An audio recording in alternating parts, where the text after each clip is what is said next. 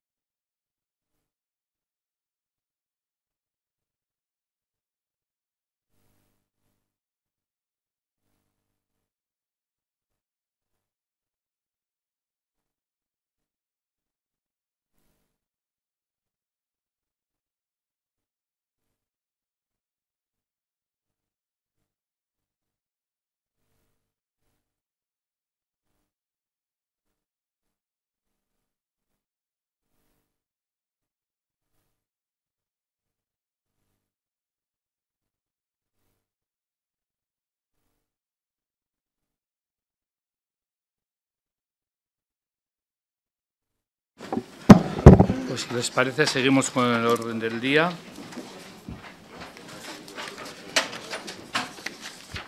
Les recuerdo para después, para cuando acabemos la parte de, Hacienda, que tenemos un punto fuera del orden del día, luego votaremos cuando lleguemos la urgencia para, si ustedes están de acuerdo, meterlo en la parte resolutiva en el apartado de Hacienda el relativo al IAE. Empezamos con la parte resolutiva de Comisión de Urbanismo. Eh, segundo punto del orden. Bueno, perdón, primer punto. Lectura y aprobación de las actas del Pleno celebrado el 27 de septiembre de 2017. ¿Hay alguna cuestión al respecto? No, pues la aprobamos por unanimidad. Segundo punto, aprobación provisional de la modificación puntual y estructural del Plan General de Ordenación Urbana de Vitoria-Gasteiz relativa a los aparcamientos privados bajo red viaria, espacios libres y zonas verdes. ¿Alguna intervención al respecto? ¿No? Entonces pasaremos a votación. ¿Votos a favor? ¿Votos a favor? El Partido Popular, el Partido Socialista, el PNV y nadie más. ¿Votos en contra? Bildu, Irabasi, abstención, Podemos. Tercero punto. Aprobación definitiva del estudio de detalle de la manzana RC4 del PERI 11 Esmaltaciones de San Ignacio Penco. ¿Alguna intervención al respecto? ¿No? ¿Votos a favor? Partido Popular, Partido Socialista, Partido Nacionalista Vasco, Bildu, en contra, abstención. ¿Podemos qué? A favor, perdón, perdón. Entonces, eh, Podemos a favor y eh, así, eh, abstención. Punto número cuatro. Aprobación definitiva de la modificación puntual del Plan General de Ordenación Urbana del término municipal de Vitoria-Gasteiz para cambiar la calificación pormenorizada de parte de la parcela con referencia catastral 59 barra 2 barra 271, sito en la entidad local menor de Mendoza, número 18, de red viaria a residencial. ¿Alguna intervención al respecto? Pasamos a la votación. ¿Votos a favor? Unanimidad. Punto número 5. Aprobación definitiva de la modificación puntual del Plan General de Ordenación Urbana del término municipal de Vitoria-Gasteiz referente a la corrección de la alineación de la calle Hospitaleros de la entidad local menor de Armentia. ¿Alguna intervención al respecto? Pasamos a votación. ¿Votos a favor? ¿Votos a favor? Partido Socialista, Partido Nacionalista, Bildu, Irabasí, Podemos, votos en contra, abstenciones, Partido Popular, abstención. Sexto punto del orden del día. Aprobación del reconocimiento extrajudicial de la factura número 162-2017 presentada por Derribos y Desescombros Social Limitada en el contrato de obras de derribo, apeo y aislamiento de medianeras del edificio de la calle Nueva Dentro 32 de Vitoria-Gasteiz. ¿Alguna intervención al respecto? Sí, señora Echear. Es que, es que recasco, señor presidente. Bueno, eh, el motivo simplemente de la intervención es recordar que como consecuencia de unas obras de derribo, apeo y aislamiento de medianeras que se realizaron efectivamente en el edificio de la calle Nueva Dentro, como consecuencia de un edificio que presentaba una situación eh, de ruina, pues eh, resultó preciso intervenir y durante la intervención surgieron cuestiones o aspectos que no estaban previstos dentro de la ejecución, lo cual suponía introducir unidades de ejecución de obra no previstas, como he señalado. El importe del contrato eh, era de 63.909,08 euros, IVA incluido, y, como consecuencia del aumento del precio permitido del contrato, teniendo en cuenta el precio de las nuevas unidades, así como la disminución de algunas partidas contempladas en el presupuesto inicial, la diferencia es de 3.381,9 euros. Eh, teniendo en cuenta que en principio en el contrato no había previsto ninguna fórmula de modificación del mismo, es por lo que eh, se trae a, aprobación del Pleno esta factura. Gracias. Entonces, ¿alguna otra intervención? Pues pasamos a, a votación. ¿Votos a favor? Unanimidad. Gracias. Comisión de Hacienda.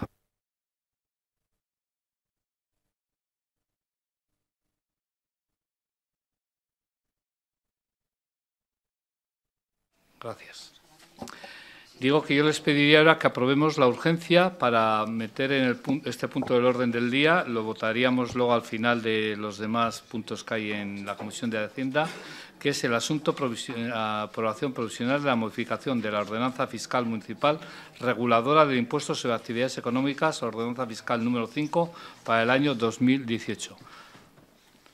Eh, ¿Votos a favor de la eh, inclusión en el orden del día como urgente?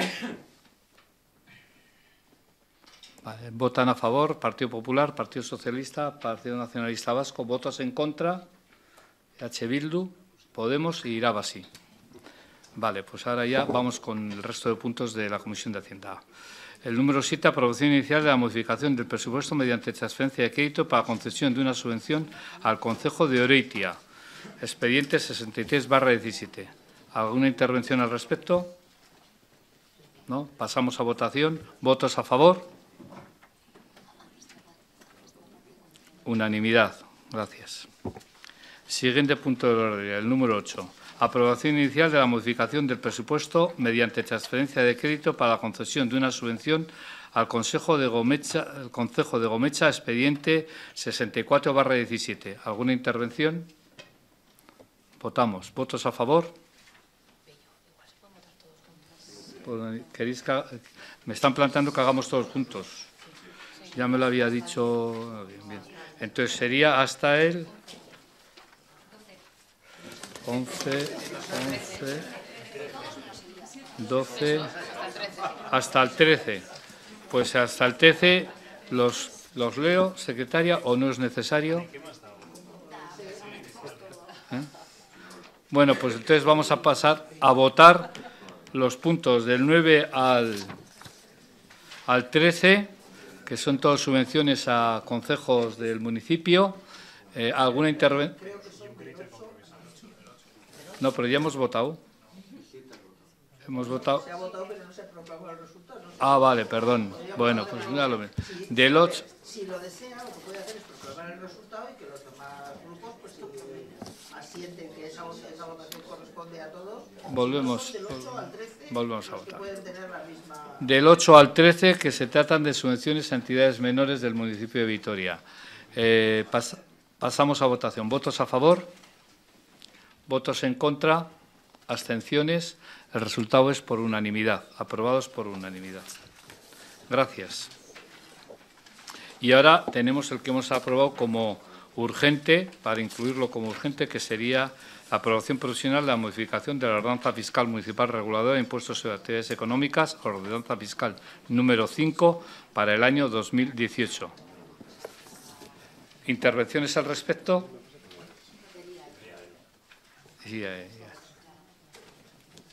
Bien. Vale, de menor a mayor. Señor Fernández.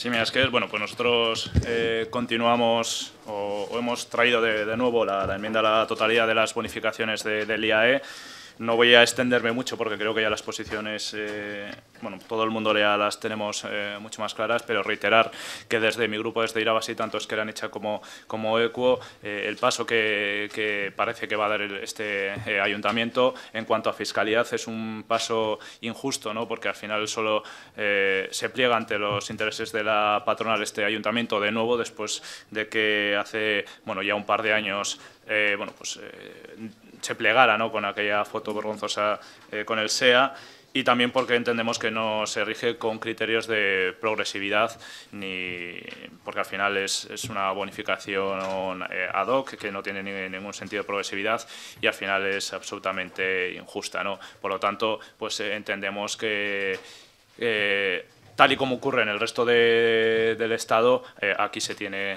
eh, bueno, pues que aplicar el IAE eh, a las empresas entre 1 y 2 millones sin ningún tipo de bonificación. Gracias, señor Hinojal. Muchas gracias, señor presidente. Eh, bueno, mm, yo también voy a ser muy breve. Creo que ya es, eh, hemos hablado en comisión. Vamos a mantener, evidentemente, el mismo voto, el mismo eh, discurso. No creemos que sea una bonificación que tenga que, que hacerse a las grandes empresas, ya que el equipo de gobierno, con la eh, con el permiso y el deseo del Partido Popular, se han entregado en brazos del, SEA. Eh, entendemos que es una bonificación que lo único que hace es perder recaudación para, el ayuntamiento, recaudación tan, eh, tan necesaria en este, en este municipio. y bueno, vuelvo a constatar cómo no se quiso hablar de las bonificaciones a las familias cuando hablamos de fiscalidad al completo, pero se ha perdón, se ha acudido raudo y veloz a hablar de bonificaciones para las grandes empresas cuando ellas lo han, lo han demandado. Volvemos a decir los mismos datos que decimos siempre. Eh, el abono final del impuesto nunca supera el 0,1% del volumen de, negocio y entendemos que, no, debería bonificarse. Seguimos manteniendo la misma postura, entonces votaremos en, contra de esta bonificación. Gracias. Gracias, señor Ojal. Señor Canto. Muchas gracias, señor eh, López de Munain. Eh, vamos a ver, nosotros desde el Partido Socialista no consideramos ni que sea eh, arrojarse en brazos eh, de la patronal, ni dejar de lado muchas otras cuestiones que competen a la ciudad. Creemos que grabar con un impuesto el tramo de un millón a dos millones de euros que de facturación de estas empresas, que son pequeñas y medianas empresas, son pymes, en ningún caso son grandes empresas, a nosotros nos parecía bueno, un paso adelante nos, nos, parece bien y también nos parece bien que haya un periodo de adaptación y que puedan acogerse a unas bonificaciones, por ejemplo, este año el 50%, en el, bueno, el 2018 el 50%. Y entonces nos parece que es un buen acuerdo y, por supuesto, que nosotros votaremos a favor. Gracias, señora Canto. Señora Gonzalo. Gracias, señor presidente. Eh, bueno, pues en relación con, esta cuestión de, la modificación de bueno, este proyecto de, ordenanza y de la aplicación de la bonificación, creo que se ha debatido ya eh, más que suficientemente en diversas comisiones. Por eso, de forma muy breve, sí voy a señalar nuevamente que nosotros valoramos como una incorporación positiva a la tributación de, por este impuesto de aquellas empresas cuyo volumen de facturación se encontraba en, efectivamente en ese margen de, entre 1 y 2 millones de euros. Nos parecía adecuado, nos parecía eh, importante dar ese paso, de la misma forma que el año pasado también eh, incrementamos eh, algo el tipo, pero también siempre hemos defendido que queríamos que esa subida se realizara de forma progresiva, aprovechando también la oportunidad que en este sentido daba la norma foral que habilitaba a los ayuntamientos a poder eh, recoger las bonificaciones. Y es por ello que nosotros eh, pues planteamos la propuesta en, este sentido, en el sentido, como he dicho, de aplicar las bonificaciones, eh, teniendo en cuenta que, bueno, pues a pesar de que se habla de empresas entre 1 y 2 millones de euros y nos puede parecer a muchos una cantidad importante, lo cierto es que eso no se corresponde con los beneficios, lo he insistido, y no es un impuesto que, que esté grabando los beneficios, sino que está grabando el hecho de ejercer la actividad y se basan unos indicadores distintos para establecer la capacidad económica de las empresas. Eh, y entendemos en este sentido que esas empresas, como he dicho, pues son empresas de menos de 10 asalariados normalmente, se consideran ni siquiera grandes empresas, sino que son, estaríamos hablando de microempresas. Y de hecho, eh, bueno, pues nos parece que eh, hay, viendo un poco el, sesgo de, las, empresas que pueden verse afectadas, eh, pues estábamos hablando de mm, empresas, por ejemplo, tan, que se dedican a gráficas de edición, pues bueno, pues pueden tener eh, pues importes de, liquidación en torno a 3.000, más de 3.000 euros. El incorporarse a esta tributación de comercio al por menor, estamos hablando, de productos no alimenticios, de servicios prestados a las empresas, es decir, consultoras, sanidad y servicios veterinarios. Estamos hablando de una relación de, de, de actividades que, francamente, creemos que no estamos hablando, no estamos refiriendo en ningún caso a grandes empresas, a empresas importantes y creemos que debemos contribuir de alguna forma a que tengan más capacidad económica y que eso nos dé la posibilidad de, eso sí, demandar eh, empleo de mayor calidad y en mejores condiciones, no de grabarles con impuestos. Señor Gonzalo. Señor Velacortu. Sí. Antes iba por un café y me han cobrado 50 céntimos. Luego he venido al Pleno y ustedes van a pulir 600.000 euros. Esto es a lo que venimos. La decisión que hoy se va a tomar va a llevar un gasto al ayuntamiento, una, bajada de ingresos de 600.000 euros y se hace con carácter de urgencia. 600.000 euros. Yo durante el debate presupuestario le estaba escuchando a la señora Gonzalo y durante el debate fiscal del problema que tenemos con nuestros ingresos corrientes. Yo y ustedes les van a pegar fuego a 600.000 euros. Le van a pegar fuego. Luego iré a decir, a hablar de con qué argumentos. Con lo cual, cuando el Gobierno presentaba sus presupuestos y decía todo lo que le había aumentado el gasto en el capítulo 1, que no le quedaba margen para invertir, cuando el Partido Popular decía en el debate presupuestario, hay que acotar el, el, gasto corriente, hay que acotar el gasto corriente, tiene muchas diferencias, pero cuando se trata de hacer bonificaciones ustedes lo tienen muy claro, porque durante este debate, este grupo y otros grupos hemos querido hablar de bonificaciones en otros impuestos con criterios de renta ¿no? para la ciudadanía, pero eso no tocaba, eso no tocaba. Y además recuerdo perfectamente a la señora eh, Gonzalo eh, hablando que no se pueden hacer más bonificaciones en el IBI porque tienen un coste, es que tienen un coste, es que tienen un coste, y aquí no hay ningún problema. Pero es que además lo hacen con carácter de urgencia con carácter de urgencia. Es decir, ni siquiera entra de una forma ordinaria en el Pleno. Y me consta que en alguna comisión, en concreto de urbanismo, no se han querido hacer comisiones extraordinarias para traer cosas a pleno, que seguramente que no tenían esta urgencia. Seguramente que no tenían esta urgencia. Pero esto tiene urgencia. ¿Y por qué esto tiene urgencia? ¿Por qué tienen ustedes tanto empeño en dar este premio. Y este premio se lo dan a las empresas, algunas empresas, y no se lo dan a la ciudadanía. Y luego vemos eh, el, el discurso de la señora Gonzalo, el que ha hecho ahora y el que ha hecho otras veces, ¿no? Que es, no, es que hay que ayudar a las empresas, hay que ayudar a las empresas, hay que ayudar a las empresas, que son empresas pequeñas, que son empresas pequeñas. Pues entre uno y dos millones, si son micropines, ya me explicará usted, ya me explicará usted que son entre cero y uno, ¿no? Y luego hace una, hace un, marca qué tipo de matrículas o cuáles van a pagar eh, este impuesto. Las empresas, como ustedes saben muy bien, y lo dice con bastante más gracia que yo el señor González, los impuestos, el, el impuesto de sociedades está subiendo. Ha subido en concreto un 16%. Pero no solo ha subido un 16% la recaudación del impuesto de sociedades del 2016, que es el que se presenta en julio del 2017, sino que este año está siendo mejor para las empresas que el año anterior. Esto lo sabe todo el mundo pero a ustedes les da igual, porque este es un premio de algo que ustedes ya tienen pactado. Es una medida que no va a tener ninguna repercusión en la economía, como ya se vio que no tuvo ninguna repercusión en la economía. Recuerda al Partido Popular diciendo que si poníamos un índice en el IAE del 1,93 y el SEA, como decía, todos los puestos de trabajo que, que se iban a perder, cómo hablaba de, eh, de empresas que iban a tener que cerrar, y hemos visto cómo esto no está siendo así. Esto es un premio. Y ustedes dicen de ayudar a la economía, ayudar a las empresas que son más débiles, pero evidentemente se les ve el plumero, porque de todo el debate eh, fiscal que hemos, que hemos hecho durante este, durante este año, hemos visto cómo ustedes han rascado el bolsillo de la ciudadanía para poder recuperar los 600.000 euros que van a regalar a las empresas. Ese ha sido el debate fiscal cómo lo hacen con carácter de urgencia, porque es lo que más les importa eh, de este debate fiscal, poder dar esas bonificaciones.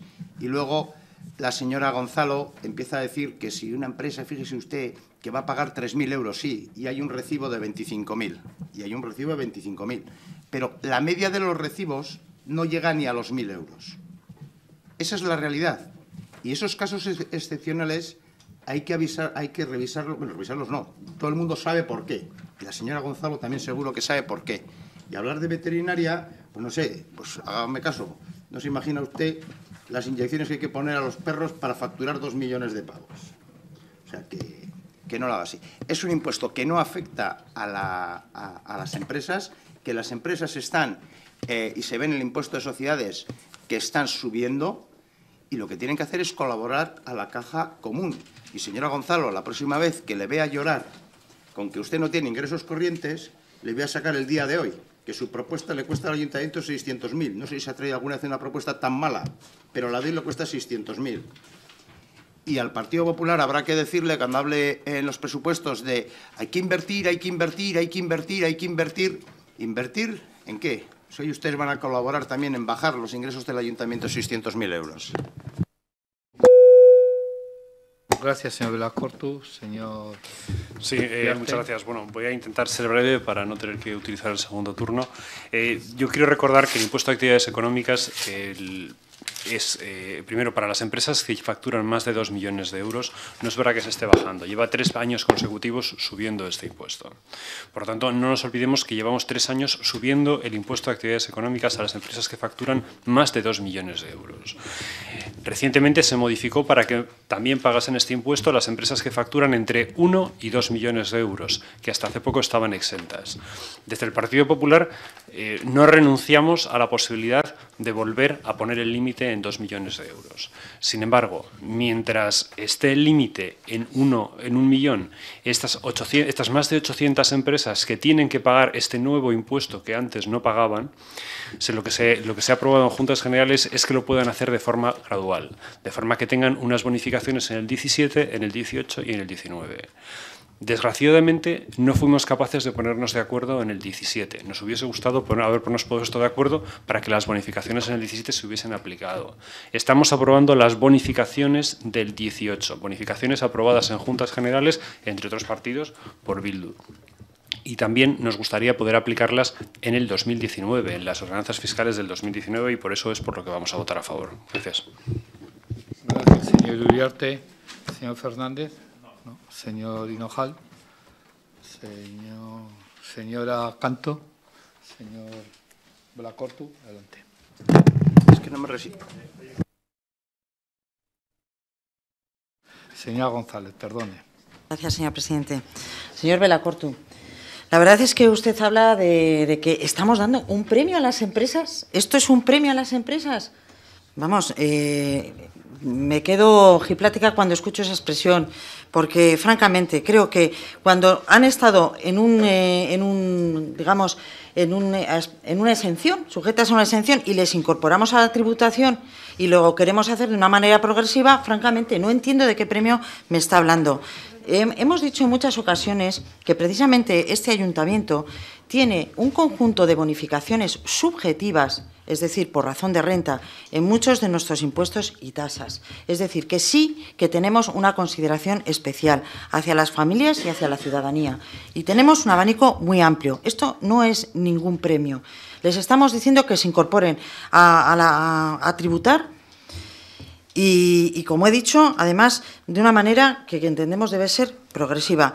Y además me gustaría también destacar un aspecto. Eh, hay que tener en cuenta que hay empresas que tenemos en nuestra ciudad ubicadas y que de alguna forma eh, pues estas empresas pueden eh, tributan por lo que denominamos la cuota provincial o estatal en función de sus circunstancias y que, sin embargo, sí están disfrutando de esta bonificación. ¿Por qué? Porque se, se regulan directamente a través de la norma foral.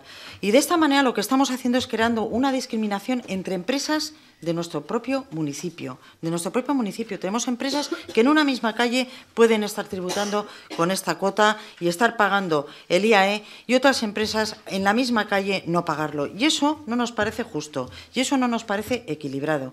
Y y es por eso que nosotros planteamos esta incorporación progresiva, no generar diferencias. Incorporación a tributación sí, pero insisto, de una manera progresiva y equilibrada. Y no creo que sea comparable ni se trate de dar premios a, las empresas. Se trata precisamente de poderles y tener argumentación más que suficiente a decir, efectivamente, a nosotros como Administración lo que nos interesa es que el empleo que creen sea de calidad y sea estable y tengamos eh, una situación mejor que la que tenemos ahora a nivel de empleo, que eso es lo importante, no las bonificaciones o no que podamos dar. Y además es que cada vez que usted habla, resulta que el conjunto de la bonificación sube, porque yo los datos que tenía eran de en torno a 430.000, 500.000, hoy son 600.000. Vamos, eh, habría que leer la propuesta que ustedes presentaron en su conjunto a las ordenanzas fiscales y ver cuál era la cuenta final y el resultado, a ver cuánto perdía este ayuntamiento. Gracias, señor Gonzalo. Señor Blacortú. Dice la señora Gonzalo que no sabe dónde está el premio. Que no lo ve. Pues mire, ya se lo voy a enseñar yo. ¿Recuerda esa empresa que me ha puesto de ejemplo de 3.000 euros que tenía el recibo, que durante el 2017 iba a pagar o va a pagar 3.000 euros? Pues usted le ha hecho el premio del el año que viene de pagar 1.500. ¿Entiende usted el premio? ¿Cuál es su impuesto? 3.000. Y después de que la señora Gonzalo proponga esto, ¿cuánto es su impuesto? 1.500. Lo restamos y tiene usted el premio al caballero. Es muy fácil, ese es el premio. Y luego, yo con, yo con, yo con, el, con el Partido Popular es que no puedo. El Partido Popular no renuncia a dejar exentas a las empresas que facturan entre 1 y 2 millones. Pero, pero esto, esto ¿quién lo propone? ¿Eso quién lo propone? ¿El Partido Popular de, de Álava? Esto usted se lo ha explicado al señor Montoro y al señor de Guindos. ¿Se lo, se lo ha explicado usted? Ha dicho, Mira, de Guindos, te lo voy a explicar. Cago en la leche.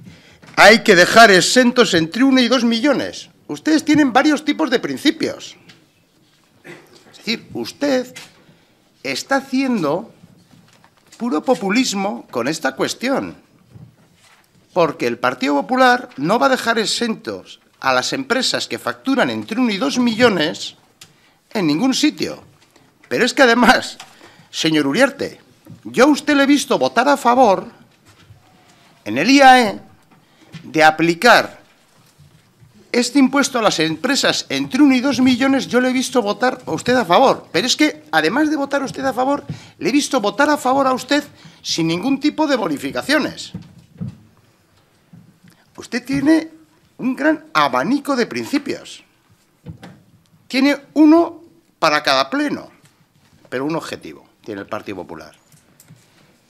No hablar de las bonificaciones de las personas y sí hablar de las bonificaciones de las empresas. Y el, y el Partido Socialista, señora Canto, esta bonificación en los sitios donde ustedes eh, gobiernan el Estado han hecho esta propuesta para rebajar el IAE. Y luego lo del periodo de adaptación es curioso. Dice, no, ya que se incorporan para que vayan pagando poco a poco, ¿no? Pero si ya este año están tributando por el 100%. Entonces vamos a hacer un periodo de adaptación retroactivo. Es por si no le ha gustado el impuesto, tiene un premio. Y luego, eh, lo de ya que se incorporan, no lo sé. Ayer, por ejemplo, venía una noticia sobre un paso eh, o un vado de una comunidad de vecinos que se incorporaban a pagar el impuesto y a ese tipo de gente no les parece oportuno, porque también se incorporan de nuevo a pagar el impuesto, la tasa. Pero para esos nunca hay premio, nunca hay premio.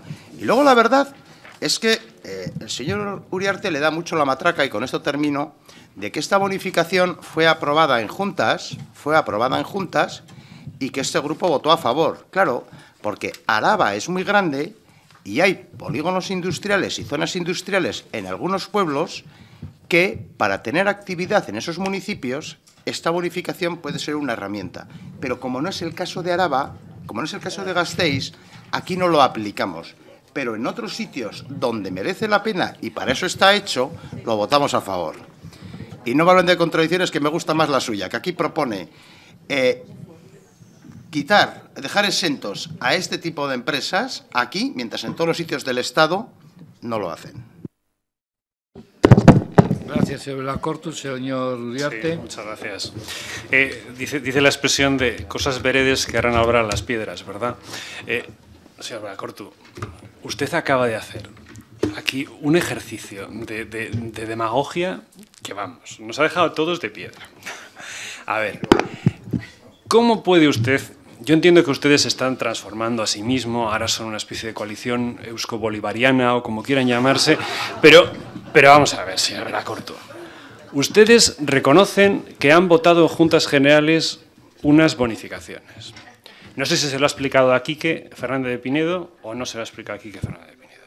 Ustedes reconocen que su propio partido está aprobando estas bonificaciones en el resto de la provincia, o territorio histórico, como quiera usted llamarlo.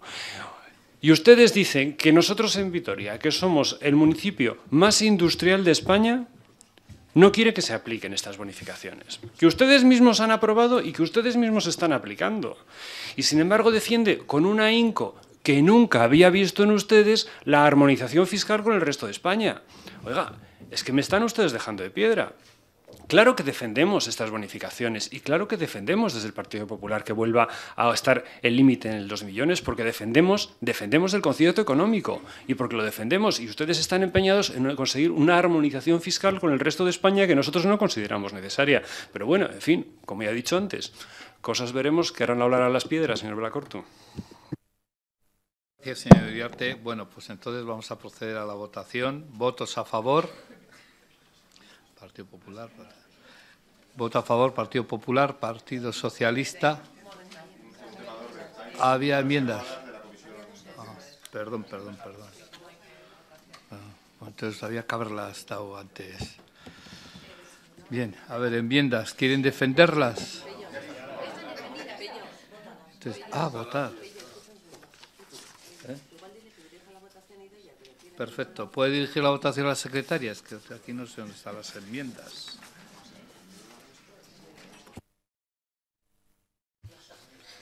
Vamos a ver. Tenemos reservada, parece ser, una enmienda de Irabas y Ganar y de Podemos y una enmienda de H. Bildu. Entonces pasaríamos a votar en primer lugar la enmienda de Irabas y Podemos.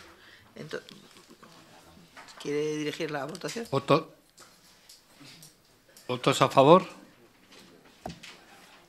Están a favor Bildu, Irabasí y Podemos. ¿Votos en contra de la enmienda de Irabasí? Eh, Partido Popular, Partido Socialista y Partido Nacionalista. Decae. ¿La otra enmienda, señora secretaria? Y la segunda enmienda es la presentada por el grupo EH Bildu. Entonces, que supongo que están ustedes, están ustedes a, a favor. ¿Votos a favor? Bildu, Podemos, Irabasí. ¿Votos en contra? Partido Popular, Partido Socialista y Partido Nacionalista Vasco, decae. Y ahora votaríamos la ordenanza ya. Entonces, votos a favor después de haber rechazado las dos enmiendas del texto. ¿Votos a favor? La ordenanza, sí, la original. Partido Popular, Partido Socialista y Partido Nacionalista. ¿Votos en contra? Partido eh, Bildu, H. Bildu, Irabasí y Podemos. ¿Cuánto sale? Gracias por la paciencia que están teniendo con esta presidencia. Bien, ahora tenemos una declaración institucional que así se acordó en la Junta de Portavoces, que paso a leer, ¿no? Es habitual la organización de eventos en el municipio de Vitoria-Gasteiz, tanto desde el Ayuntamiento como otros agentes. Cualquier evento tiene un efecto en el medio ambiente y una ciudad que se define como green, una ciudad que reconoce un compromiso con la sostenibilidad, debe tratar de minimizar dichos efectos. Pocos podrán discutir que la incorporación de criterios de sostenibilidad tendrán efectos positivos en el diseño, organización y realización de cualquier evento no solo porque disminuyen los impactos ambientales, sino también por sus impactos sociales y económicos. Un evento sostenible es aquel que ha sido diseñado, organizado y llevado a cabo de tal modo que minimice los potenciales impactos negativos sobre el medio ambiente y deje al mismo tiempo un legado positivo para los organizadores y para todos aquellos agentes involucrados. El desafío eh, desafío al que hay que enfrentarse es la concienciación para disminuir los impactos negativos asociados a eventos masivos de los que acuden al evento y de los que lo organizan, de forma que la actividad afecte lo mínimo posible al medio ambiente. Es decir, hay que tener en cuenta el ciclo de vida completo del evento. Al evaluar los impactos ambientales de un evento, es recomendable tener en cuenta todas las, e, todas las etapas necesarias para su realización, adoptando un planteamiento holístico. Este planteamiento tiene en cuenta no solo los impactos en la realización del evento, tiene en cuenta los impactos de las materias primas, la producción, del, el, la producción, el transporte y el final de su vida útil de todos los elementos que se utilizan en el evento. Identifica los impactos ambientales en los que se pueden actuar y buscar alternativas mide los efectos, buscan datos, analizan, evalúan los impactos y realizan una declaración ambiental del evento. Y todo esto se comunica, se comparte con los avances que se realizan en materia ambiental y se hace pública la declaración ambiental. Desde hace varios años es posible realizar todo esto de forma medible y verificable. El certificado ERRONCA, ERRONCA Garbía, promovido por la sociedad pública INOVE, garantiza que la organización de cualquier evento se incorporen criterios ambientales en su diseño y desarrollo para disminuir los efectos ambientales negativos. El certificado Erronca Garbía reconoce aquellos eventos que han incorporado medidas ambientales en su diseño y organización para minimizar los impactos negativos potenciales en el medio ambiente. Por todo ello, el Ayuntamiento de Vitoria-Gasteiz se compromete a utilizar la metodología, metodología Erronca Garbía. Esta es la declaración institucional que proviene de una, eh, de una moción y que la Junta de Portavoces se consideró que, al estar todos de acuerdo, podía ser una declaración institucional. Y ahora tenemos, si me permiten, el punto número, el número 15, que es turno popular no vinculado de la Coordinadora de ONGs de Euskadi. Quiero dar la bienvenida a la señora Vanessa, señora eh, eh, Cachafeino, señor Narváez y señora Hermosilla. ¿Es así? Muy bien. Adelante, pueden ustedes intervenir. Sí, es verdad. No, no, deja que no, que lo va a llevar haciendo. Egunon, zinegotzi jaun Andreok e, eta hemen areto honetan gauden guztioi. E, mi esker, gaur zuekin hemen egoteko aukera eskaintzagatik. E, esan digute itzulpen gintza zerbitzua dagoela, eta bera euskara eta ardera erabilko dugu gure parte hartzean. Dakizuenez, Euskadiko garapenerako gobernuz kanpoko erakundeen koordinakundearen izenean gatoz. E, esan duzunez bezala, e, Vanessa Katxafeiro Saez de Cortázar, mugarik gabe erakundekoa, eta Jon Narbaez López de Aberasturi, STM guaizea erakundekoa gaituzue, hain zuzen. Euskadiko garapenerako gobernuz kanpoko erakundeen koordinakundea, mila beratziregun eta laro eta garren urtean sortu zen amaika fundatzailerekin. Eta gaur egun, laro goi erakundez osatuta dago. Egun berrogeita mar egoitza eta ordezkaritza dituztenak Euskal Autonomia erkidegoko lurraldeetan manatuta. Horietatik, hogeita mabik araban dute egoitza. Koordinakundeak gizarte eraldaketa desparekotasunak gainditzea eta mundu justuago baten aldeko borroka ditu lanerako ardatz. Esparru honetan, garapenerako lankidetza solidaritatetik, eskusabaltasunetik eta doako otasunatik ulertzen dugu, eta ez transferentzia ekonomiko soila den aldetik. Giza garapena ekiditen duten ostopoak kentzeko hegoaldeko herriekin batera eginiko lan guztian datza, eta herritarrak garapen hori zailtzen duten mekanismoen alorrean estean, sentsibilizatzean eta kontzientziatzean. Garapenerako gobernuzkanpoko erakundeok, sozietate zibilaren parte garen aldetik, baztertuta dauden pertsonan interesak bilduko dituen gizarte egitura bat sendotzeko funtsezko zeregina dugu. Beraiek izan daitezen beren proiektuak definitzen eta kudeatzen dituztenak, baita iparraldean ere. Gure bizitzetan, gure mundua ikusteko eran eta bertan jarduteko moduan eragin itzela duten egoeren eta gizarte aldaketen testigu izateaz gain, guk nahi duguna da bizigaren gizartea definitzerakoan, eta nola ez, zehazterakoan, dugun rol aktiboaren kontzientzia ere izatea. Eskubideen obiektu pasiboak izatetik, subiektu aktibo arduratsuak izatera pasa behar dugu. Eta iparraldeko espazio honetan kokatzen eta garatzen ditugu hain zuzen, preseski eta gazteizko gizartean eragina duen neurrean gure jarduerak eta ekintzak. Y es por ello que la coordinadora de ONG de Euskadi eh, asume como una de sus prioridades estratégicas la coherencia de políticas en base a la solidaridad internacional y el desarrollo humano sostenible. La ayuda oficial al desarrollo es necesaria, pero no suficiente como ya sabemos. Los esfuerzos en desarrollo serán en vano si los efectos de otras políticas los socavan o contradicen en lugar de aprovechar la oportunidad de crear sinergias en beneficio de los países empobrecidos. Surge así el principio de coherencia de políticas para el desarrollo.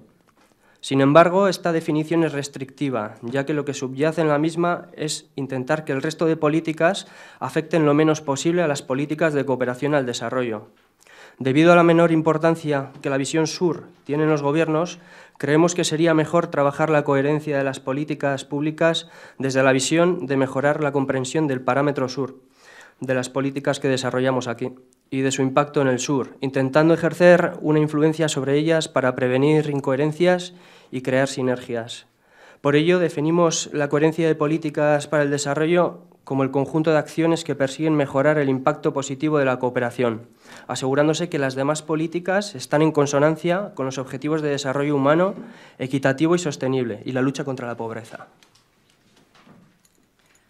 La Ley 1-2007 de 22 de febrero de Cooperación para el Desarrollo, en su artículo 3... ¿Puedes decir el nombre para que aparezca en el acto? Vanessa Cachafeiro de Mugarigabe.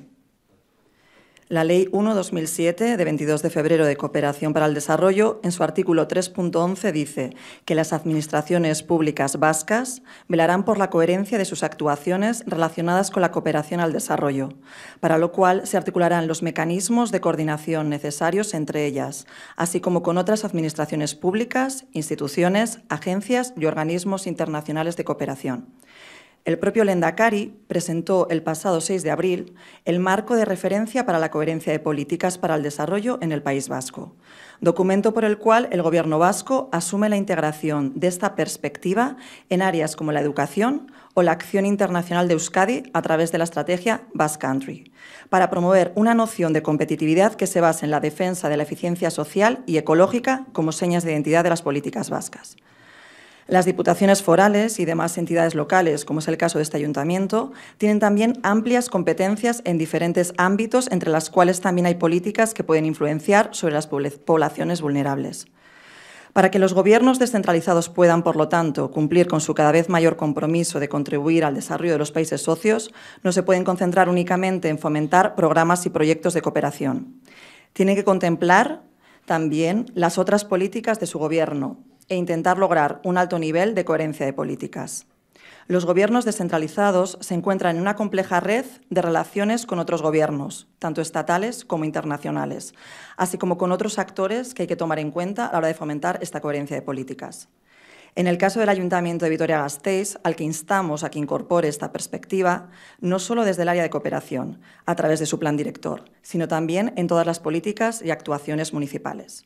Y ahora, para terminar, nos vamos a centrar en la cooperación y queremos recordar que la cooperación vasca ha sido un referente en todo el Estado en los últimos 30 años, especialmente por la calidad de sus políticas de cooperación implementadas por estas instituciones y por este ayuntamiento, por su enfoque a largo plazo y por su compromiso con el enfoque de derechos, la equidad de género y el empoderamiento de las mujeres.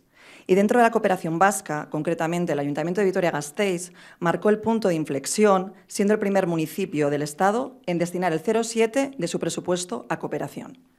La cooperación al desarrollo vasca, por tanto, tiene un largo recorrido, múltiples aprendizajes y sus propias especificidades, desde las que aportar, por lo que es preciso poner en valor nuestro modelo de cooperación descentralizada construido con consenso social y político.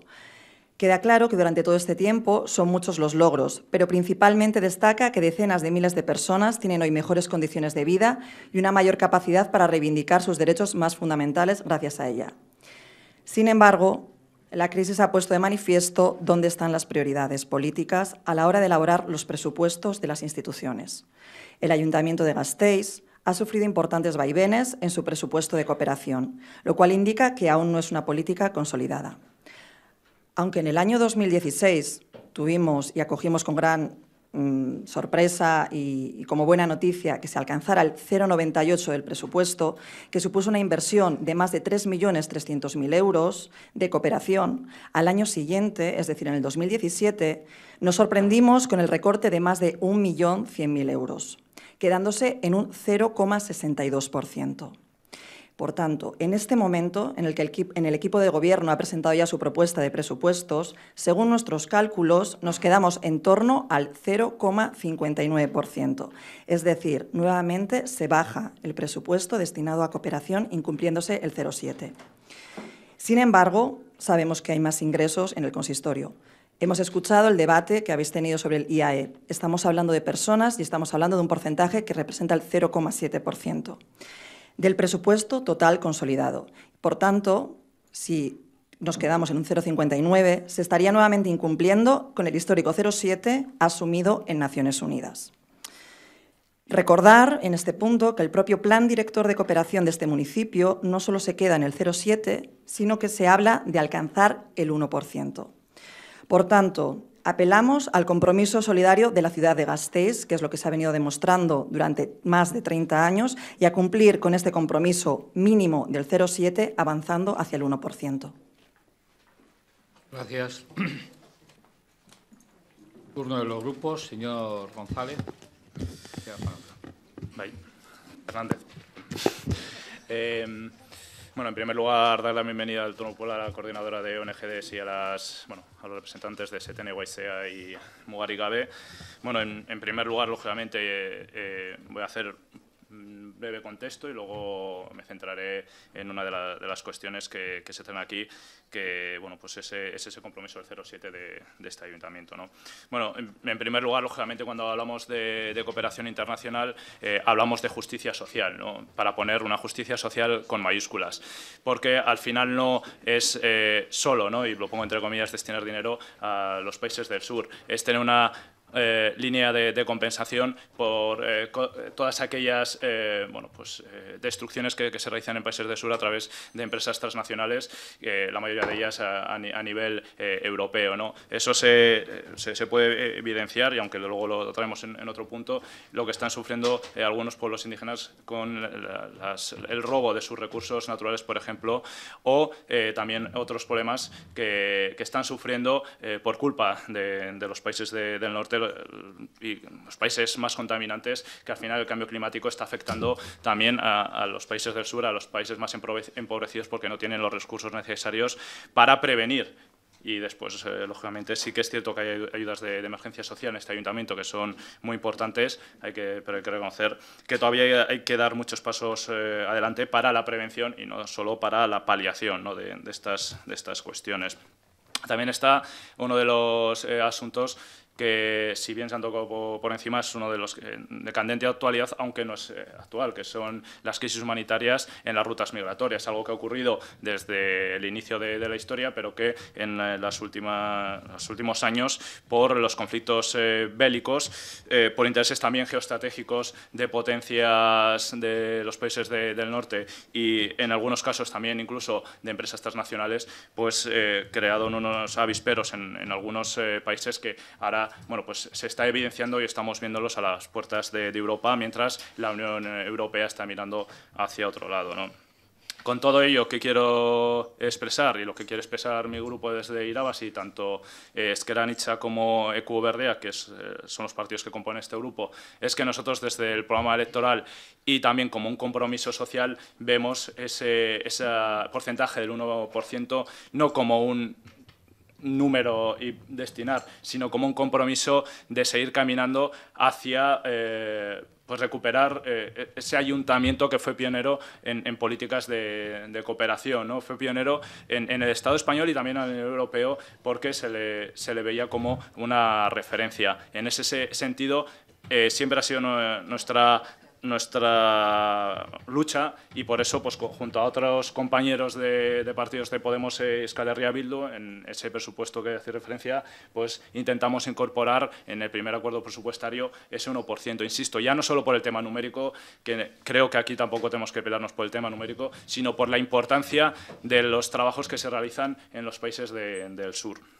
Y por lo tanto, nosotros también, y por ir finalizando con, este aspecto, nosotros cuando vimos el actual eh, presupuesto, ya se lo comentamos a la señora Aguirre, que después tendrá la oportunidad de, de explicarlo, nosotros también vimos esos números, dijimos que, que hay que llegar a... O sea, hay que, nuestra apuesta es el 1%, pero ni siquiera se llega al 0,7%. Es cierto que aquí la maquinaria presupuestaria va a hacer ver de que, bueno, pues quitando de un lado o de otro se llega a ese 0,7%, eh, pero para nuestro grupo tiene que estar muy claro que de todo el presupuesto de todo el presupuesto de ingresos, el 0,7 tiene que ir, de, bueno, el 1%, pero el mínimo, el 0,7 debería ir destinado a, cooperación. Por lo tanto, pues eh, nuestro apoyo y, de nuevo dar la bienvenida, agradeceros las, palabras que habéis transmitido. Gracias, señor Fernández. Señor Cerezuela, tiene la palabra. Sí, gracias. Eh, gracias por venir, pero más que gracias por venir, gracias por la implicación y el trabajo que haces todos los días. Vale, habéis dicho una cosa que considero que es muy importante y que, comentaré un poquito más adelante, pero primero quiero situar un poco lo que ha sido lo que es la cooperación internacional a nivel de Euskadi, a nivel de Ayuntamiento de Vitoria-Gasteiz, durante, por lo que habéis comentado, los últimos 30 años. Era muy común, eh, desde el sur de México hasta toda Centroamérica y Sudamérica, encontrar eh, proyectos donde llegabas allí y veías una placa y la placa era proyectos realizados con fondos de gobierno vasco, proyectos realizados con, con fondos del Ayuntamiento de Vitoria-Gasteiz. Era muy común. El problema es que muchas de esas placas se han oxidado. Se han oxidado pues, porque, al parecer, eh, la política y el eslogan de los de aquí lo primero, en tiempos de crisis, pues cala. Y cala porque no sé si hay una falta de conocimiento, pero sí lo que hay es una falta de orgullo, de orgullo de estar representados fuera y de entender la solidaridad tal y como la entendía esta ciudad hace unos años. Habéis dicho una cosa que es tremendamente importante, lo de políticas consolidadas de cooperación. ¿Qué significa básicamente eso? Saber con lo, que se cuenta. Eh, si hay algo que puede hacer daño a la cooperación o a un proyecto, perdón, es que de la noche a la mañana los fondos con, con los que contaba o con los fondos previsibles con los que va a contar desaparezcan porque te estás cargando no solamente eh, mejorar la vida de la gente, la estás empeorando, la estás desilusionando, la estás quitando ganas de seguir adelante. Y en última instancia, y en última instancia, estás haciendo peligrar la vida de la gente, literalmente, que es de lo que estamos hablando. eh, mejorar la vida de la gente, que es el eufemismo con el que muchos de los proyectos de cooperación se encabezan, mejorar las condiciones de vida de las mujeres no sé dónde, de los niños no sé dé, y mejorar el, hábito alimenticio. Eso que parece un eufemismo, un eslogan que se repite, es que es literal. Es que cuando se habla de mejorar la vida de la gente, la cooperación internacional lo que hace es mejorar la vida de personas que lo tienen muy, muy, muy crudo. Y desde luego la culpa no es de ellos, ni de ellas. No tienen ningún, ninguna culpa. Creo que lo más importante, que lo más importante es precisamente eso. Saber, no solamente con lo que vamos a contar con los presupuestos de este año, sino tener una constancia y una previsión de lo que vamos a contar con los presupuestos el año siguiente y el de más allá y el de más allá. Por supuesto que los ingresos en un ayuntamiento, fluctúan en función, pues básicamente de, pues, de crisis y, y, de mil historias. Pero al menos, al menos, tener constancia de que hay una cantidad mínima que siempre va a estar ahí y una cantidad a la que se aspira, eso debería ser uno de los, de los mantras de un ayuntamiento que ha sido referencia eh, en todos esos países. Eh, por supuesto que en las enmiendas que hagamos a los presupuestos iremos a por el 1. Mm, eh, veremos a ver en qué queda. Es una aspiración que tenemos, es una, va, con Podemos y evidentemente lo vamos a pelear. Pero más allá de eso, insisto, y ahora me dirijo más que a vosotros al resto del Pleno, en la necesidad imperiosa de tomar, mm, eh, ¿cómo diría yo?, de tomar constancia de que lo importante es saber con lo que se cuenta y con lo que se va a contar, independientemente de otros factores. En un ayuntamiento se puede permitir el lujo de estirar la vida de un autobús un año más, pero estirar la vida de una persona un año más cuando no tiene nada es bastante difícil, por no decir imposible. Gracias. Gracias, señor Cerezuela. Tiene la palabra la señora Canto. Bueno, en primer lugar, darles la bienvenida a este pleno a ustedes, representantes de la coordinadora, agradecerles también el trabajo diario que hacen, como también le han agradecido intervenciones que han precedido a la mía. La crisis nos deja más necesidades, nos ha dejado más necesidades, no solo aquí, sino también en los pueblos que antes de la crisis ya estaban mal. Incluso han sido más afectados que lo que hemos sido en nuestro propio entorno. Desplazados, hambruna, desastres naturales, guerras, etc. Son palabras que muchas veces ponemos en nuestra boca y que muy pocas, muy pocas personas conocen, por lo menos de las que estamos eh, aquí en Vitoria. Hay algunas que sí, que han venido debido a estos eh, desastres, pero en el mundo occidental, aquí donde tenemos, gozamos de unos derechos que no hay en el resto del planeta, poco sabemos de estos desastres. Y ahora lo que nos toca es recuperar como mínimo la situación anterior a este mal sueño del que estamos empezando a despertar. A nadie se nos escapa que esto se tiene que producir de una forma progresiva y acompasada con la recuperación que se está produciendo. Tenemos la suerte de haber nacido en esta parte del mundo, de todo y también tenemos suerte de disfrutar de todo lo que disfrutamos por el mero hecho de haber nacido aquí, una suerte que azarosamente pues ha caído, pero podríamos haber nacido en, otro lugar del planeta.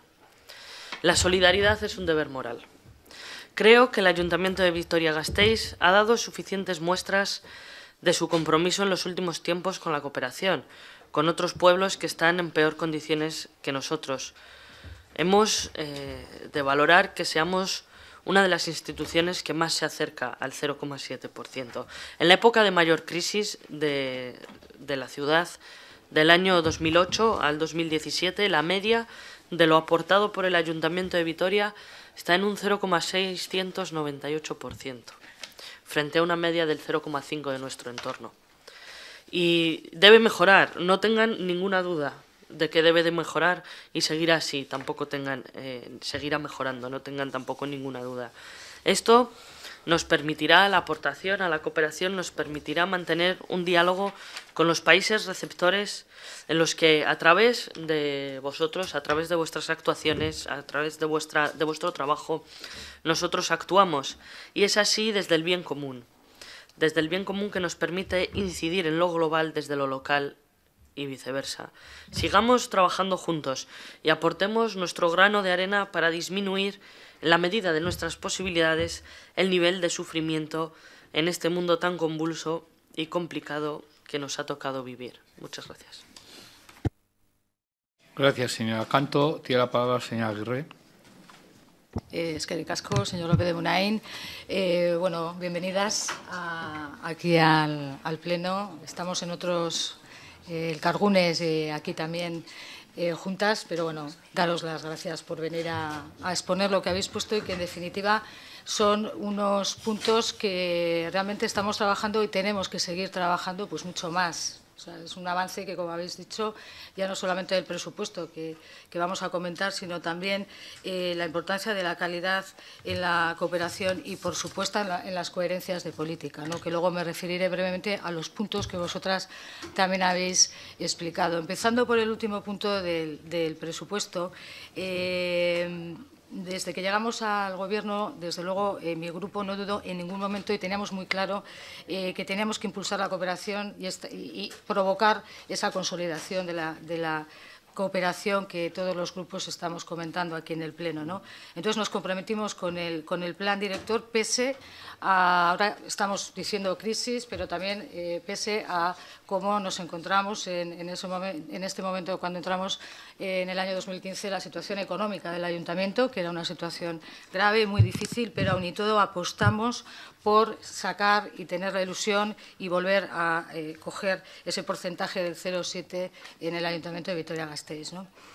Eh, dicho esto, con relativo a los presupuestos, a llegar al 1, al 0,7, eh, el, el, equipo de gobierno está eh, cumpliendo el plan director, el presupuesto que se ha presentado, eh, ha habido un aumento de partidas del capítulo 4 y del capítulo 2, es decir, si se comparan las eh, partidas económicas y las dotaciones económicas, hay un aumento en ellas eh, y nuestro compromiso es seguir, seguir cumpliendo con el plan director y destinar de 0,7 y, desde luego, llegar al 1% sería, vamos, aquí con todos los grupos, está abierto el presupuesto y si entre todos se hace eso, se enmienda y, si, se conseguimos 1%, pues evidentemente yo encantada. Pero hay una cosa que me gustaría mucho decir, me gustaría mucho decir, y es que cuando hablamos entre nosotros y entre nosotras aquí en el Pleno, eh, con, eh, con la coordinadora, con todos los que estamos metidos en la cooperación, 0,7, 1%, 0,5, a mí me gusta decir alguna cifra para que la ciudadanía de Vitoria, eh, los vitorianos y los vitorianos, sepan en, euros de qué estamos hablando. Me gusta, me gustaría decir, y hay un dato, un dato que es un dato último, eh, un, análisis del año 2016 de 2017 es que cada ciudadano o ciudadana de Vitoria-Gasteiz aportó en 2016 casi 11 euros, 0,92 exactamente, a la cooperación al desarrollo por medio del presupuesto municipal. En 2017 el dato será algo inferior, pero similar. Esto sitúa claramente a Vitoria-Gasteiz como municipio que más aporta a cooperación al desarrollo muy por delante de los demás a mí me parece una buena noticia, una buena noticia que ojalá sigamos y nuestra intención es seguir consolidando y que sea así. Pero también es importante saber ¿no? de, qué, de qué porcentajes y de qué dinero estamos hablando. Realmente es una buena noticia y que tenemos que seguir trabajando. Eh, los dos eh, puntos eh, siguientes, que es lo que la coordinadora ha mencionado, me parecen importantísimos, que son la calidad de la cooperación ya independientemente de hablar del presupuesto, evidentemente es necesario un dinero y unas partidas, que ya lo estamos comentando y hablando reiteradamente y es el momento, pero la calidad de la cooperación y la coherencia en las políticas para el desarrollo es la nueva política también que tenemos que seguir de instauración tanto por las organizaciones como por las instituciones. Sí que es verdad, efectivamente, que con una trayectoria de 30 años de cooperación debe ser esta, efectivamente, la mayor preocupación de todos los agentes que estamos implicados en la cooperación al desarrollo. ¿no? Y, también, por supuesto, los que estamos implicados en, en el ámbito municipal. En nuestro sistema, que consiste esencialmente en el apoyo a proyectos, la calidad de la cooperación tiene que estar relacionada en primer término por la calidad de los proyectos que se realiza y que es responsabilidad de todos los agentes eh, que participamos en la cooperación y que intervenimos en ello. En primer término, las ONGDs o las entidades que gestionan los proyectos, también con igual o mayor importancia las organizaciones de los países de desarrollo, ¿no? que son las que llevan a cabo y, lógicamente, también tenemos que participar el ayuntamiento. Se trata, en definitiva, de garantizar lo que habéis comentado, que se implementen proyectos socialmente útiles, especialmente para los sectores más necesitados, técnicamente viables y, en lo posible, sostenidos y, por, supuesto, con una gestión eficaz de esos recursos. Eh, por parte del Ayuntamiento, desde hace muchos años, y lo venimos comentando siempre, y también yo creo que lo valoramos muy bien, incluso desde Euskal Fondoa se ve eh, los esfuerzos que se están realizando ya no solamente por el Departamento y el Servicio de Cooperación al Desarrollo del Ayuntamiento de Gasteiz, sino también están implicados, y es importante también mencionar al resto de servicios municipales que eh, valoran, asesoran y también eh, ayudan al seguimiento de los, de los proyectos que, que se están llevando a cabo. ¿no? Eh, sabemos que es importante la colaboración de ANVISA en proyectos de agua y saneamiento, el Departamento de Urbanismo en los proyectos constructivos del CEA, de energía fotovoltaica, pero también del Servicio de Igualdad, que lo habéis mencionado. Y también hay que subrayar y tenemos que tener muy en cuenta que tenemos que garantizar la calidad de cooperación y también esto lo que implica es reforzar el seguimiento y también el control de las acciones y la utilización de la evaluación de lo que estamos haciendo. También es muy importante, ¿no? Eh, para esto también ha habido un aumento de la partida económica para el tema de la evaluación, porque sí que estamos en un momento que realmente consideramos importante también ir evaluando. ¿Para qué? Para evaluar posibles cambios, posibles acciones y mejoras, que eso también lo hemos comentado en, numerosas ocasiones. ¿no? En cuanto a la coherencia de políticas para el desarrollo, bueno, pues habéis hecho la definición que hace el Gobierno vasco y que es la que compartimos, ¿no?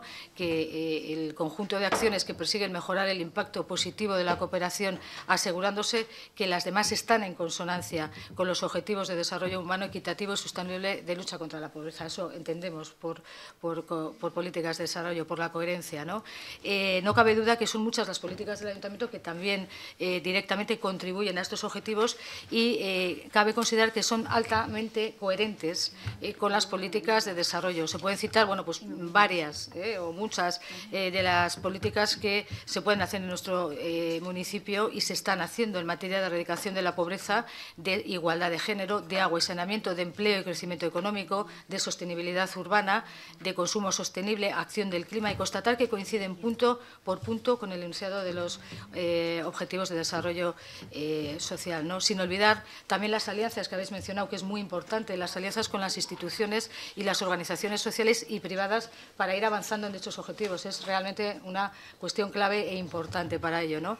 no obstante, sí que es cierto que en el Ayuntamiento de, de Vitoria Gasteiz se ha enfocado, estamos enfocados en tres áreas concretas, que son el área educativa. Desde hace años, como sabemos, bueno, se ha realizado un esfuerzo importante para transversalizar esa función de educación en los distintos departamentos con algunos programas, como eh, Vitoria, eh, la ciudad educadora, la Soca Chiquía, el servicio de igualdad con la Escuela de Empoderamiento, eh, también en el servicio de juventud y ahora también nos hemos suscrito a la denominada estrategia AVIA de educación eh, para la transformación Señora social. Aguirre, ¿no? acabando. Sí, ahora mismo. Entonces, impulsada por la Agencia Vasca, que también lo hemos comentado. También estamos en el segundo lugar, también eh, con el foco de la contratación social responsable y sostenible y, sobre todo, consideramos especialmente relevante la coherencia que también ha comentado la coordinadora y es muy importante entre la política de cooperación al desarrollo y de la convivencia de la ciudad. Ahí sí que hay acciones que tenemos que seguir profundizando, en todas ellas, por supuesto, y creemos que la coherencia de políticas para el desarrollo puede y debemos profundizarlas, abarcar más áreas, que es lo que también comentáis, y acciones, y entendemos que es importante analizarlas, debatirlas y, sobre todo, en el espacio que tenemos también, que es el El Cargune de Cooperación, ir avanzando en todas estas nuevas medidas para hacer una consolidación también, no solamente a nivel económico, sino a nivel eh, eh, político e ideológico de la cooperación al desarrollo. Casco. Gracias, señor Aguirre. Señor Miguel. Bueno, lehenik eta behin eskerrik asko tortzeagatik. Eh,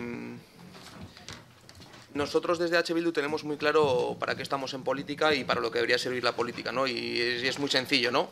Eh, creemos que estamos, que estamos en política y que hay que estar en política para cuidar a la gente. Es así de sencillo. y hay que cuidar a la gente en orden de prioridad, desde la gente que peor le está pasando hasta la gente que tiene más, más opciones. Y en ese sentido, eh, ahí eh, radica todo el, todo el, mensaje de la cooperación, ¿no? de cuidar a la gente que peor lo está pasando. Y especialmente pues, a la gente del sur y a la gente que en el norte también, debido a la desigualdad, eh, está pasándolo muy mal. Eh, cuando comenzó esta legislatura en 2015, eh, fuimos una fuerza activa e imprescindible para echar a Maroto y echando a Maroto eh, echamos las políticas absolutamente insolidarias de cooperación que trajo el PP a este ayuntamiento, con ese mensaje de que, joder, con la crisis aquí lo estamos pasando mal, pues eh, no podemos dar a los de fuera, ¿no? La diferencia de cuando en un presupuesto está limitado para Gasteiz es que no arreglamos unas calles y en Ecuador, si no podemos hacer un proyecto de cooperación, lo que hacemos es que esa gente no tiene casas ni agua potable después de un terremoto. Entonces yo creo que no entendemos muy bien la solidaridad y no entendemos muy bien el concepto de cooperación. Pero gracias al trabajo que se hizo, pues se echó a Maroto y en aquel 2016 se pudo pactar un presupuesto de cambio con las fuerzas del cambio, con Irabas y Podemos, EH Bildu y PNV y PSOE, en el que también la cooperación eh, se notó, como, como bien habéis indicado y se llegó prácticamente al 1%, como, eh, pues como una, una, cifra simbólica de, de tratar con generosidad incluso las partidas, no, no ir siempre a cumplir la langa de los 0, del 0,7 por cumplir. Y, yo creo que fue, marcamos una dirección, ¿no? Además, desde entonces H. Bildu ha estado trabajando en lo que es en el tema de la coherencia, ¿no? que nos parece vital. Y la coherencia es que tenemos que hacer una política integral que haga que desde el norte no sigamos destruyendo también el sur. ¿no? Y en ese sentido nos parecían unos ejes fundamentales de trabajo en el ayuntamiento el trabajar la soberanía alimentaria, y el trabajar contra el cambio climático y a favor de las energías renovables. ¿no? En ese sentido, también en esos presupuestos hubo unas inversiones millonarias para avanzar en esas políticas. Además, seguimos trabajando en lo que es eh, una cuestión fundamental en esta economía globalizada, que es la lucha contra los privilegios de las transnacionales. También en este ayuntamiento, desde H. Bildu, hemos hecho una, una lucha importante contra los privilegios que tienen FCC, Iberdrola y Endesa, que son causantes de muchos de los daños que hay en el sur. Y todo eso hay que, hay que englobarlo en la política. Pero a partir de ese presupuesto 2016 que se incumplió y que no, eh, no creo que no llegamos a destinar a la cooperación el 1% que habíamos metido en el presupuesto, se incumplió. Tampoco destinamos a la soberanía alimentaria lo que se había metido en el presupuesto, tampoco destinamos a las energías renovables y al cambio climático lo que habíamos metido en el presupuesto. Pues si eso no fuera poco, el presupuesto de 2017 que se nos impuso desde la alcaldía y el que se nos está eh, proponiendo ahora no abarca ninguna de esas áreas. Para soberanía alimentaria destinamos 50.000 raquíticos euros en un presupuesto de 377 millones. Bueno, invertimos, no, invierten. Para energías renovables el Gobierno reserva 20.000 euritos. Para el cambio climático reserva 60.000 euritos de 377 millones de euros. Y para cooperación, según el Gobierno, el 0,68, aunque según nuestros cálculos es ese 0,59 que decís, ¿no? Y me acuerdo que la semana pasada estábamos en el Cargune Cooperación y veíamos un vídeo de unas acciones que se han llevado eh, gracias al presupuesto de cooperación en Ecuador, cómo se estaba paliando la dramática situación de una comunidad después de un terremoto, ¿no? Y ahí a todos y a todas se nos caía la lagrimilla, como no puede ser de otra manera. Estábamos compungidos y, emocionados y emocionadas, ¿no? Y yo creo que cuando estamos limando el presupuesto de cooperación de cima arriba, de cima abajo, eh, para es para quitar dinero de cooperación y destinar a una cuestión como aquí, como puede ser cambiar las baldosas de una calle o cambiar los bancos o, cualquier otra acción que no es de vida o muerte, nos deberíamos acordar de lo que sentíamos cuando veíamos ese vídeo en el Cargune de Cooperación. Para no, porque a mí me da vergüenza que estemos tratando la cooperación como la décima arriba, la décima abajo, porque ni el 0,59 que, que decimos nosotros de cooperación, ni el 0,68 que dice el gobierno, está en lo que marca el plan director, porque el plan director dice entre 0,7 y entre 1. Y 0,68, que es el dato del gobierno, no está entre 0,7 y 1. Entonces, me parece vergonzoso y lamentable el 0,68 no está entre 0,7 y el 1, es un término matemático. Eh, y, me parece vergonzoso que estemos en estos debates. Y cuando tengo que escuchar en, este mismo debate de este, de, este, de este pleno de hoy, el primer punto ha sido debatir cómo le perdonábamos al, a la patronal alavesa, al sindicato empresarial de Álava, 600.000 euros.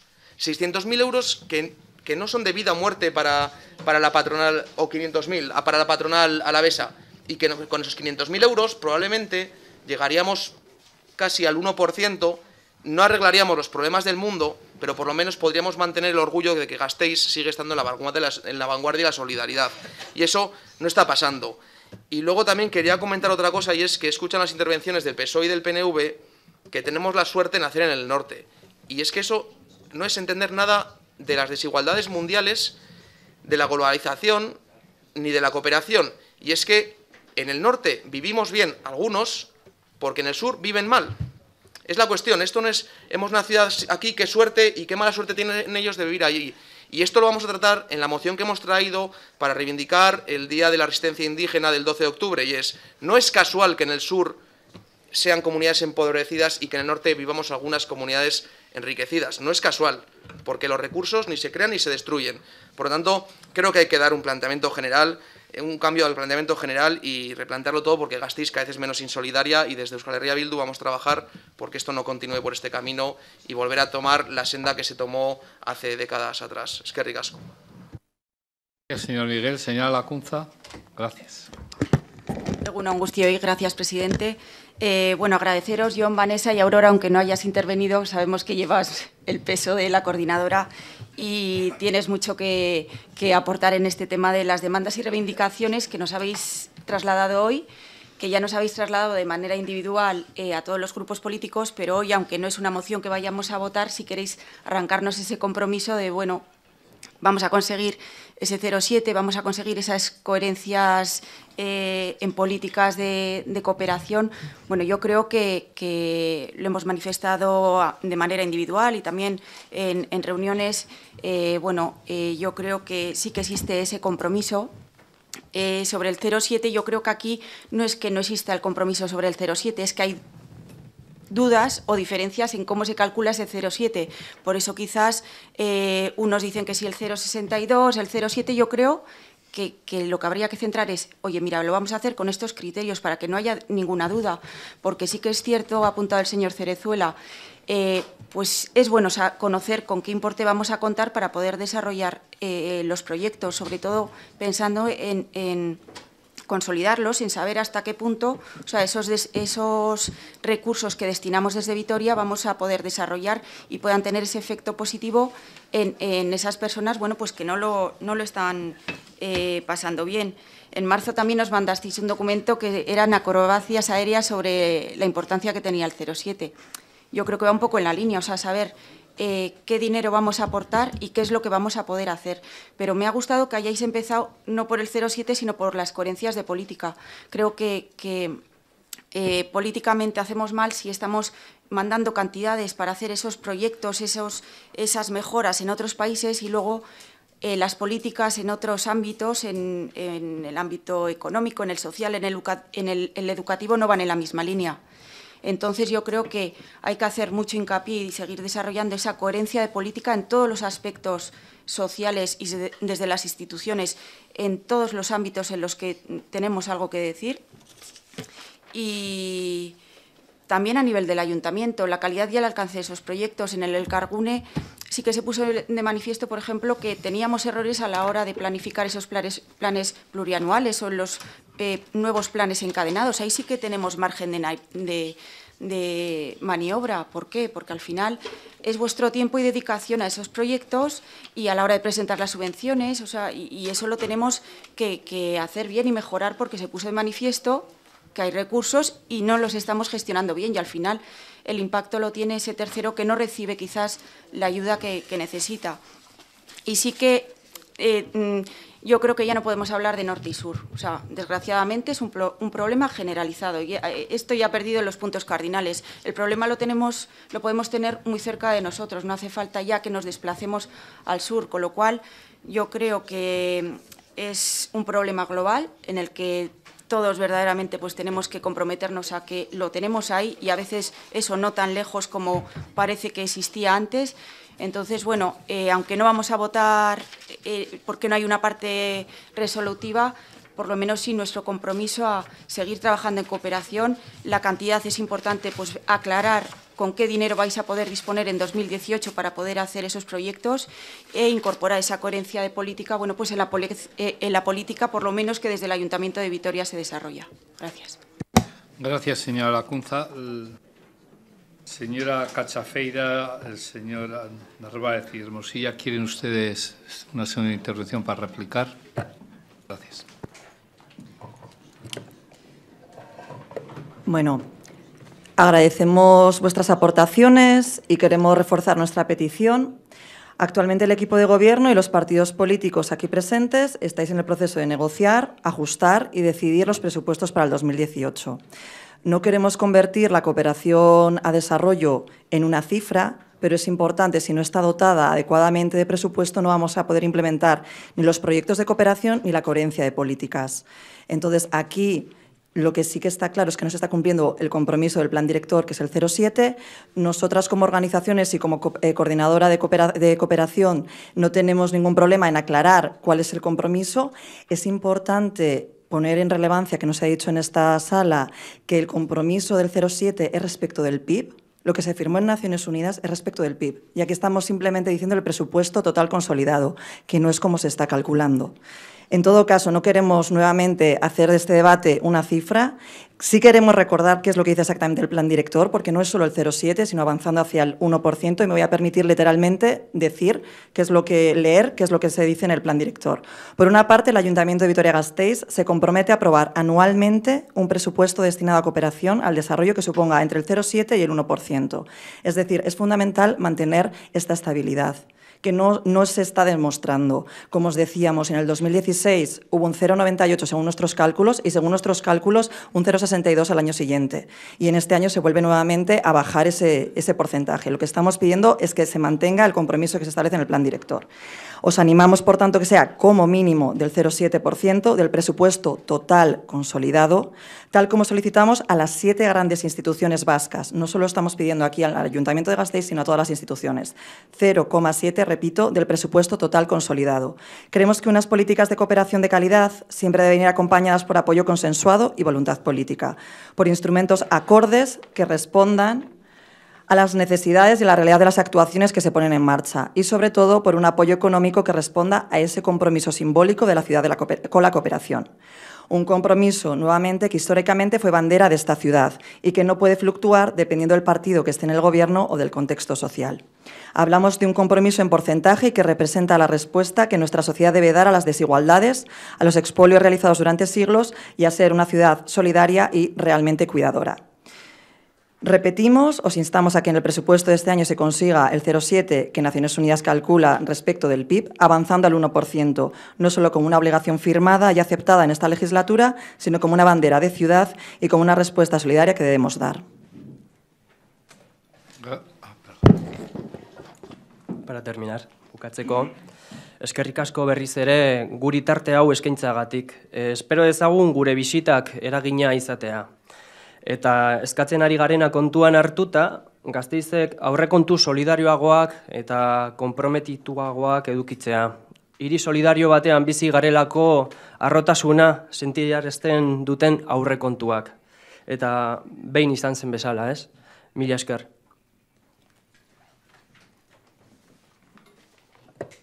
Agradecerle su presencia aquí y con esto acaba la comparecencia.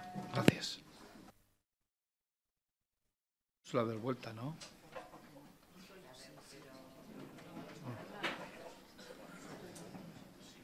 Adelante, gracias, gracias. Habéis dicho todo lo que vais a decir. Si no os habéis metido nadie con nadie para... ¿No?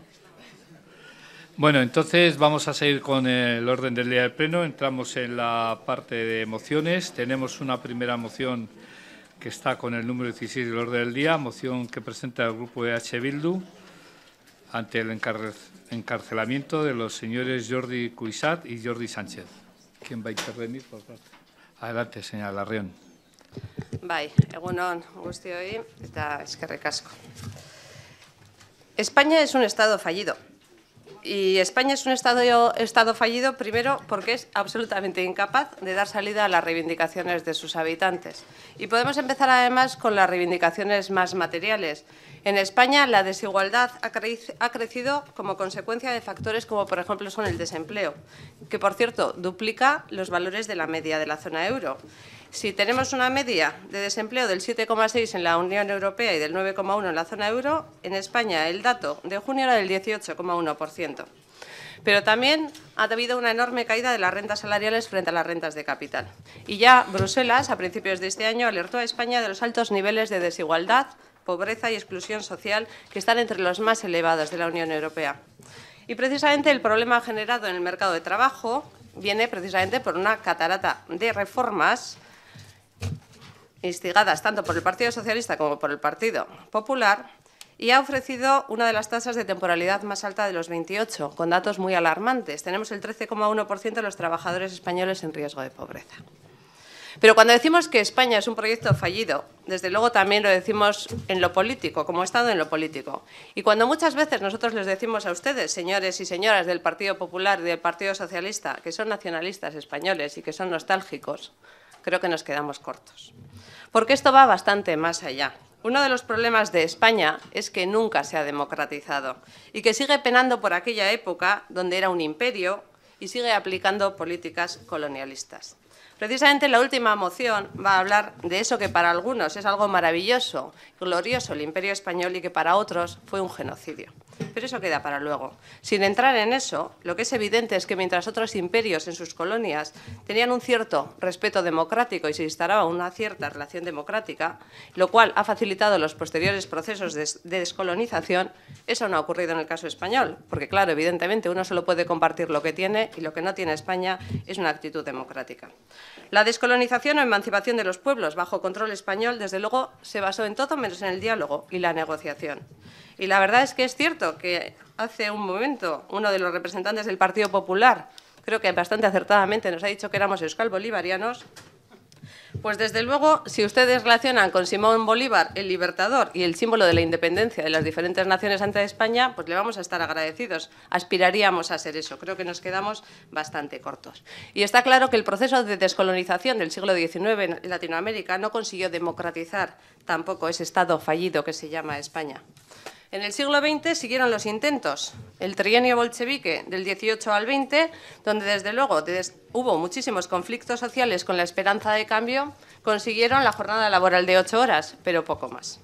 O el intento sincero también de la Segunda República por democratizar ese Estado fallido que se llama España, en el que se inicia el reconocimiento de los derechos de las naciones del Estado a decidir por sí mismas, pero también aquellos intentos, tanto en Cataluña como en el País Vasco, fueron truncados por el golpe de Estado franquista que impide cualquier democratización de ese Estado fallido que se llama España.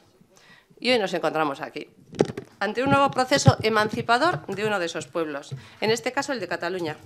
Y también recordamos, como no todos, aquella famosa frase de que en ausencia de violencia en España se podía hablar de todo. Será hablar porque los catalanes, en un proceso exquisito, han puesto sobre la mesa hablar de todo. ¿Y cuál ha sido la respuesta del Estado español? La violencia, la intolerancia y negar la democracia.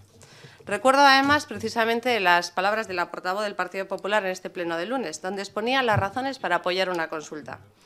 Hablaba de que en el caso del que comentábamos el lunes es un proyecto con un rechazo creciente. Pues mire, podríamos estar hablando del proyecto de España en Cataluña, que también es un proyecto con un rechazo creciente y que por eso se debería de consultar. Pues estaríamos de acuerdo.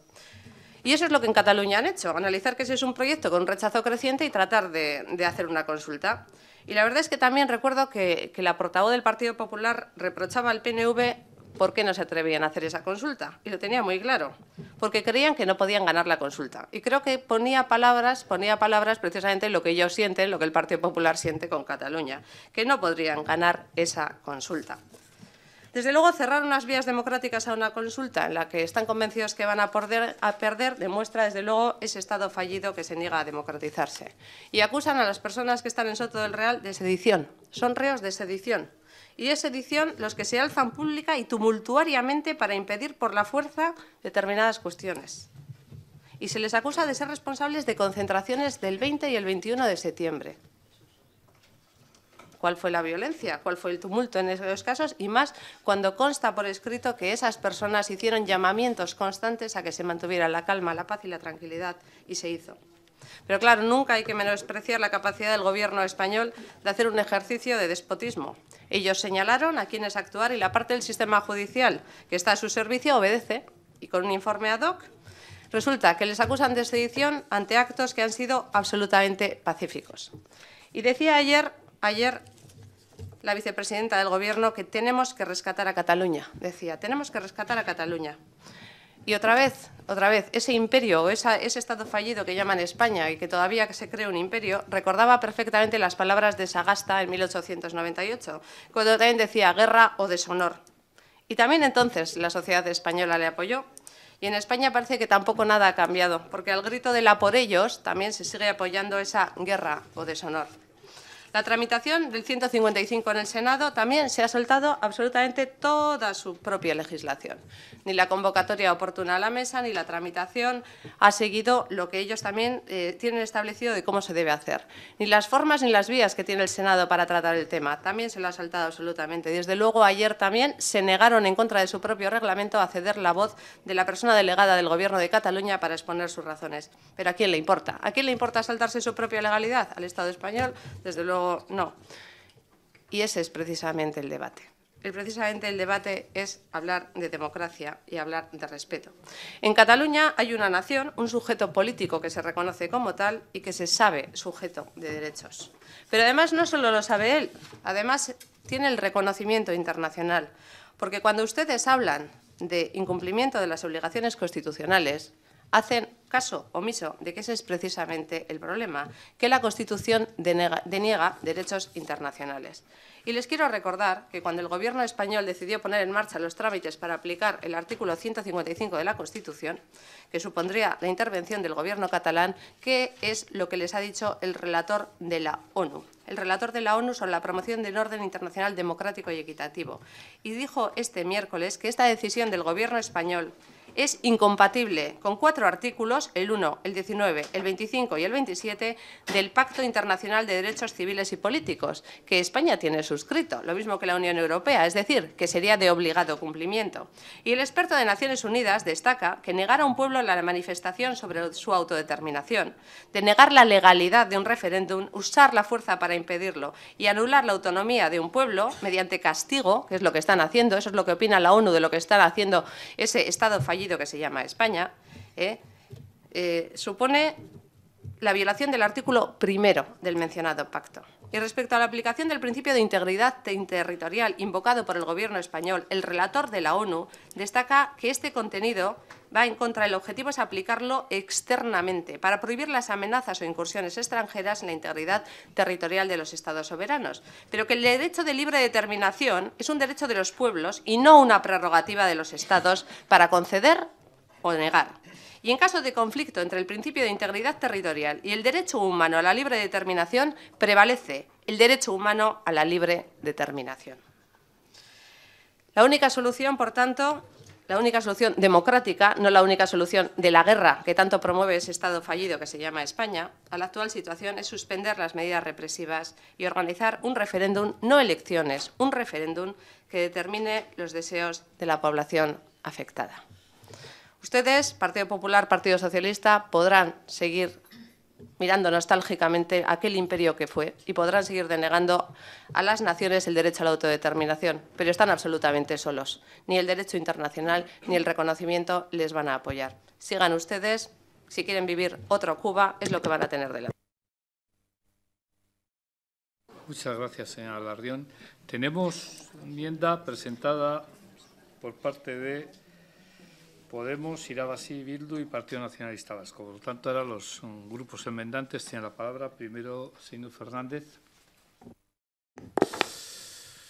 Sí, mi Esker. Bueno, continuamos hablando de Cataluña porque, bueno, pues, eh, en vez de apostar por el diálogo, por la palabra, desde el gobierno de Mariano Rajoy, desde el gobierno español, lo único que se sigue utilizando es la, la fuerza, la sinrazón, la fuerza policial y los estamentos judiciales para intentar acallar eh, las voces eh, discordantes del eh, pueblo catalán.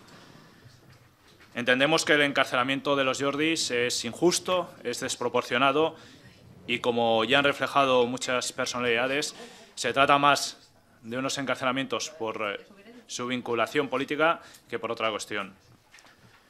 Por ello, Hemos eh, apoyado el texto que consensuamos en la mayoría de partidos en la Junta de Portavoces y que se presenta hoy como una enmienda de destitución. Entendemos que es hora de la palabra, que sí, todavía hay tiempo, que es hora del diálogo, que es hora de no utilizar la fuerza policial y judicial para eh, discutir políticamente. Y sobre todo, es hora de dejar de utilizar las banderas para tapar las vergüenzas de algunos partidos, como el Partido Popular. Es hora de dejar de utilizar esa unidad de España y la bandera para tapar las vergüenzas del partido más corrupto del Estado español. Esa es la realidad que nos encontramos. Por lo tanto, desde Esquerra Nicha y desde ECUO, en todas las coaliciones dentro del Estado español, aquí en Euskadi, en Cataluña y en el resto, seguimos apostando por el, seguimos defendiendo el derecho a decidir y seguimos criticando y denunciando la actitud que está teniendo el gobierno de Mariano Rajoy respecto a Cataluña, respecto a, las detenciones que se están produciendo, desde la, respecto a la fuerza policial desmesurada que se está cometiendo contra muchas personas en, el pueblo catalán.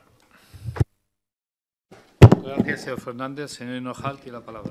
Muchas gracias y buenos días a todas y a todos. Eh, bueno, si queremos entender este Estado en clave de Estado democrático, es necesario que se rija en esa misma clave, en clave democrática.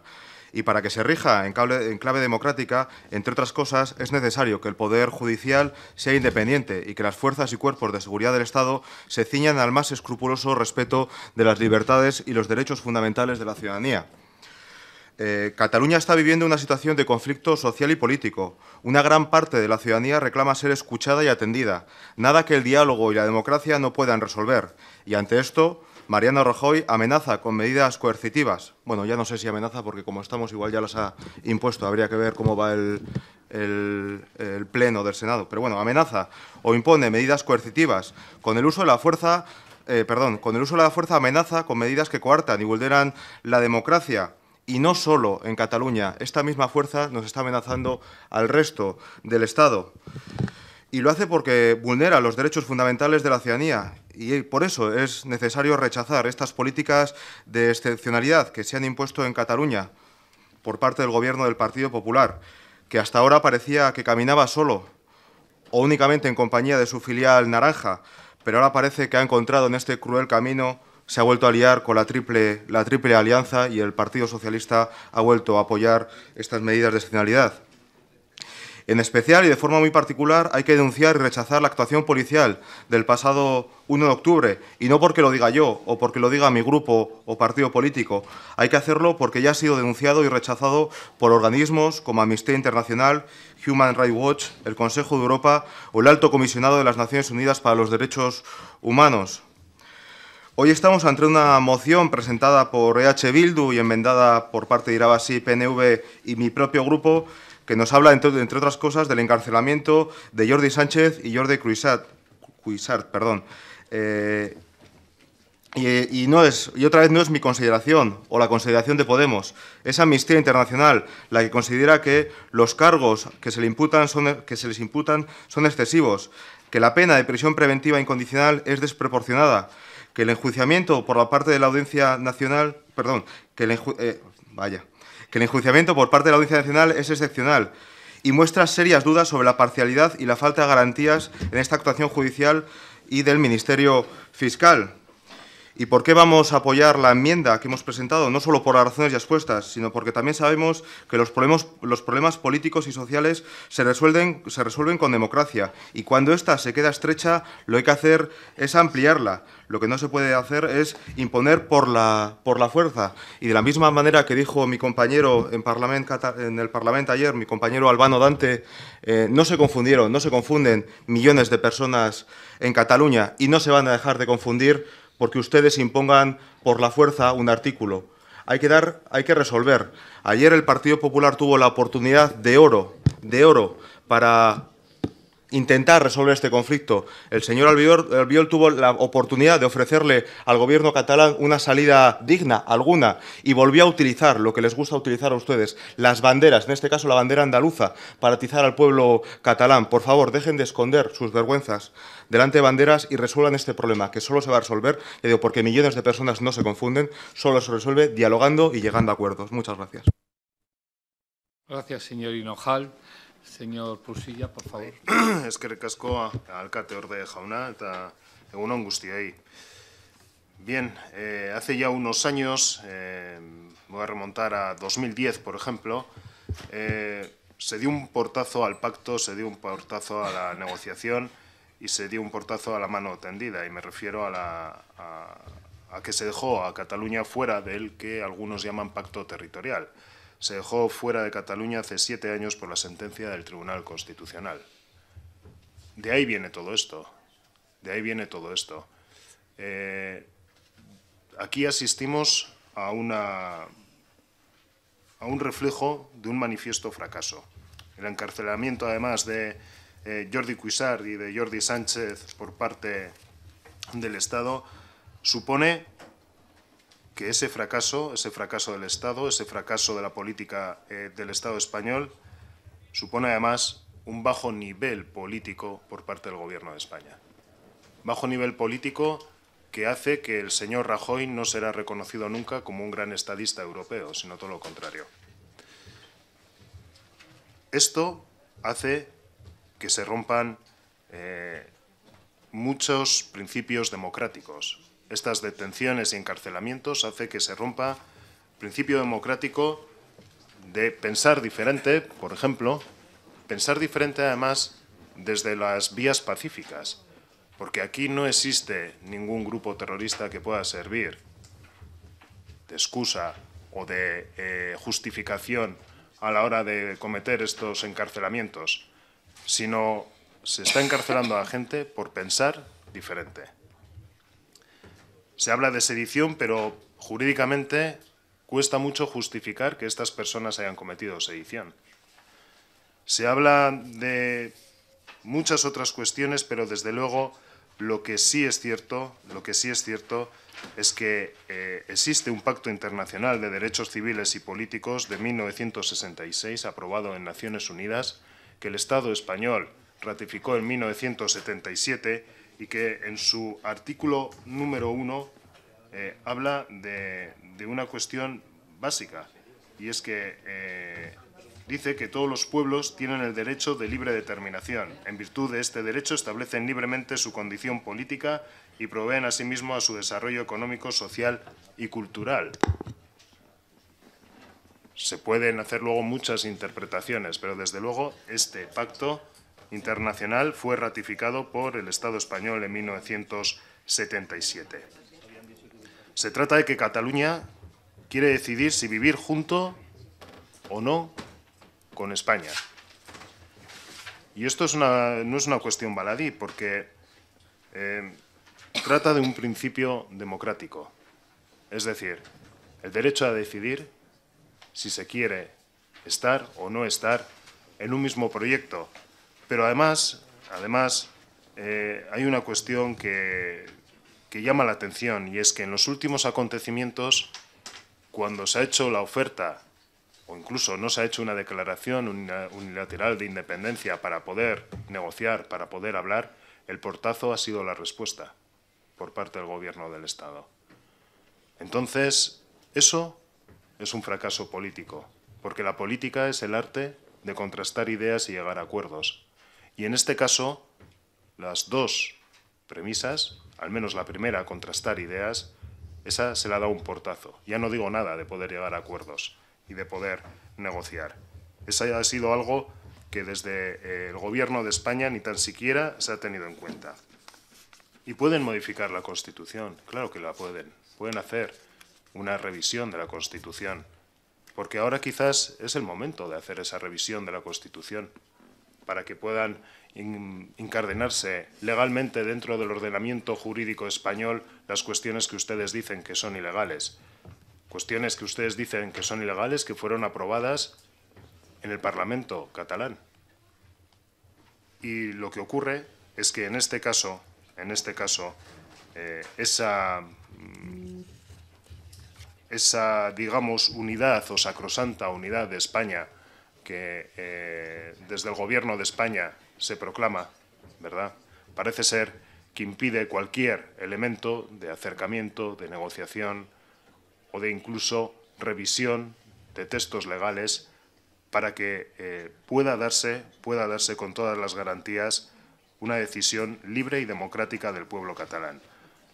La última, los últimos, eh, o la historia reciente del pueblo vasco y del pueblo catalán han hecho que caminemos juntos en muchas cuestiones. Se caminó junto en la lucha contra el fascismo o el falangismo o el franquismo, como lo quieran llamar, durante el golpe de Estado de 1936. Se caminó junto en los años oscuros de la dictadura franquista. Y se caminó junto en las, eh, en las proclamaciones y en las, eh, digamos, reclamaciones que como pueblo tienen el pueblo vasco y el pueblo catalán. Por eso, desde el Partido Nacionalista Vasco, evidentemente apoyamos en la, en la Junta de Portavoces esta, esta, eh, este texto. Eh, presentamos aquí esta enmienda junto con EH Bildu, Podemos e Irabasi y además eh, creemos que está claro la solidaridad que el Partido Nacionalista Vasco tiene tanto con la Generalitat de Cataluña como con el pueblo catalán. Es que recasco. Gracias, señor Señora Canto. muchas gracias, señor López de Munain. Bueno, yo la verdad es que me, a mí me sorprenden mucho eh, las intervenciones que he escuchado, me sorprenden mucho. Y sobre todo me entristecen bastante que se hagan algunas, se viertan desde unos altares de la pulcritud moral y superioridad. No sé, me parece que a los que pensamos diferente hay que respetarles, no humillarles. Y hablan de presos políticos, hablan de opresión, represión y hablan de falta de democracia. Pues miren, ninguna de las tres. Por mucho que se empeñen, por mucho que se empeñen, estos señores que han traído ustedes aquí no están en prisión por el hecho, el único hecho de pensar diferente. Y por mucho que se empeñen, mm, van a seguir sin estar en prisión por el hecho de pensar diferente. No están por eso. Hay más cosas, señora Larrión. Usted el otro día me abroncó por una inexactitud pensaba que sería igual de exquisita con usted misma. Y me he dado cuenta de que no, porque la sedición, el delito de sedición, que si bien podemos entrar a debatir si está bien redactado el artículo o mal redactado el artículo, no dice por la fuerza, eso sería rebeldía. Hablan de opresión. Opresión y represión, señores, fue lo que hubo durante el franquismo. Y este blanqueamiento del franquismo que han venido a traer aquí, con afirmaciones como que eh, esta es la España franquista de siempre, que los partidos democráticos miramos hacia esa España franquista, están blanqueando el franquismo. Si luego hay una moción del franquismo y van a decir que se blanquea el franquismo, pues el blanqueamiento del franquismo, señora Larrión, empieza en uno mismo, con las afirmaciones que dice, comparando un Estado democrático con un Estado fascista. Y a mí eso me parece terrible. Y, por cierto, la única opresión que ha habido aquí en democracia es la de aquellos que pensaban que, pensaban que se podía matar por el hecho de pensar diferente. Esa es la única opresión que ha habido aquí en democracia. ¿Eh?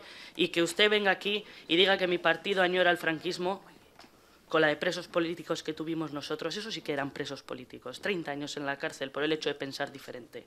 Pensar diferente, no pensar y acompañar de otras cosas. Hablan de falta de democracia y yo no estoy de acuerdo, miren, hay democracia. Y las épocas del fascismo quedaron atrás. Yo a veces pienso si realmente alguien añora el franquismo. Yo no creo que nadie añore el franquismo. Tal vez haya personas sueltas que no son demócratas, pero no creo que nadie añore el franquismo. Y voy a decir una cosa, la democracia es imperfecta, siempre lo es.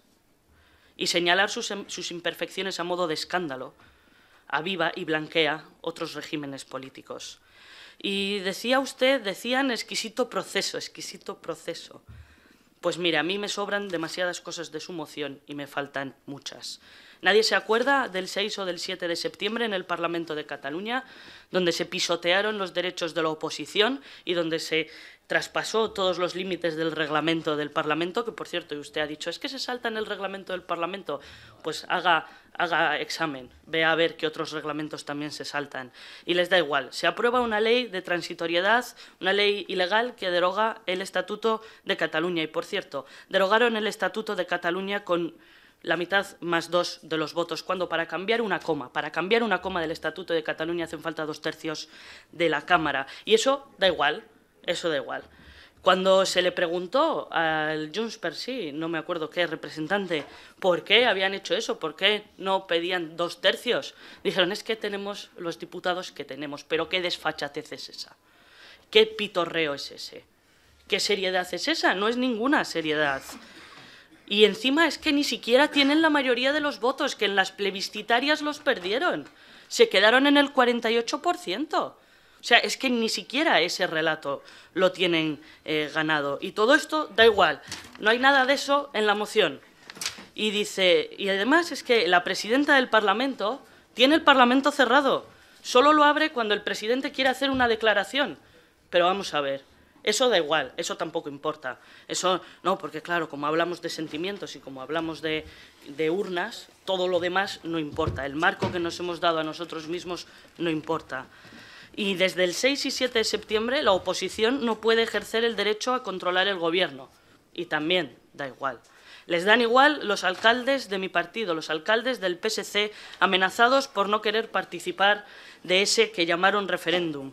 Les da igual que se haya roto la convivencia, les da igual que haya amigos que se dejen de hablar, les dan igual todas las leyes y les dan igual todos los límites que ha roto el independentismo, porque es muchísimo más importante aprovechar que el Pisuerga pasa por Valladolid y criticar al gobierno.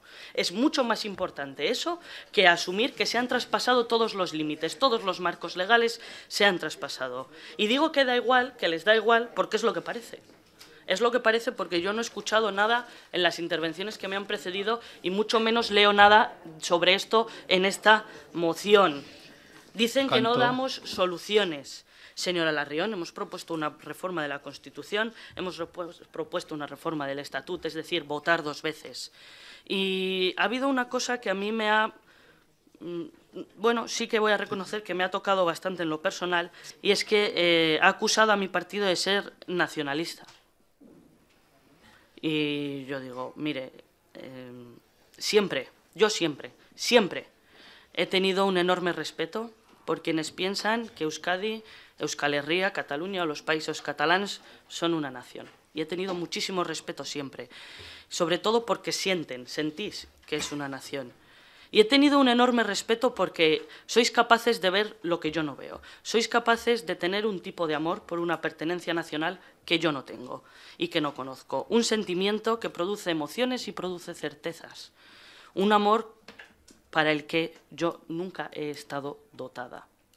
Y no creo, y no creo que eh, decir que somos, por lo menos decirme a mí que yo soy nacionalista. Mire, señora Larrión, eh, Hannah Arendt decía, yo nunca he sentido ningún amor por ningún pueblo ni por ningún colectivo, sino por las personas. El amor por las personas es lo único que conozco y el único que siento. Y eso es lo que vale para mí. Yo no veo banderas de la izquierda en el independentismo catalán. Esos que dicen que hay que independizarse porque, eh, a ver qué es esto de ser solidarios con el resto de regiones que no tienen. Señora Canto. ¿Qué, es eso de pagar las becas comedor con el dinero de mis impuestos? ¿Usted se imagina que hay que ser, decían desde Esquerra Republicana, que eso de ser solidarios había que ver, había que elegir cómo ser solidarios? ¿Usted se imagina a un grupo de ricos, un barrio rico de esta ciudad, que diga, no, es que con nuestro IBI, con nuestro impuesto de matriculación, que somos los que más pagamos, se financian servicios en otros barrios, cuando nosotros podríamos estar usándolos para otras cosas. Vamos a independizar el barrio de la ciudad para no pagar esos impuestos. A mí me parece ridículo.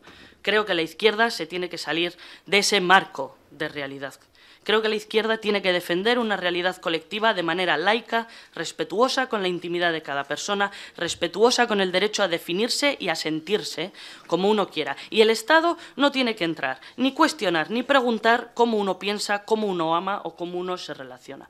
Muchas gracias. Gracias, señora Canto. Eh, Señora Comerón, tiene la palabra. Sí, muchas gracias. Bueno, pues eh, primero quería empezar eh, haciendo una referencia a la insistencia que tiene, en este caso, Bildu, por traer este debate, el debate de Cataluña, eh, lo mascaran en concreto a través de una moción en apoyo a los denominados los Jordis, pero bueno, el debate de Cataluña una y otra vez.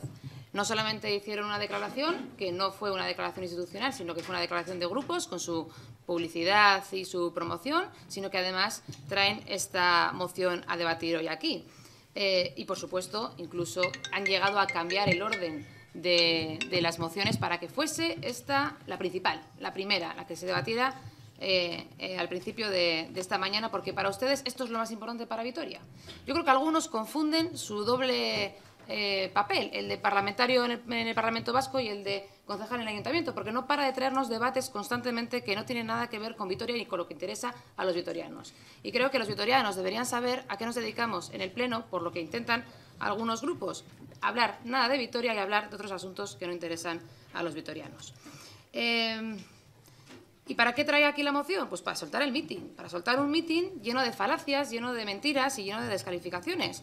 Eso sí, para mostrar una vez más, de un modo absolutamente mm, sin ningún tipo de, tapujos, vienen aquí y sueltan su discurso absolutamente radical, totalitario, eh, donde eh, Bildu, Podemos e Irabasí se sienten absolutamente cómodos eh, en un modelo de eso, defensa del anarquismo, del antisistema y de cambiar todos los, toda la realidad solamente para contarla según su visión. A mí lo que me sorprende es qué hace el PNV en esto.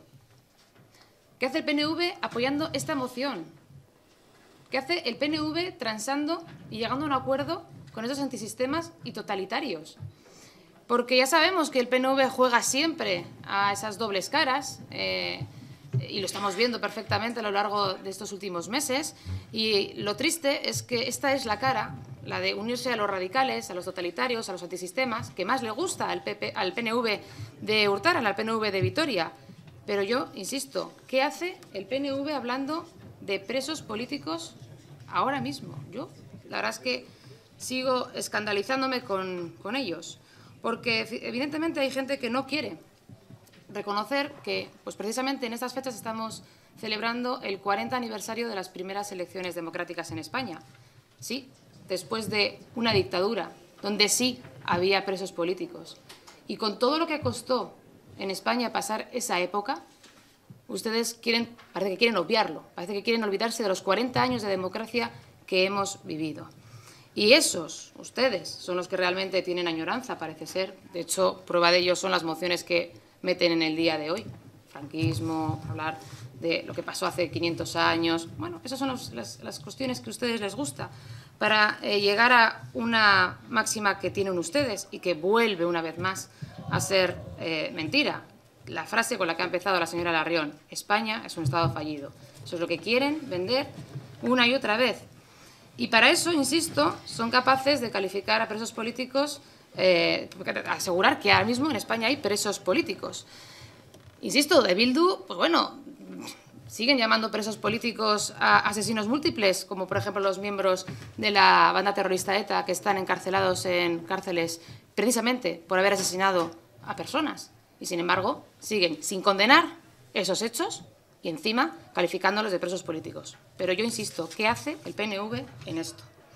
¿Qué hace el PNV en una transacción con los que se denominan y que aspiran a ser modelo bolivariano, los que se definen con ese... Hoy no lo han dicho, pero lo suelen decir. Somos la izquierda independentista sin fronteras, que esto no hay por dónde cogerlo. Y yo insisto que hace el PNV en esto. Porque aunque ustedes pretendan decir que España es un Estado fallido, la realidad, mal que les pese, es que es un Estado sólido, un Estado de derecho, amparado por la Unión Europea. Porque aquí hay separación de poderes, porque aquí la ley es para todos igual y porque aquí los procedimientos judiciales se realizan con todas las garantías.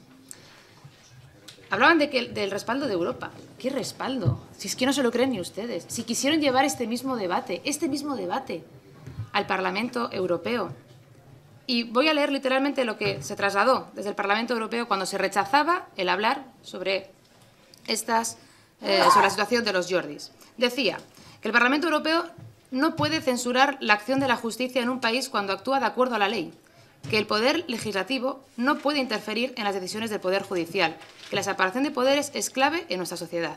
Pero claro, yo ya sé que para los que se saltan la ley, para los que piensan que el Estado de Derecho no tiene que existir, para los que piensan que la separación de poderes no da lugar, y lo vemos en Cataluña por parte de los independentistas, claro, consideran que se puede hacer eso, que se puede saltar la ley sin tener en cuenta lo que piensa el resto de la ciudadanía.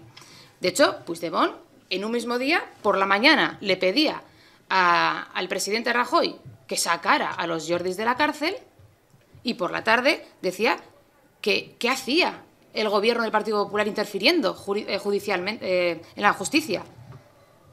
Una sarta de absolutas incongruencias, como siempre. Eh, de hecho, bueno, se hablaba del día de ayer, de la importancia que tuvo el día de ayer. No sé, las malas lenguas, y yo, esto evidentemente, como no es oficial, no se puede dar por válido, decían que lo que estaba pidiendo precisamente el, presidente Puigdemont era que, bueno, pues tener inmunidad. Eso es lo que se dice que estaba pidiendo. Pero la realidad es, como decía, que España es un Estado de Derecho, donde el Gobierno acata y respeta las decisiones judiciales.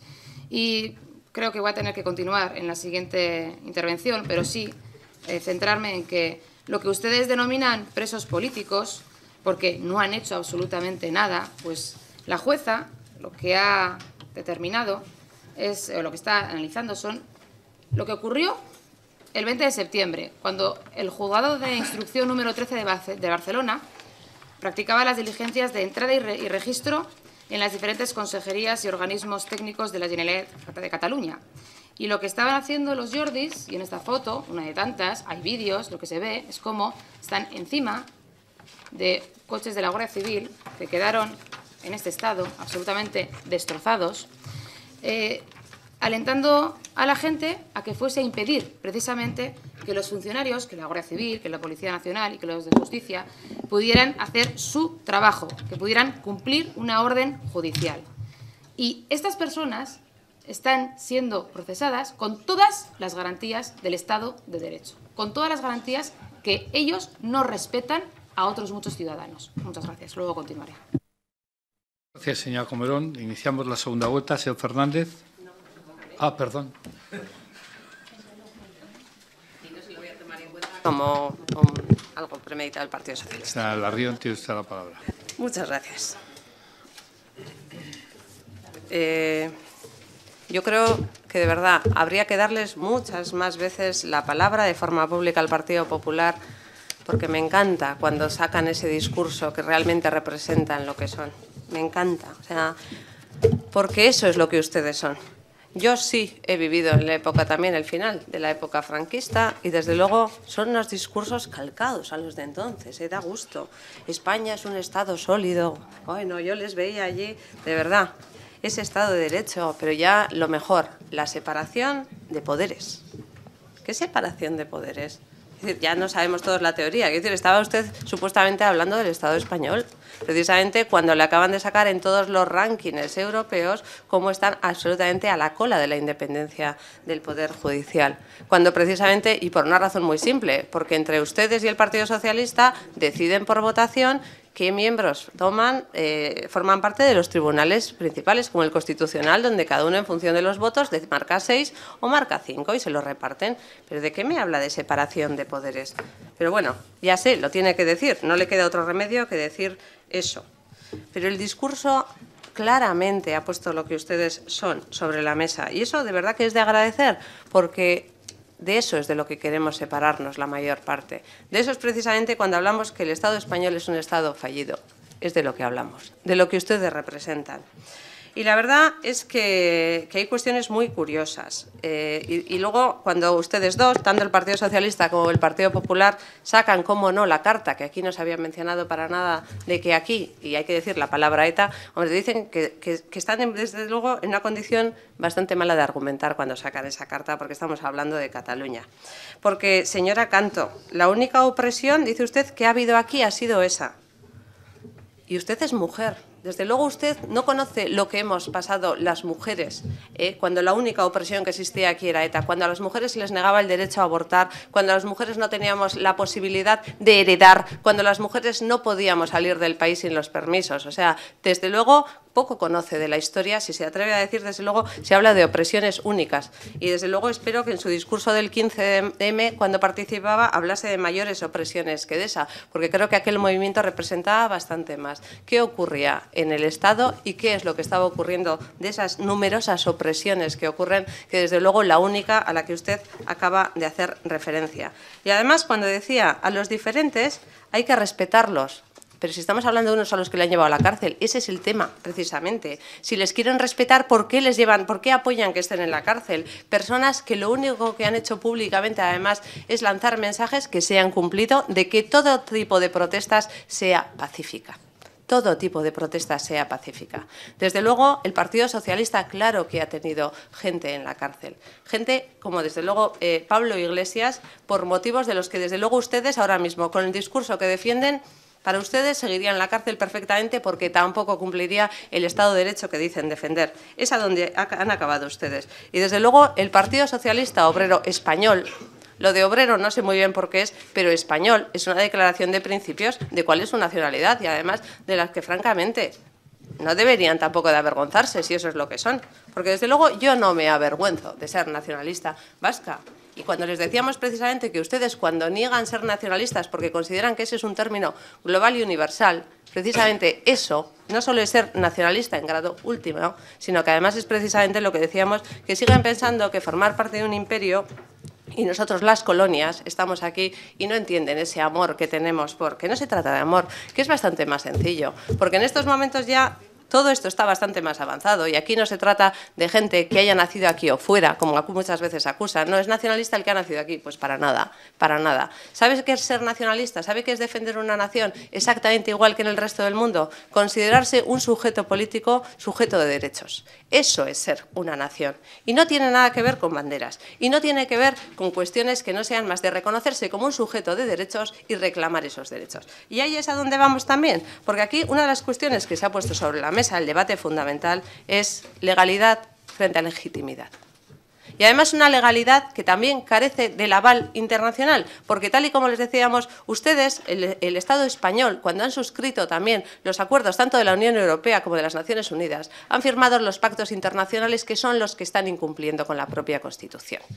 Se incumple su legalidad, incumple la legalidad también o los principios democráticos que han firmado, se incumple. Y el mero reconocimiento de ese hecho, la mera incorporación en su Constitución eh, de ese principio permitiría reconocer el derecho de autodeterminación de cualquier sujeto que se considere una nación. Y luego el referéndum posterior establecerá si se quiere o no se quiere, porque ese sí que es el juego democrático de mayorías o de minorías. Y no una mayoría o minoría en función de lo que me conviene. No, para el derecho de autodeterminación queremos que sean dos tercios. Eso no está en ningún sitio. Eso sí, está en la mente de todos los españoles que lo han defendido, porque es el argumento que precisamente lo utilizan en ese Estado fallido que se llama España. Nunca, nunca nadie ha usado tampoco el artículo 155, que por cierto está escrito de una forma muy vaga. Ahora lo invoca el Partido Popular y desde luego su leal oposición, porque desde luego si algo se les puede calificar a ustedes de leal oposición, que es el Partido Socialista, está de la mano de ellos. Y además invocando un principio muy curioso, absolutamente democrático y de Estado sólido, es no me dejáis otro remedio, tengo que hacerlo porque no me dejáis otro remedio. Y además porque eso está en su ADN. Si una región quiere separarse, si un sujeto político quiere ejercer sus derechos, el gobierno central debe de impedirlo. El imperio, la colonia, tiene que impedir que eso, eso, eso ocurra. Lo que ustedes desde luego no dicen, no dicen es que eso es absolutamente antidemocrático. Y que ustedes sigan calificando de democracia lo que tenemos cuando se les está diciendo desde la ONU, nada sospechoso de tener relación con nosotros, ¿eh? Ya me he pasado del tiempo y ya voy acabando. Con lo cual, con lo cual, pues claro que hablamos aquí de un principio democrático y nadie ha hablado de ninguna otra cuestión. Bueno, desde luego ninguno de los proponentes ni desde luego ninguno de las dos personas que están encarceladas. Son principios democráticos con los que se está o no se está. Y eso es a lo que veníamos y no hacía yo referencia al franquismo, sino precisamente hacía una referencia a Sagasta, que es de 1898, cuando ustedes, como Estado español, ese Estado fallido, sigue defendiendo guerra o deshonor, no tiene más que un futuro en el que va a perder, porque eso no es lo que viene. Gracias, señor Larrión. Señor Fernández. Bien, bueno, pues en, este debate se, evidencia ¿no? cómo, son las posiciones encontradas de algunos partidos que seguimos avanzando en lo que es la democracia y otros que están anclados en, el, pasado. ¿no? Y eso es una situación que se debe revertir. Y encima es que se utilizan mantras. ¿no? Se ha utilizado directamente por la señora Comerón y por el Partido Popular los mantras de siempre, bolivarianos, antisistemas, totalitarios. Bueno, eh, en, general, ¿no? lo ha utilizado en general para para todos los, eh, los que apoyamos esta, esta moción. ¿no? Y, parece, a mí me parece curioso concretamente por dos, ¿no? por antisistema y bolivariano. Bueno, antisistema es ir en contra del sistema económico y es que todo esto está tapando, por desgracia, todo lo que está habiendo eh, a nivel eh, judicial. Ustedes que creo que han comentado ¿no? que, se tiene que acatar decisiones judiciales, pues ya veremos qué sucede con la trama Gürtel. ¿no? Porque hay que, hay que ser tener cara de, hablar de antisistema para el resto, cuando, bueno, pues a que, según la Fiscalía queda acreditado que el Partido Popular se benefició de 133.000 euros de fondos procedentes de comisiones eh, ilegales, ¿no? Y que fue en beneficio de un partido no de la, de la ciudadanía, con eh, caras influyentes del Partido Popular. Pero claro, nosotros somos los antisistema, ¿no? Bien. Y, también totalitario, ¿no? O sea, es que aquí es... queremos estar a un régimen totalitario, ostras que, está a punto de aprobarse, igual se aprueba el 155 para disolver un gobierno democrático, para controlar los medios de comunicación y para controlar también unas futuras elecciones para ver quién se presenta y quién no. O sea, y nos dice que somos totalitarios. Ostras, vaya cara, vaya cara. Bueno, en definitiva, y quiero decir con esto, porque si no nos vamos a calentar más de la cuenta, que eh, en este sentido nosotros desde Esqueanicha y desde Ecoverdeac seguimos defendiendo ese derecho a decidir, pero sobre todo seguimos eh, defendiendo el derecho al diálogo, a la palabra y no a la utilización ni de la fuerza, ni eh, de los estamentos judiciales, ni el totalitarismo para controlar estamentos externos y disolver la democracia en Cataluña. Gracias, señor Fernández. Señor Hinojal. Eh, muchas gracias. Seré, seré breve. Eh, bueno, nos tachan de, de, anarquistas, antisistemas, bolivarianos. Afortunadamente ya no nos pueden hablar de la financiación ilegal de Venezuela porque son ustedes los que han probado que sean... Ya, perdón, es el fiscal el que ha probado, el que ha dicho ya que el partido que se ha financiado eh, ilegalmente es el suyo y no el nuestro. Digo porque ya los mantras los vamos poquito a poco eliminando. Eh, yo no tengo ningún problema con los, con los anarquistas, no tengo absolutamente ningún problema, porque por encima de tener una ideología, yo soy, soy demócrata.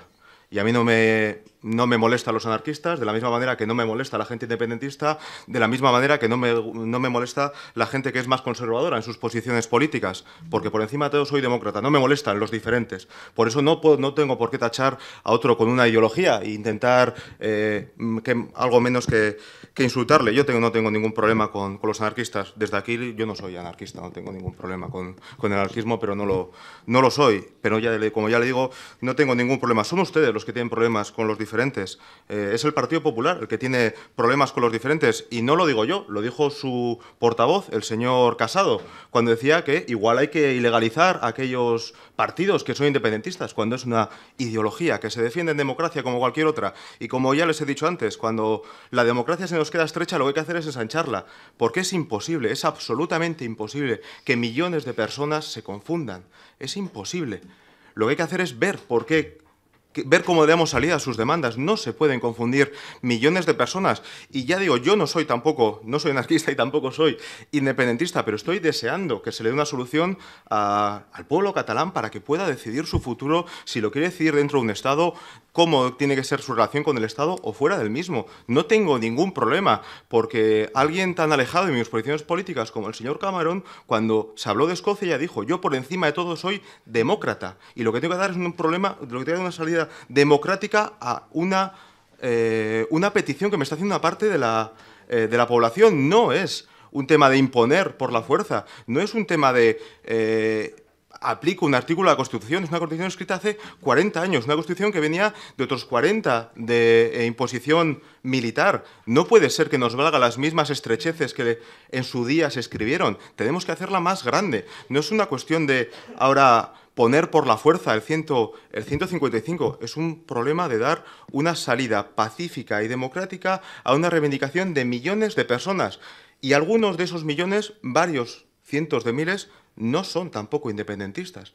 Los votantes de eh, eh, Cataluña sí que spot nos hemos mostrado una, fuerza no independentista, pero quieren dar una solución a un problema social y político. Y la única manera va a ser, va a ser votando, votando antes o después, pero votando. Es la única manera de dar solución a este, a este problema pero parece que el, Partido Popular no lo, quiere ver, no lo quiere ver, pero también les digo que tampoco me, tampoco me asombra. Lo que me asombra realmente es que el Partido Socialista haga estos, estos discursos en defensa de un régimen constitucional que no es cerrado, que puede ser cambiante, se puede modificar. Desgraciadamente, ustedes lo modifican pues para el 135, por ejemplo, para pagar antes la deuda de los bancos que los bienes, eh, que los bienes, o sea, perdón, que las necesidades de la gente. Así que cuando ustedes sacan pecho diciendo, bueno, vamos a aprobar el 155 a cambio de una modificación constitucional, pero no hablan de qué tipo de modificación constitucional, porque puede ser otra modificación regresiva, con lo cual no sé si tengo más miedo a la situación actual o a la posible modificación que quieren hacer con la filial, con la filial naranja del Partido Popular y con el Partido Popular. Entonces, que mucho cuidado con sacar pecho de aquello que no se dice, porque puede ser que vaya, que vaya en nuestra contra. Y Hoy estamos hablando del encarcelamiento de dos personas que no, eh, si han roto el coche de un coche de la policía, que les denuncien por haber hecho causado un mal en el coche de la policía. Si han pisoteado el coche, que les denuncien y paguen la multa como todo, como todo el mundo. Pero de ahí a posibles penas de 10 a 15 años de cárcel va bastante. Están en la cárcel por su ideología, por su ideología política. No están en la cárcel por lo que hicieron. Por lo que hicieron les, les va la policía, les detiene una cuestión de faltas y se acabó. Así que no nos engañemos. Aquí estamos hablando de que hay gente en la cárcel por sus ideas políticas. Muchas gracias. Gracias, señor Ionjal. Señor Canto. Ah, perdón. Ah, es verdad. Bai, eskerrik asko de jauna. Bien, se ha, se ha hecho referencia al Partido Nacionalista Vasco que qué hace eh, firmando esta enmienda a la totalidad, ¿verdad? Eh, el Partido Nacionalista Vasco, aparte de, de su identidad nacional o, o, la defensa de la identidad nacional de, de Euskal Herria, como pueblo y su soberanía, nacional, eh, hay unas cuestiones que son totalmente eh, básicas y que son o forman parte de la columna vertebral del Partido Nacionalista Vasco, que son los principios democráticos y humanistas que han regido la política del PNV eh, históricamente. En ese sentido, nuestro portavoz, Aitor Esteban, en, en el Congreso, se lo ha dicho bien claro a ustedes en Madrid. Eh, el encarcelamiento de, Jordi Cuixart y de Jordi Sánchez no es propio de una democracia europea ni contribuye al diálogo ni a la solución de esta cuestión. Es decir, no es algo que yo esté o que este grupo municipal esté aquí poniendo una novedad por parte del Partido Nacionalista Vasco. Yo creo que nos hemos, eh, em, nos hemos posicionado ante este encarcelamiento públicamente eh, en el ámbito nacional vasco y también en el ámbito estatal. Por tanto, eh, sus afirmaciones, la verdad, las que no las entiende soy yo, pero bueno.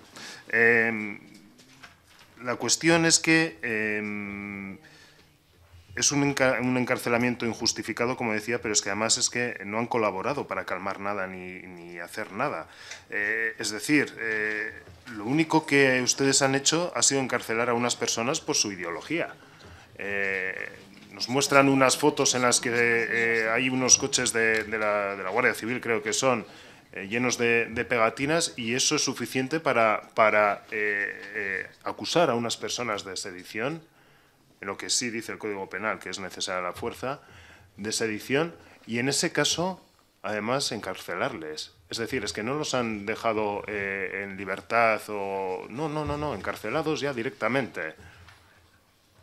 Eh, eh, tenga usted en cuenta, señora Comerón, y quiero que lo tenga bien claro, que si estas dos personas en, sus actividades hubiesen hecho un llamamiento a la utilización de las armas, hubiesen tenido armas ellos, eh, hubiesen llamado a la confrontación o a los enfrentamientos violentos, el Partido Nacionalista Vasco, desde luego, no iba a haber firmado ninguna moción en la que se pidiese su escarcelación o que se denunciase la vulneración de sus derechos. Téngalo usted bien claro.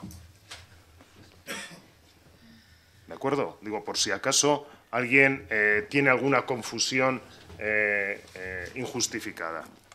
Y en este sentido, además, quiero decir que yo tomo nota de esas cuestiones que usted ha dicho, que yo me acuerdo la retaila de adjetivos que ha puesto para EH Bildu, para Podemos y para Iraba, sí, me los apunto para cuando ustedes lleguen a acuerdos y eh, coincidan en votaciones importantes para este ayuntamiento con estos grupos, ¿de acuerdo? De acuerdo, yo me lo apunto eh, porque se lo recordaré, se lo recordaré cuando ustedes paren proyectos, etcétera, en este ayuntamiento. Sí, sí. Lo que ha dicho respecto a estos grupos me ha parecido grave, bastante grave en, una, eh, eh, en, un pleno y lo, apuntaremos también para recordárselo cuando, cuando ocurra lo que le acabo de decir. ¿De acuerdo? Es que recasco. Gracias, señor Prusilla. Eh, señora Canto, ahora sí. Sí, muchas gracias, señor teniente alcalde. Vamos a ver, lo primero, antes de empezar mi réplica, me gustaría mandar un abrazo todos mis compañeros del Partido Socialista Catalán, porque eh, con las barbaridades que he tenido que escuchar yo aquí, no me quiero ni imaginar las que tienen que estar escuchando ellos. Yo de verdad que alucino. Eh, señora Larrión, yo no sé si es que usted tiene un problema con que yo soy joven. El otro día mi compañero sabía más de economía y de leyes que yo, por ser joven. Hoy usted sabe mucho más que yo de todo porque yo soy joven. Y mire, le voy a decir una cosa, yo no me avergüenzo de ser socialista. No me avergüenzo de ser socialista y no me avergüenzo de pertenecer al partido que pertenezco. Y la diferencia es que yo respeto que usted diga que es nacionalista y de izquierdas, aunque yo no entienda cómo pueden converger esas dos opciones. Pero usted no respeta que yo diga que soy, que soy socialista y que no soy nacionalista no lo respeta, le da igual, para usted considera que yo soy nacionalista, que añoro el imperio español y ya está, y le da igual lo que yo le diga. Bueno, pues vale, y encima, para mm, todavía más INRI, dice que me avergüenzo de mis ideas. Oiga que no, que no me avergüenzo de mis ideas. Usted se inventa lo que supone ser socialista. Usted se inventa lo que pensaría Pablo Iglesias, el fundador de mi partido. Usted cita al fundador de mi partido, a Pablo Iglesias, cuando éste no vivió en un Estado de Derecho y se olvida de citar, o se le pasa por alto, citar a Ramón Rubial, Ramón Rubial, 19 años en la cárcel, que fue capaz de pactar por una democracia, que usted, por cierto, niega. Y bueno, que me diga que por ser joven sabe más de historia que yo, le acepto el reto. Se lo acepto. Cuando quiera. Siempre y cuando, por supuesto, respete mi grupo, respete mi ideología y respete lo que nosotros representamos. Y, eh, bueno, sí que es verdad que hemos llegado a unos términos del debate que yo no sé si es que nos lo tomamos a risa o ya estamos en un vale todo, que todo vale que eh, si, entra en 140 caracteres para algunos 280, eh, ya representa la realidad, ya, es, ya esa frase es todo, ¿no? Y habla usted de colonias, colonias. Yo creo que eso es faltar el respeto a todos aquellos pueblos que seguro que si pudieran elegir, elegirían no ser colonizados.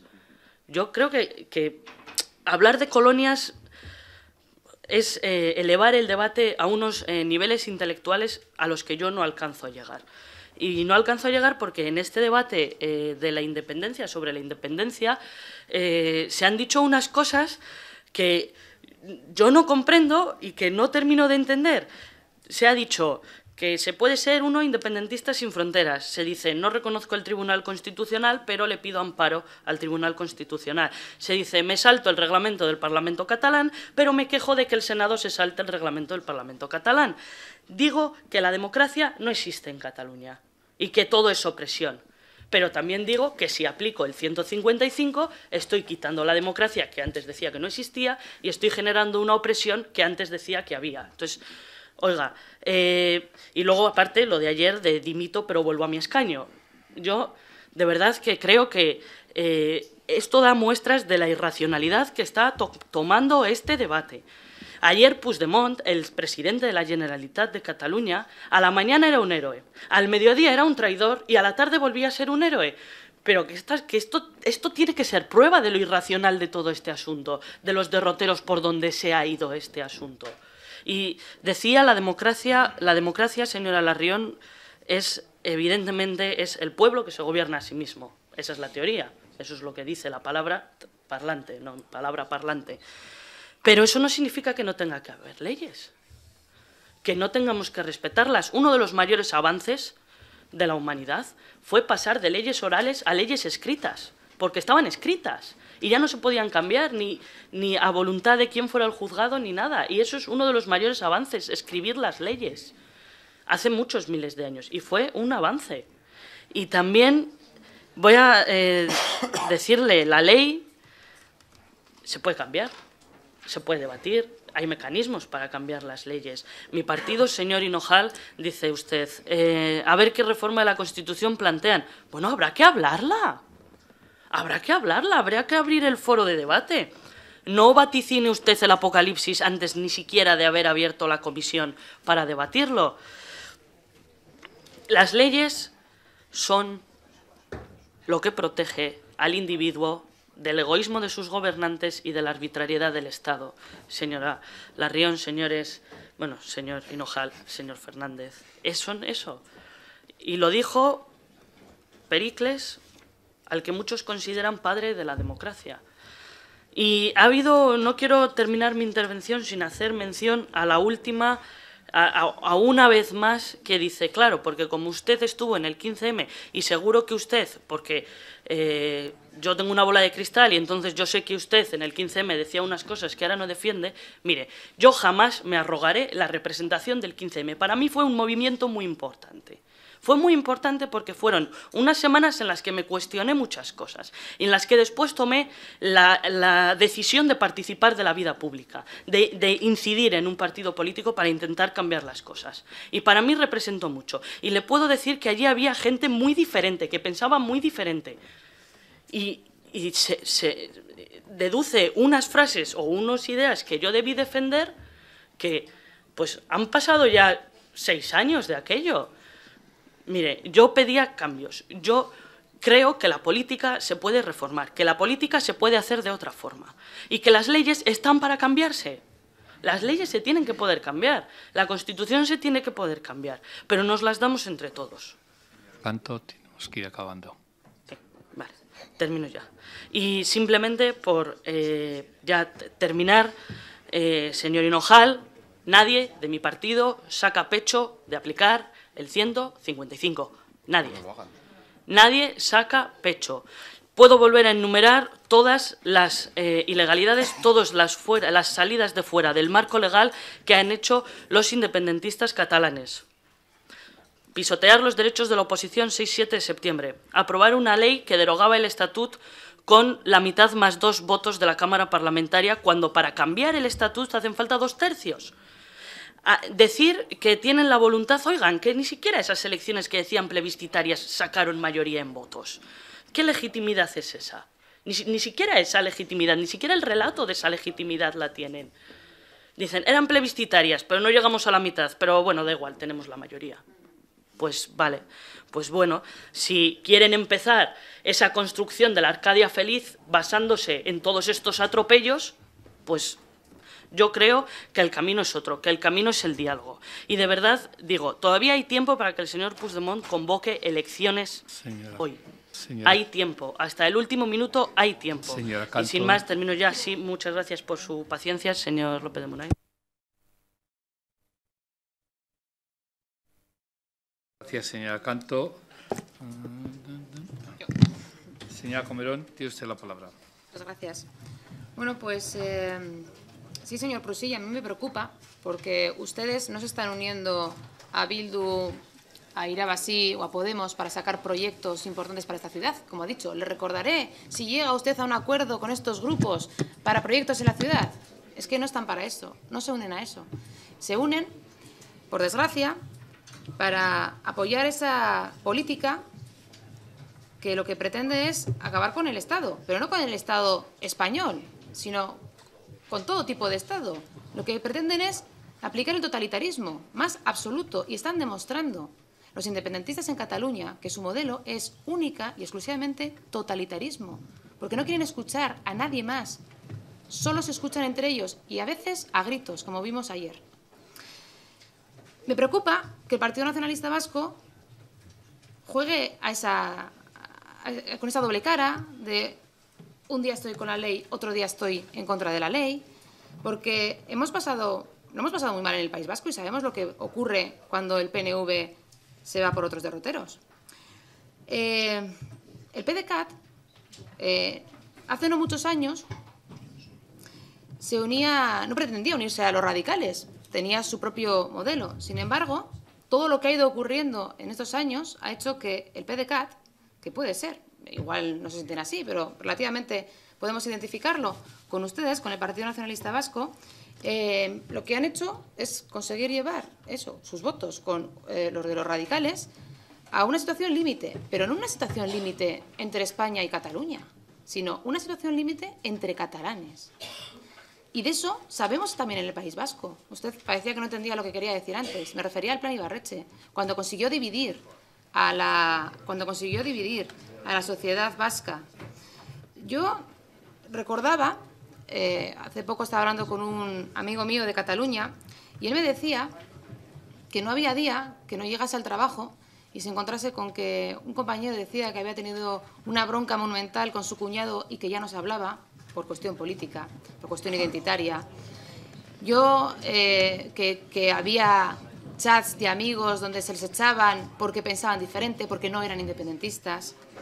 Yo... Por favor, mantengamos mantengamos el silencio en la sala.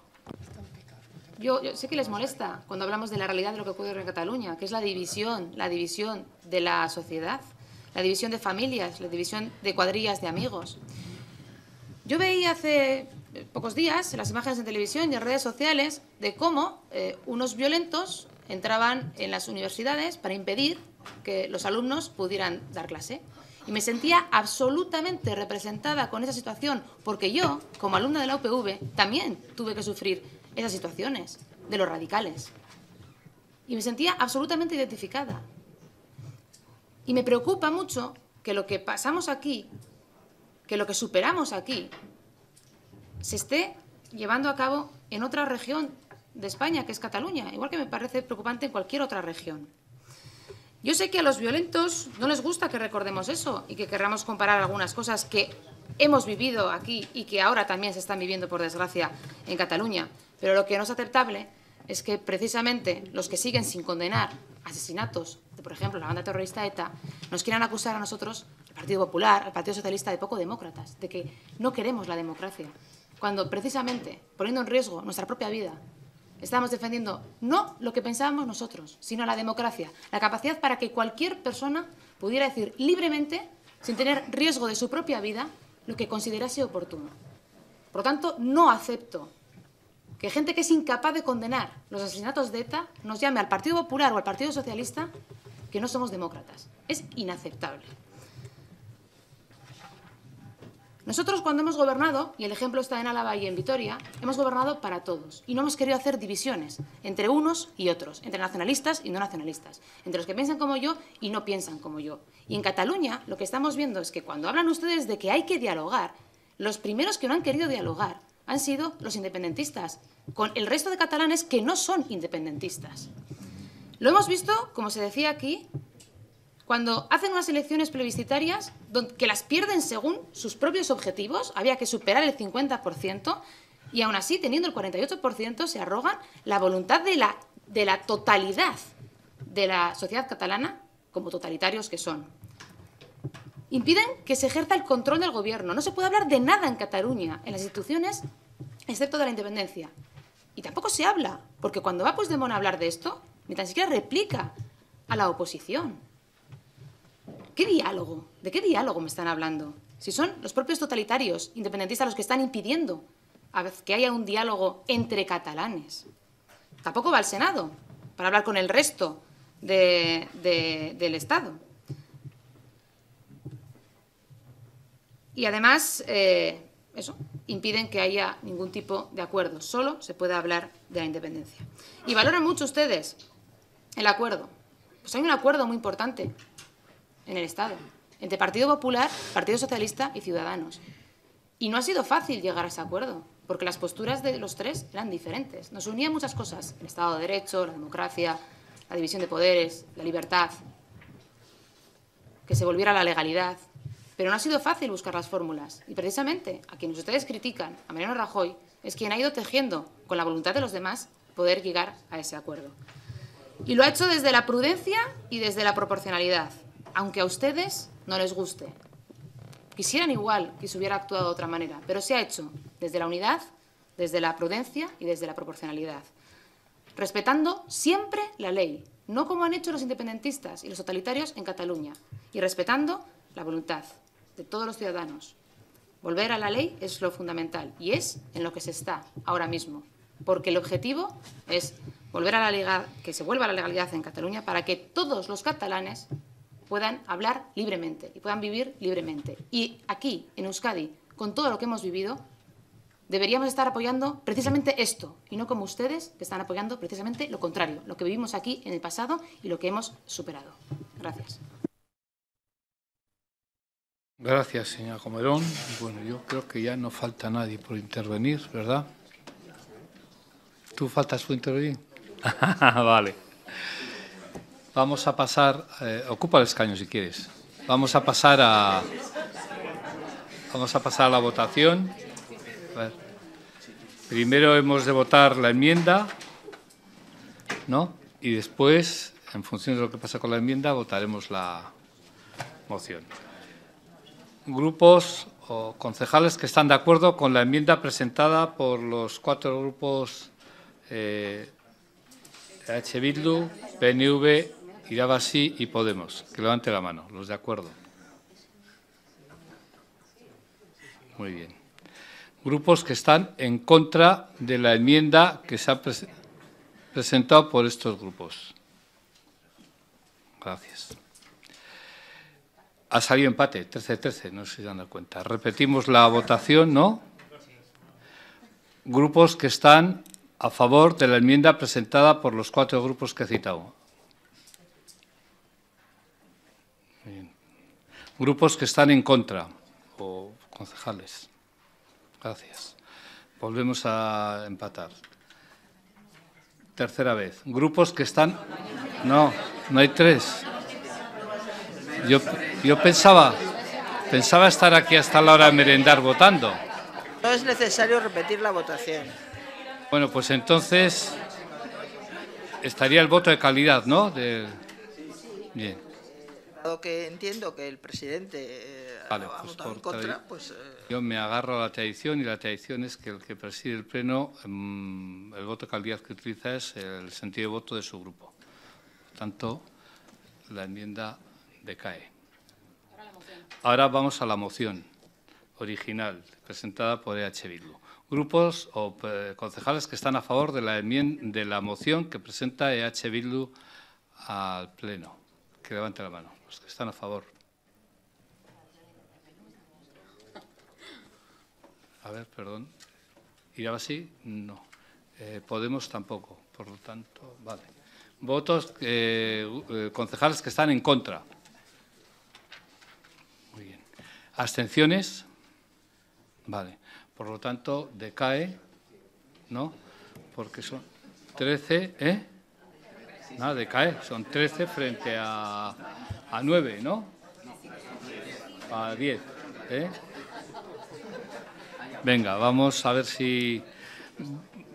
Voy a intentar ser un poco más rígido con los tiempos, si no les importa.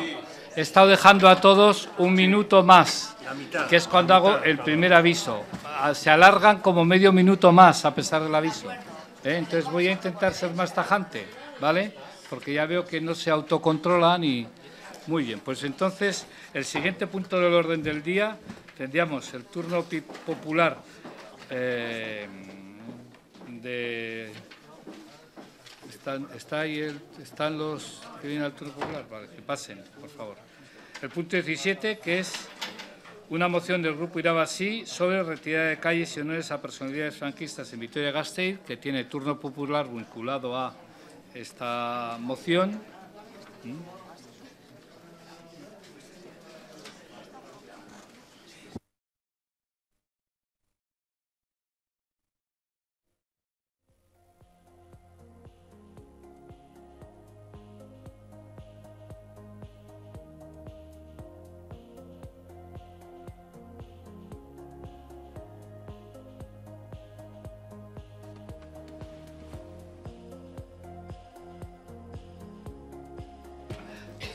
Bienvenido el turno popular el 3 de marzo. Perdón, Plataforma Vasca contra... Perdón, no era bien.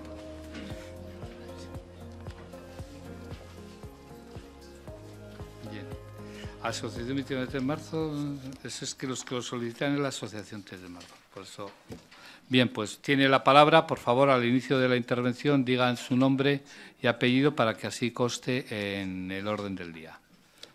Adelante.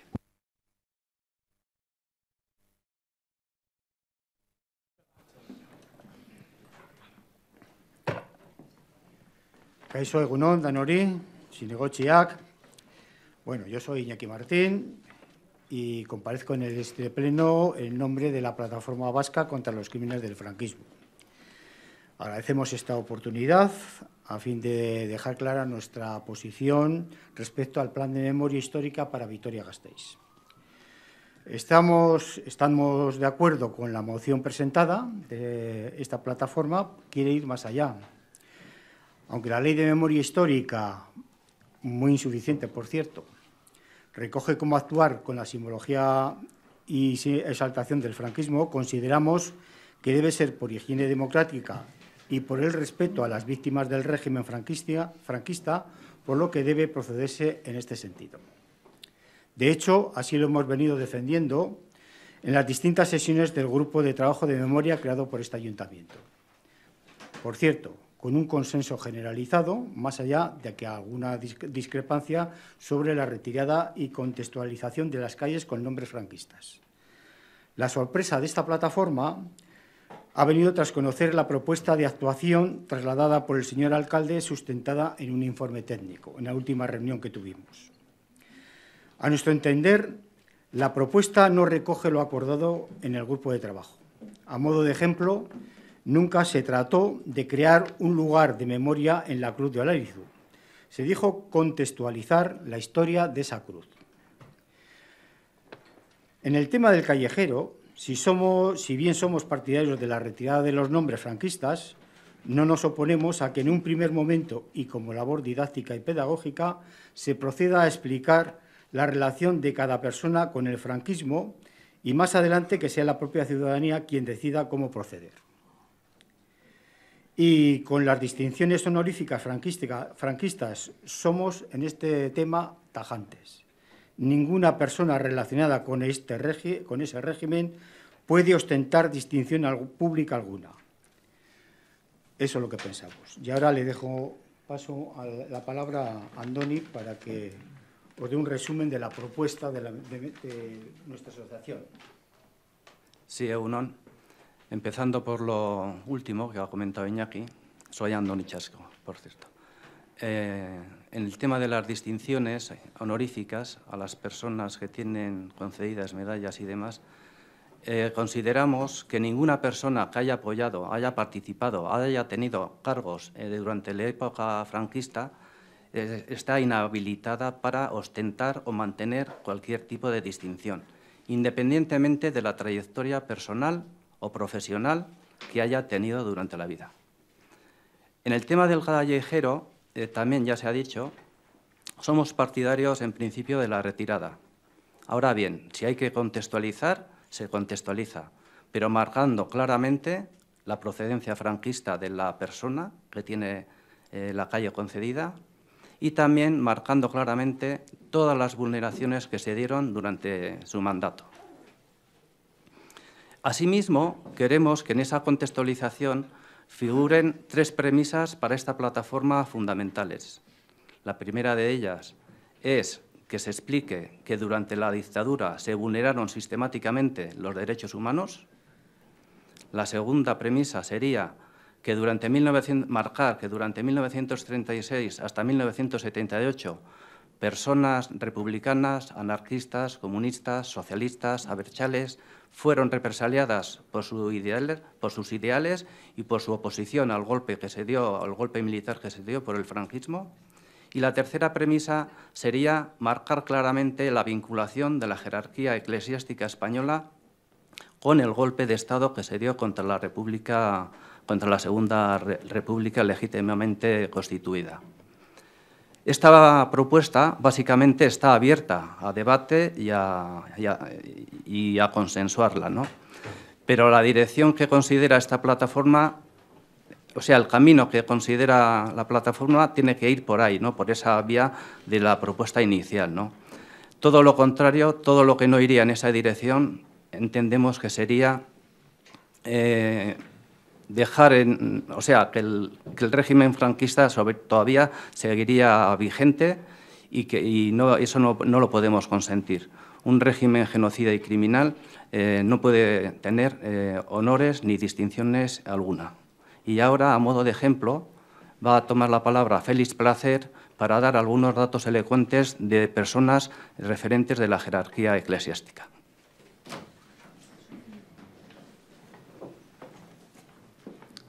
Eguerdion guztioi, nire izena Feliz Placer Ugarte, eta eskerrik asko, odalaren osoko bilkuran, hauetan, honetan parte hartzeko, gure iritsia emateko. Eta dire parte, zain zuzen, iru gotxain e, buruz, e, hain zuzen Carmelo Ballester, José María Bueno Monreal eta Francisco Peralta. Gracias por esta oportunidad de dar nuestra opinión sobre la actuación de tres obispos significativos en Gasteiz durante el periodo franquista, concretamente Francisco Peralta, Carmelo Ballester y Bueno, bueno Monreal.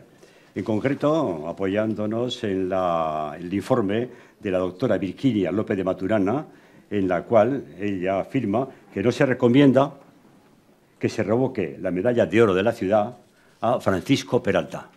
Eso dice exactamente el informe, tal como ustedes ya lo, conocen y están informados. El obispo Francisco Peralta, que estuvo durante 23 años en Vitoria, del 55 a 78, fue nombrado según concordato entre Vaticano y Gobierno español, de 1953, como también sabrán ustedes, que se guiaba por el acuerdo entre ambos estados de 1941. Esto es importante para lo que luego voy a decir promovió la terminación de la nueva catedral en formas muy, muy criticadas y desacuerdo con gran parte del clero, que publicamos un documento que está aquí, ¿eh? protestando contra esta forma y la forma de hacerlo, porque luego fue inaugurada, bajo palio, con la presencia de Franco, el 29, el 29 de septiembre de 1963. Al siguiente año le fue concedida por el alcalde de este ayuntamiento, Luis Ibarra, y su corporación, en 1964, y con el visto bueno del gobernador civil de Vitoria, de Álava, la medalla de oro de la ciudad. Y cito textualmente, para expresar nuestra fidelidad a la Santa Madre Iglesia y a las consignas de nuestro jefe de Estado, por su ingente labor pastoral, etcétera, etcétera, ¿no? Por tanto, una medalla concedida simplemente siguiendo la consigna de nuestro jefe de Estado. Sin embargo, mm, a pesar de la trayectoria pastoral mencionada acertadamente por Virginia, la doctora Virginia, eh, esto motivó una, una, carta abierta firmada, firma entre ellos estaba yo también, por 106 sacerdotes en 1973.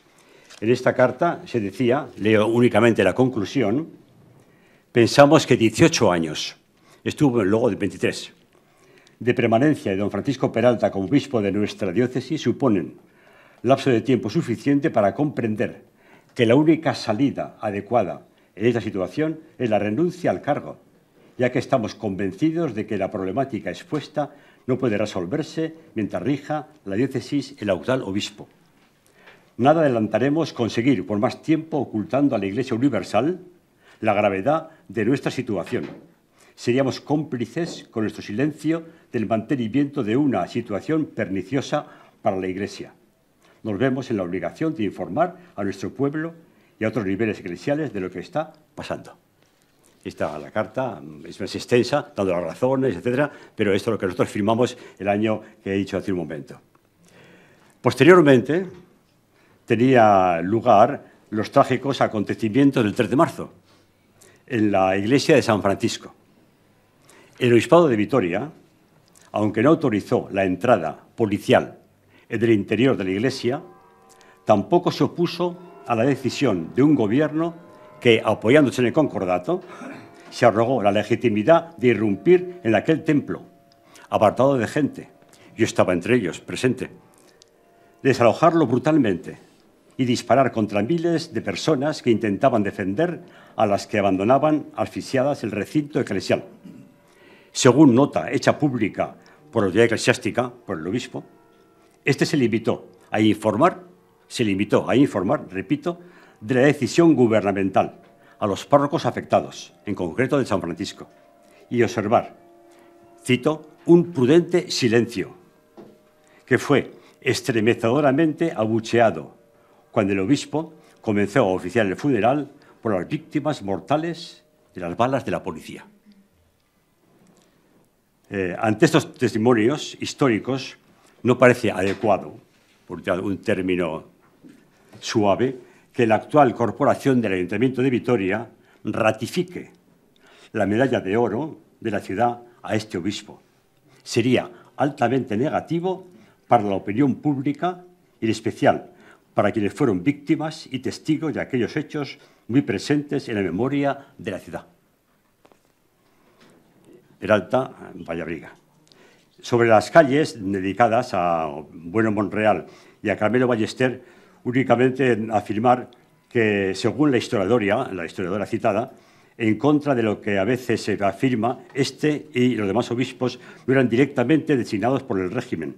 Sin embargo, como he dicho antes, Carmelo, el obispo Bueno Monreal, fue nombrado según el acuerdo entre la Santa Sede y el Vaticano el año cuando ya estaba vigente el acuerdo entre estas dos. Por tanto, es un obispo también franquista, diríamos, ¿no? entre comillas, pero franquista en definitiva. Y lo mismo ocurre con Carmelo Ballester. Sobre el obispo Bueno Monreal, luego cardenal de Sevilla, hombre realmente importante en la historia española, tengo que decir que eh, prohibió expresamente una revista llamada X, en verdad, ¿no? Era una publicación de sacerdotes vascos en el exilio, que sucedía a otra llamada Anayac, a favor de los derechos sociales y políticos en el pueblo vasco, donde prohíbe y prohibió a los sacerdotes religiosos y seminaristas leer, tomar parte o conservarla, eh, incurriendo, si así lo hicieran, en la censura de suspensión a divinis, que es una censura eclesiástica, que significa suspender toda actividad eclesiástica a estas personas. Por tanto, un obispo nombrado en la línea de Franco, que prohibía una revista tan elemental, básica, defensora de derechos, que de alguna manera luego hizo lo que hizo, reconocemos sus buenas actividades, etcétera, pero hay que también tener en cuenta estos detalles importantes. De Camilo Ballester poco se puede decir, fue un obispo sin mucha trascendencia, únicamente nombrado en el contexto que he indicado ahora. Hay día guri kentzeko e, urrezko domina eta baita ere izena kale kaleetan. Eskerrik asko guztioi. Muchas gracias. Tiene la palabra el proponente de la moción, señor Fernández. Sí, me es que en primer lugar dar la bienvenida a los representantes del grupo de, trabajo ¿no? que, están en la plataforma vasca contra los crímenes del, franquismo, que, tan, buen, tan buena labor están, están haciendo en, el grupo de, trabajo ¿no? y sobre todo para, para ese trabajo de, justicia y reparación. Contra los crímenes ¿no? que, ha habido en nuestra ciudad, contra los crímenes del, franquismo. ¿no? Eh, antes de explicar el, por qué mi grupo y concretamente los partidos que lo componen, tanto ECU como Esqueranicha, hemos introducido esta, esta moción, eh, simplemente por una mínima contextualización, y es que bueno, pues ya el 31 de octubre del 2007 el Congreso de los Diputados aprobó la Ley de Memoria Histórica por la que se reconocen y amplían derechos y se establecen medidas en favor de quienes padecieron la persecución o la violencia durante la Guerra Civil española y la dictadura del régimen franquista. Entre otras eh, actuaciones, esta ley, en su artículo 15, marca que las administraciones públicas, en el ejercicio de sus competencias, tomarán las medidas oportunas para la retirada de escudos, insignias, placas y otros objetos o menciones conmemorativas de exaltación personal o colectiva de la sublevación militar de la guerra civil y de la represión de la dictadura. Entre estas medidas podía retirarse la, bueno, la retirada de subvenciones a las públicas, que este segundo término no, no consta en, en, esta, en esta moción. ¿no? Eh, de todos es sabido que el Grupo de Memoria Histórica lleva trabajando en este ayuntamiento hace varios años, antes de la llegada de, de este grupo a este ayuntamiento, que lo que yo puedo hablar en esta legislatura, eh, hasta el pasado mes eh, de enero, pues eh, había un buen ambiente, que se me entienda, para llegar a, acuerdos y, se han hecho, se han avanzado ¿no? en un plan de, memoria histórica con actuaciones que este grupo recogía, como el mapa de la memoria, la adecuación del cementerio de Santa Isabel, la, la, posibilidad de retirar todas las placas de la falange de las viviendas que hay en nuestra ciudad, son cuestiones que realmente este, este grupo y los partidos que lo componen, pues creo que debemos estar orgullosas de, ello, ¿no?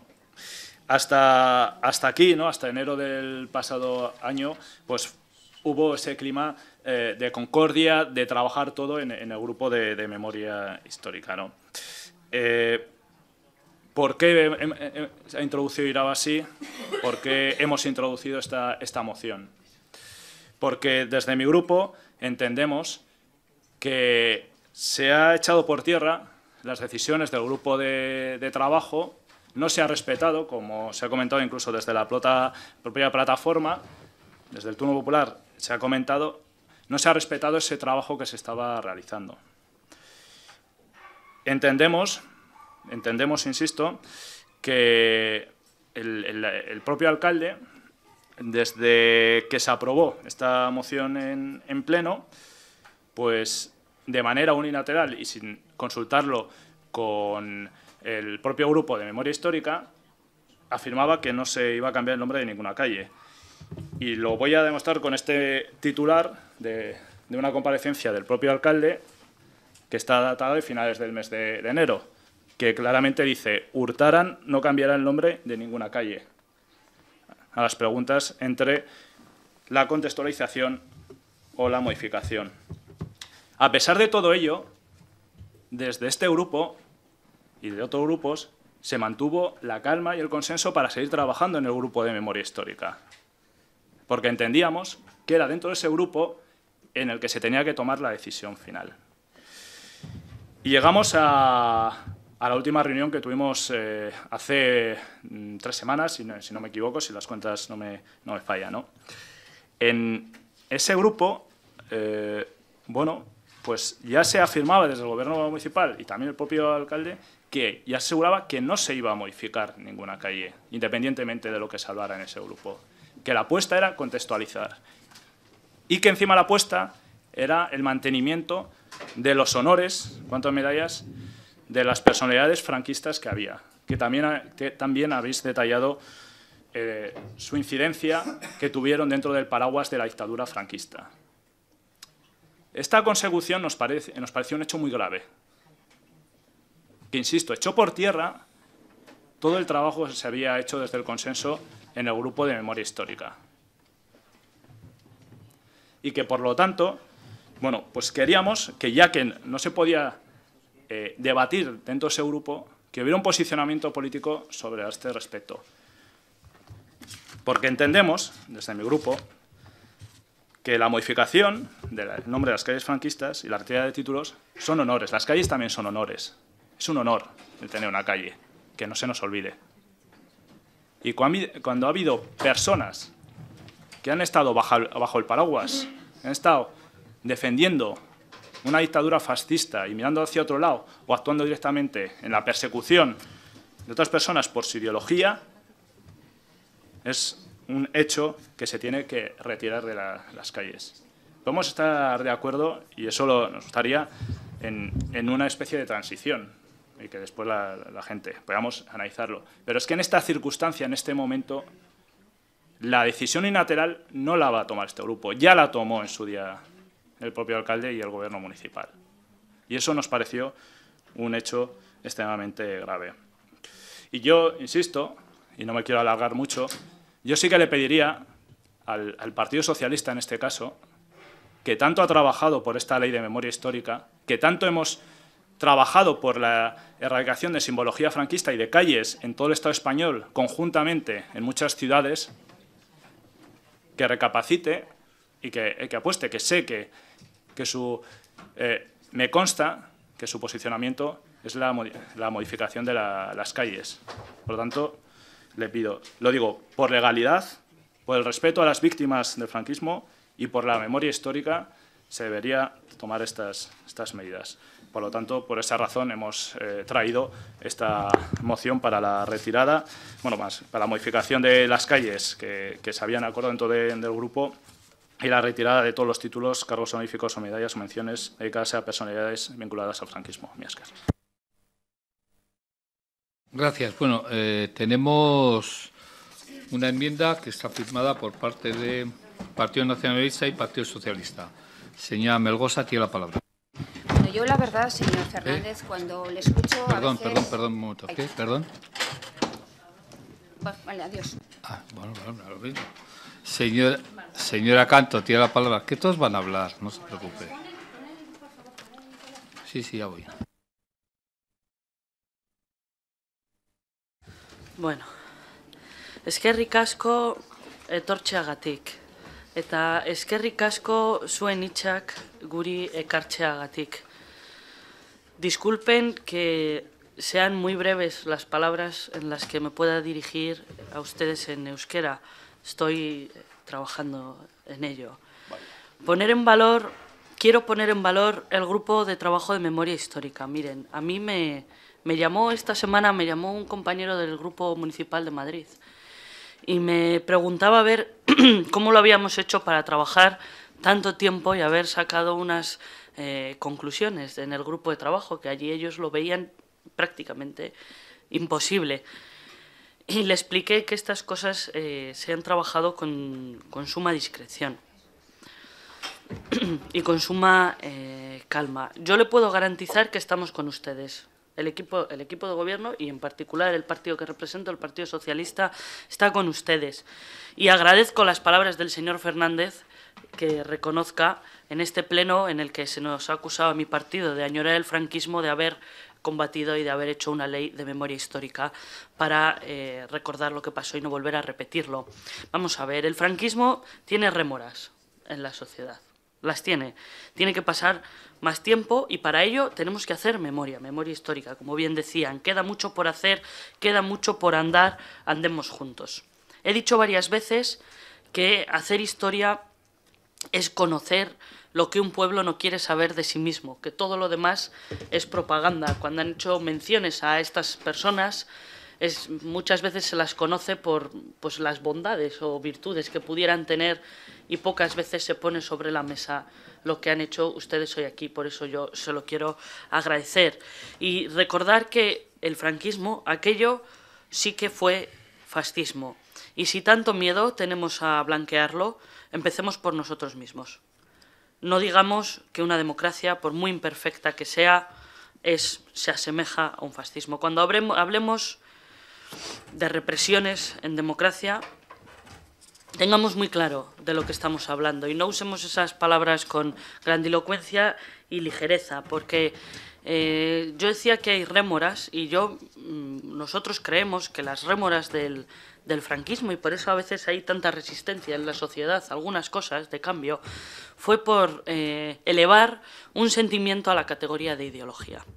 Fue por reprimir, por torturar y por encarcelar en nombre de una idea de España a quienes no pensaban así, a quienes pertenecían a partidos que simplemente tenían otra idea de cómo se tenía que configurar el país, a quienes simplemente pensaban de otra forma o incluso a veces era tan arbitrario que ni eso hacía falta para que te encarcelaran. Simplemente igual pasar por una calle en un momento equivocado, en el eh, lugar equivocado, y te pillaban y te llevaban. ¿no?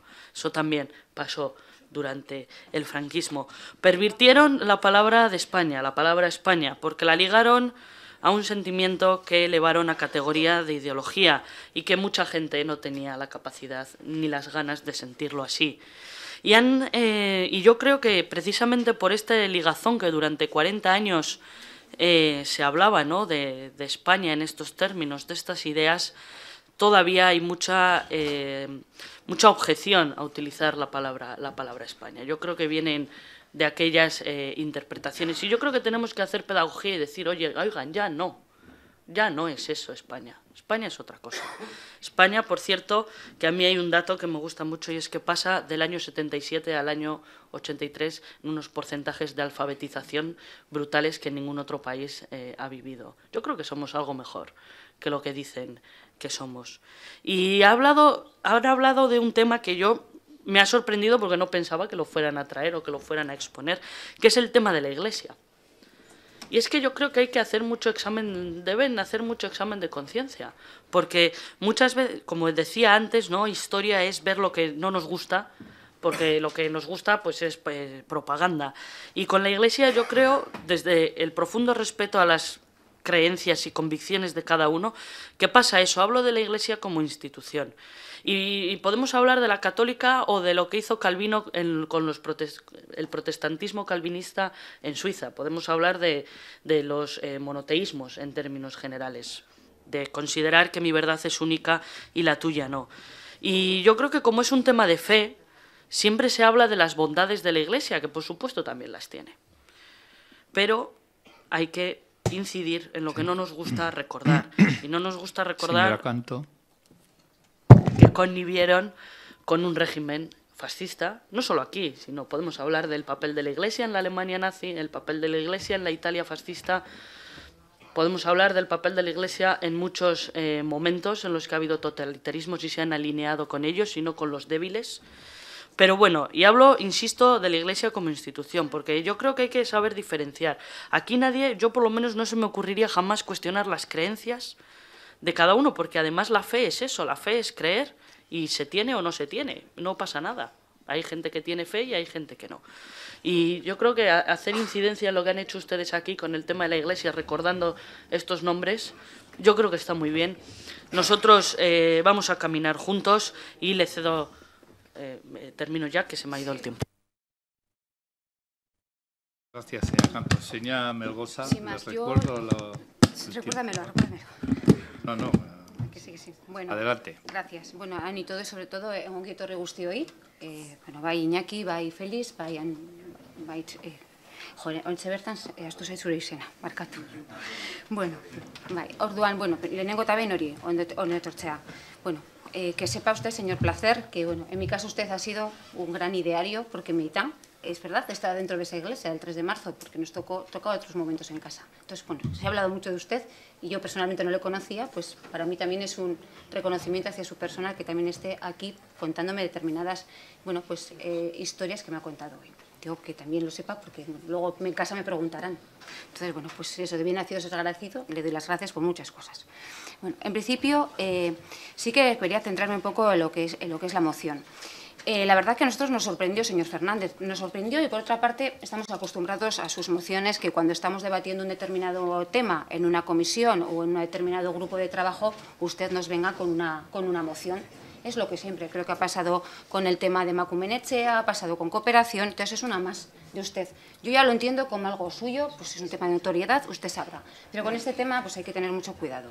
Le digo porque cuando se hizo allí la presentación y la hizo el alcalde, eh, que yo les dije a ustedes en, enero, en, no, perdón, en verano que íbamos a pedir un informe a una historiadora para evaluar y para, para, bueno, para valorar el tomar determinadas decisiones, yo se lo dije a ustedes y ustedes lo sabían. Incluso yo me acuerdo que el señor García Calo me reclamó el informe, yo no estaba en activo, le dije, bueno, vamos a esperar y fue cuando el alcalde lo presentó en público.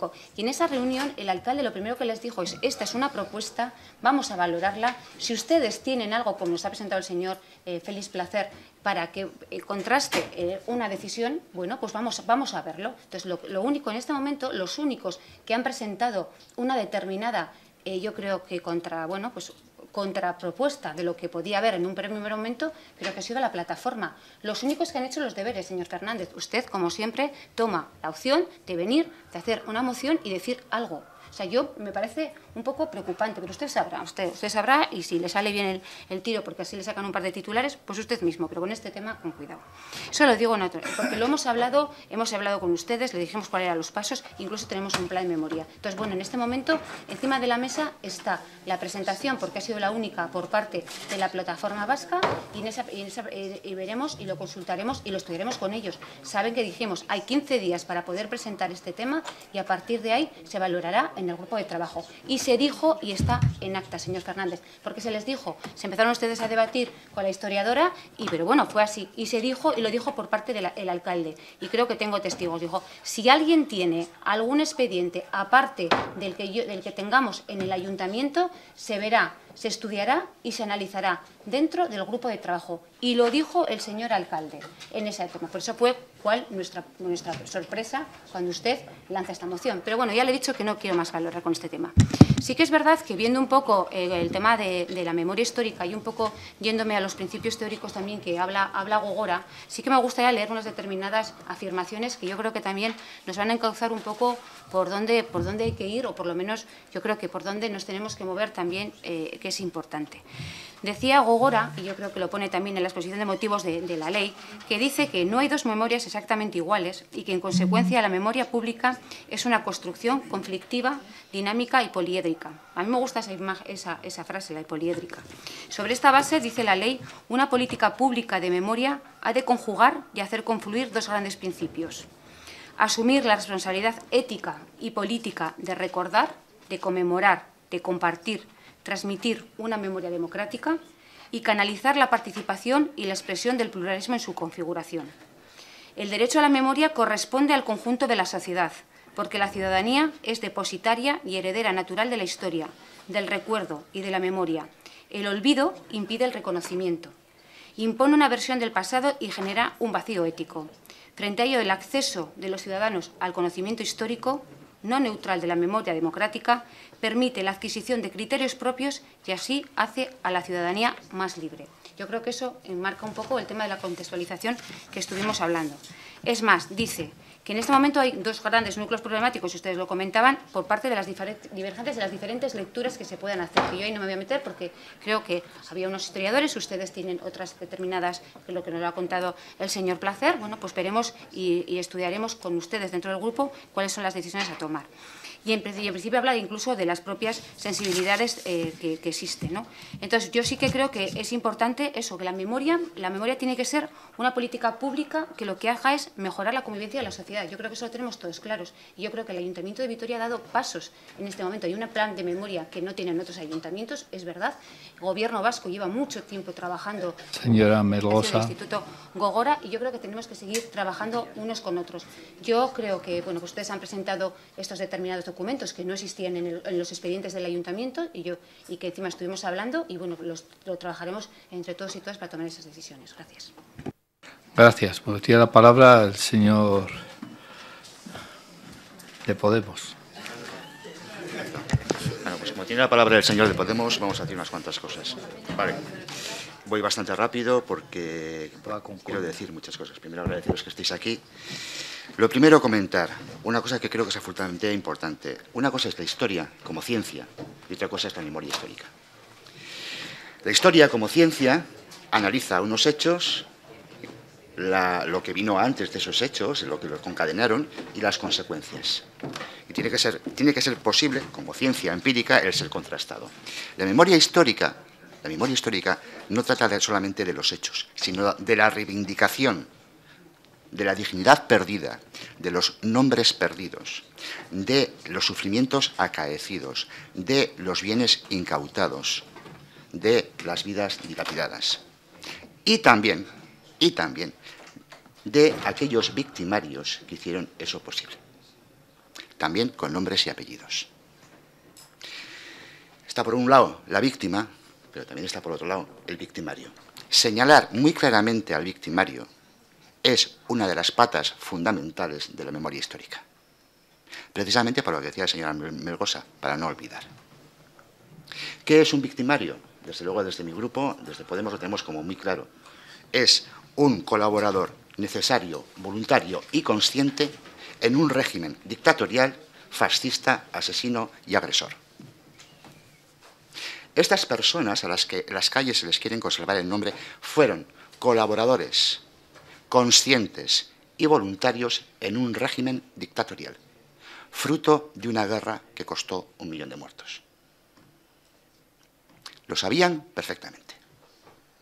Entonces, si desde la historia lo que se pretende es poner una placa que diga tal señor fue alcalde de aquí a aquí o obispo de aquí a aquí y mm, ya está, y ya está. Hay que, dejar muy claro, primero, que desde luego en nuestro grupo, y así lo manifestamos en el grupo de trabajo, las calles como honor, como reconocimiento que se les hizo desde, desde, desde una dictadura, no pueden tener su nombre, no pueden tener su nombre. Y en todo caso, y en todo caso, esa placa abajo, en esa calle con otro nombre, lo que tendría que poner es por qué se le puso, quién lo puso y, de, y de qué fue colaborador necesario. Creo que lo que hizo muy bien, muy bien la transición española fue poner una capa de niebla encima de lo que había con anterioridad. Y esa capa de niebla que sigue, que, que está ahí encima, todavía a día de hoy sigue. Y les pongo unos ejemplos que son muy claros, muy, muy, muy claros. ¿Vale? Hace unos días, hace unos días, en el frente del este de la Segunda Guerra Mundial han aparecido seis cadáveres. Cuatro alemanes, no, perdón, cuatro rusos y dos alemanes. Lo recoge National Geographic. A ese nivel, a ese nivel. Hay una gran realizadora una enorme realizadora con un genio maravilloso de cine que se llamó Leni Riefenstahl, que cambió la historia del cine en Europa. Era, tenían en la cabeza una cámara. Hay eh, los Juegos Olímpicos de Berlín, lo realizó ella, y es un canto a la belleza de la cámara. Hay un gran arquitecto, se llamó Albert Speer, que desde luego era un genio trazando líneas y construyendo, diseñando edificios. Bien, Albert Speer era el ingeniero, o sea, perdón, el arquitecto de Adolf Hitler, y Leni Riefenstahl, perdone porque no os pronuncio muy bien el, apellido en alemán, era eh, la fotógrafa oficial del régimen. ¿Ustedes se imaginan una calle de Berlín que se llame Spear? ¿A que no? ¿A que no?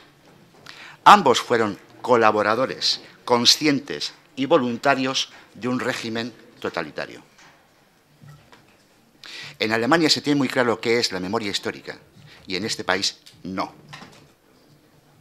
Y para empezar a dar el primer paso en memoria histórica, quizá lo primero que deberíamos de hacer es quitar honores y calles a los colaboradores necesarios y conscientes de la dictadura fascista española. Igual empezando por eso hacemos algo. No termino sin decir una cosa. Ustedes no estaban aquí, antes se ha hecho referencia, es un, un pleno muy político, a anarquistas, no sé qué y demás. Bien, eh, les comunico que entre los presentes, el que suscribe, soy anarquista. Y tengo muy claro dónde y qué estaban defendiendo los anarquistas durante la guerra y después de la guerra, y tengo muy claro dónde y qué está defendiendo la derecha española. Así que un poquito más de respeto, porque eso también es memoria histórica. Gracias, señor Cerezuela. Tiene la palabra el señor...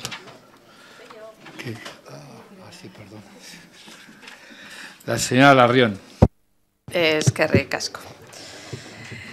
Pues casi voy a retomar donde lo ha dejado el anterior, no en el término de que sea anarquista, pero lo respeto profundamente. Y quizás, o quizás sí, precisamente de ahí, ¿no? Precisamente y además, eh, antes de darles la bienvenida a los a, los compañeros que tenemos, porque precisamente ellos han hecho referencia ¿no? a las personas represaliadas en la guerra civil y posteriormente, a los abertzales, a los anarquistas, a los socialistas o a los comunistas, que se quiso borrar absolutamente de la memoria esos represaliados, pero con una parte del, del, régimen que sigue vigente, porque hoy precisamente se ha utilizado el ser anarquista, el ser comunista o el ser antisistema, otra vez, ¿no? Como fuera del orden, que algunos que entienden como continuación del régimen anterior. Eso ha ocurrido antes de llegar a ustedes. Eso ha ocurrido aquí y seguramente ocurrirá también después. Y por eso es también esa contextualización de la ley de memoria, ¿no? También una ley, sí, que hizo Zapatero, pero también que desde la ONU le sacaron que tenía desde luego 10 suspensos desde la ONU por lo escasa que se quedaba. En cualquier caso, un primer paso, pero muy escasa. Lo que es escasa es evidente porque lo tenemos ahora, ¿no? Aunque efectivamente, mejor tener eso que no tener nada. Y eso nos lleva a que la ley de memoria tiene que hacer primero un reconocimiento, y aquí es, voy a dar el ongietorri, ongietorri, etorri zarete hoy. Ze zuek ekarri duzu ez bakarrik zuen lana, baizik eta hainbat eta hainbatetan e, zuek egindakoa. Osea, ez haudete hitz egiten beste batzuk egiten dugun bezala kontatu digutenaz, baizik eta bizi izan zaretenaz. Ze, bak, bakarrik ez da memoria. Osea, da ora indikan historia aktiboa, presente dagoena une honetan. Eta hori zuek ekartzea ona eskartu egiten dugu. E, balioko duelako ere bai gure kontzientzia kastintzeko. Y digo que la presencia hoy aquí nos tiene que servir precisamente para remover las conciencias, esas que están tan tranquilas, esas que efectivamente, si bien en Alemania en estos momentos cualquier símbolo nazi sería atacado, aquí el renacimiento del neofalangismo y de todos los símbolos indican que algo se ha hecho muy mal. Y desde luego lo que no se ha hecho es una crítica a todo lo que supuso el alzamiento franquista y los años, los 40 años de dictadura terrible posterior, por no entrar ya con lo que pudo ser la transición se intenta blanquear a muchas de esas figuras. Eh, un término que, en otros idiomas, cuando se habla de seguir órdenes, tiene un significado de alguien que no reconoce su responsabilidad, aquí todavía se entiende textualmente. Hay una cierta dejación de las responsabilidades haciendo referencia al no, bueno, yo vivía en aquella época, yo seguía órdenes. Desde luego, la contribución de Félix Placet ha sido voy a hacer un poco lo que está haciendo Alfrencia, pero un auténtico placer, ya sé que no es exactamente, porque el contar en primera persona, ¿no? también tantas veces como se cuenta lo que supuso la Iglesia, y teníamos también dos iglesias, como siempre ha habido dos sociedades, una parte de la Iglesia que se alineaba precisamente con los que más sufrían y hacía una reivindicación por el reconocimiento de los derechos, pero luego fundamentalmente toda la jerarquía eclesiástica alineada perfectamente con el régimen. No es casualidad que en el único sitio donde se pudiera pasear bajo palio fuera precisamente en el Estado español. Y eso se ha mantenido, ¿no? Y ahora también a muchos de esos representantes o altos representantes eclesiásticos de la jerarquía se les sigue manteniendo esas prebendas, las mismas prebendas que ellos daban al régimen, porque esto al final, con una falta real de lectura de lo que pasó en aquella época, es algo que se retroalimenta. Los favores debidos a uno se vuelven a ser favores debidos de los mismos que estaban a los otros. Porque hay muchas cosas que en esta sociedad no han cambiado. Hoy estamos aquí hablando de la memoria, no precisamente de, la regeneración democrática que no se haya producido, pero en términos de la memoria también hay cuestiones que hay que recordar. Bilbo cambiaba el año pasado el nombre de tres calles, con lo cual se pueden hacer cosas. Y claro que valoramos positivamente que esta ciudad tenga un plan de memoria, que le ha costado años en tener. Claro que sí. También nos parece que a ese plan de memoria le faltan cosas. Por ejemplo, por ejemplo, y una de las cuestiones que criticaba también eh, de Grave en el suspenso que le daba la ONU a la ley de memoria es qué se estudia, qué historia se estudia. Y esa ha sido una gran contribución, por ejemplo, en la unidad eh, didáctica que nos hizo el 3 de marzo, y precisamente cómo se debería de enseñar en las aulas esos hechos históricos que marcan el devenir de la ciudad. Y son las cuestiones también, por eso decía que no es solo un plan de memoria sobre símbolos, sino que precisamente habrá que en algún momento hacer ese juicio histórico, por lo menos, a aquel régimen franquista, eh, desde luego tan doloroso y tan injusto para las personas avanzadas. Y valoramos positivamente tener el plan de memoria y valoramos negativamente que ese plan de memoria no tenga ningún reflejo presupuestario. No hemos visto reflejo presupuestario, pero eso si no lo apañáis para la segunda. Lo vamos a dejar ahí. Y en cualquier caso, lo que decimos también es que no estamos de acuerdo con cómo se han hecho las cosas, o una parte de las cosas. Teníamos una, se trabajó un consenso, las personas que están hoy aquí vinieron a hacer el trabajo del día a día en esa ponencia de la memoria, y cuando se habla también de cómo hacer las cosas, es que el día antes de votar el dictamen en el Pleno, el propio alcalde, y eso lo hemos criticado, el propio alcalde salió a dinamitar ese acuerdo, manifestando ya unilateralmente lo que iba a hacer antes incluso de votar eh, el dictamen. Un dictamen en el que hay que decir que se había llegado a consensos y a acuerdos. Y incluso, eh, aunque unos prefiramos, por ejemplo, como aparece aquí, eh, modificar el nombre de las calles, se daba también como opción la contextualización. Trataba de ser incluyente, no de ser excluyente, como paso inicial. Entonces, eh, el tema que, realmente yo creo que refleja o que nos lleva a que estemos gente en contra con los pasos que se han dado es que no se han llevado a cabo los acuerdos que se tomaron, que se han dinamitado unilateralmente algunos de los acuerdos y que desde luego desde Euskal Herria Bildu lo que defendemos en este primer turno que estoy a punto de terminar es que se respete lo que se acordó en la memoria y sobre todo con las personas que están sentadas allí, que para eso vinieron a, a la ponencia. Gracias, señora Larrión. Señor García. Gracias, señor López de Munain. Bien, buenos días. En primer lugar, eh, saludar, dar la bienvenida a los representantes del, turno popular. Mm, yo en este primer turno voy a ser claro, porque creo que siempre nuestro grupo ha sido claro ante, esta, ante este grupo de trabajo y ante las conclusiones que se han derivado del mismo. Nosotros eh, hemos dicho en todo momento sí a la señalización de espacios. Nosotros en todo momento hemos dicho sí a la contextualización de lugares. Hemos dicho sí a la contextualización de diferentes calles. Este grupo de trabajo, con más de dos años de recorrido, comenzó en el mandato anterior. A mí me tocó liderar este grupo de trabajo y durante el mismo creo que también hicimos muestras, como por ejemplo con la colocación eh, del busto de la Oaseta en eh, la Plaza del Carmen, en un lugar también simbólico y que se menciona en el informe que, redacta la doctora eh, López de Maturana. Sí que es cierto que nos mostramos, y lo hemos dicho así desde en todo momento, nos mostramos contrario a la eliminación de calles, porque consideramos que en el primer gobierno municipal de la democracia eh, se procedió a la, eliminación de aquellas calles eh, que hacían exaltación directa de la, dictadura, del franquismo de la guerra civil. De la misma forma, eh, si no recuerdo mal, en la legislatura socialista, en el mandato socialista, se revocaron por unanimidad una serie eh, de condecoraciones porque se entendían que tampoco eh, tenían cabida y tenían sentido porque evidentemente hacían exaltación directa del franquismo. Eh, yo soy consciente de que este periodo histórico del que hablamos es un periodo histórico muy reciente y que afecta de forma muy directa a muchas personas. Soy consciente. A mí, por suerte, y siempre lo pongo en valor, no me ha tocado vivir esa época. La conozco por los libros de historia. La conozco y la intento conocer lo mejor posible, desde luego. Pero soy consciente de que todavía acarrea o genera heridas, heridas que todavía nos han cerrado.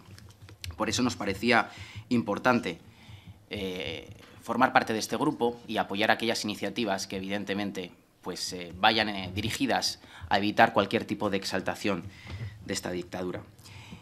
Pero en este recorrido, eh, hace unas semanas, el Gobierno nos presentaba el informe, el informe encargado por el propio Gobierno municipal, como bien se ha dicho aquí, a, una doctora en Historia, que ha presentado, en nuestra opinión, un informe riguroso, eh, un informe con exhaustivas referencias bibliográficas que acreditan eh, bueno, pues, eh, cuáles fueron los hechos y, sobre todo, hacen hincapié en aquellas cuestiones eh, que, pueden generar, que pueden suscitar más debate entre los diferentes grupos y entre la plataforma.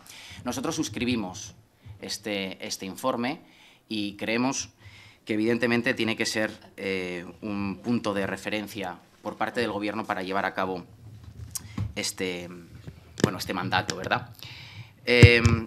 sí que quisiera mencionar las palabras que la propia eh, López de Maturana, en un artículo que recientemente publicado un medio de comunicación, hacía sobre un historiador británico, Richard Evans, em, donde hace, bueno, en el preámbulo de una trilogía sobre la Alemania nazi, decía lo siguiente, y me parece que es muy interesante. Me parece impropio que una obra de historia se permita el lujo del juicio moral.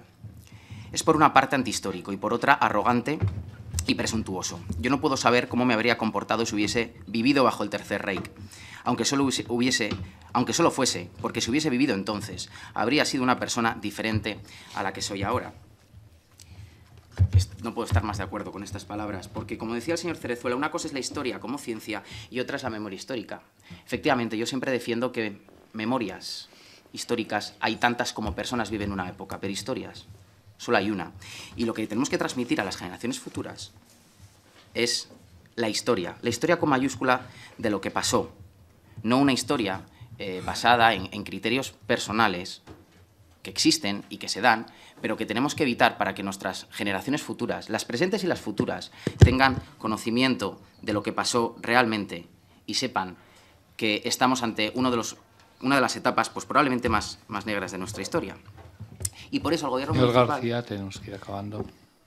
Brevemente, por eso al gobierno municipal eh, le pido que, tome la iniciativa, que presentó este estudio con rigurosidad y que lo que tiene que hacer es tomar decisiones. No vale que nos demos ahora un periodo de dos semanas, que por cierto ya han pasado esas dos semanas, y que sigamos, eh, como se dice coloquialmente, mareando la perdiz. Por eso yo les pido que ya actúen, porque las decisiones ya las tienen que tomar ustedes.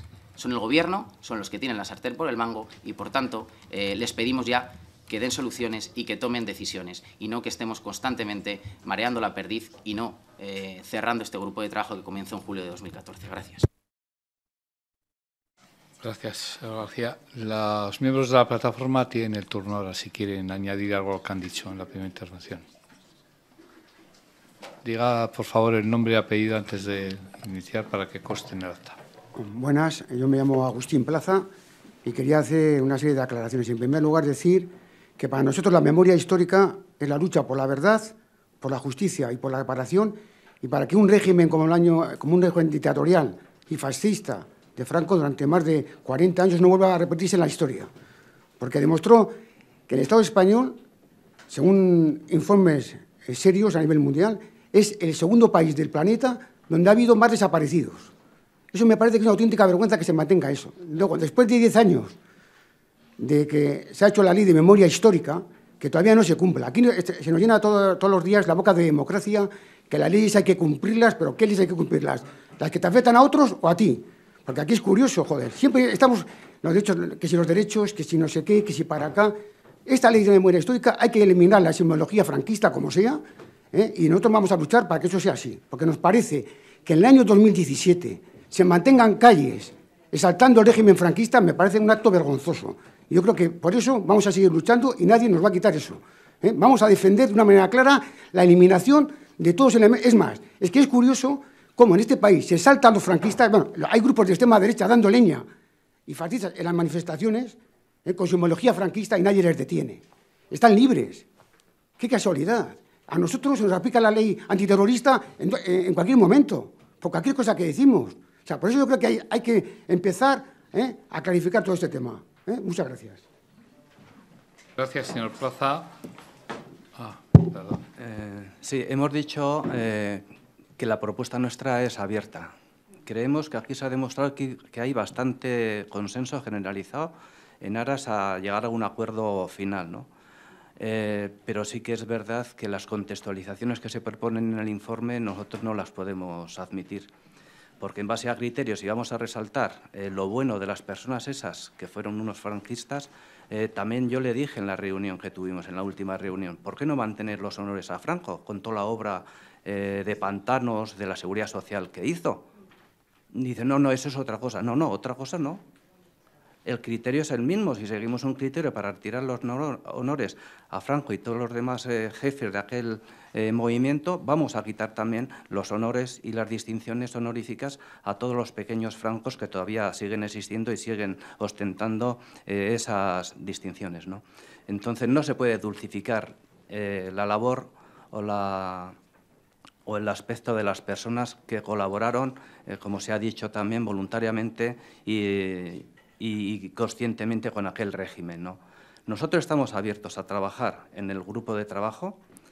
En aquel grupo, de- en esa última reunión, tampoco se quedó claro esos 15 días que aludi- se han aludido. Se dijo vamos a dar un plazo de siete de días muy difusamente. No sabíamos en base a qué se iba a luego qué se iba a producir, si iba a haber una reunión del, del grupo o se iba en base a las aportaciones se iba a tomar la decisión por el equipo de gobierno o qué. Estamos dispuestos a asistir a nuevas reuniones del grupo, vamos a, a debatir, vamos a, a valorar todas las propuestas, pero eso sí, la dirección creemos que tiene que ser la que marca, eh, la que ha marcado siempre esta plataforma vasca contra los crímenes del franquismo, ¿no?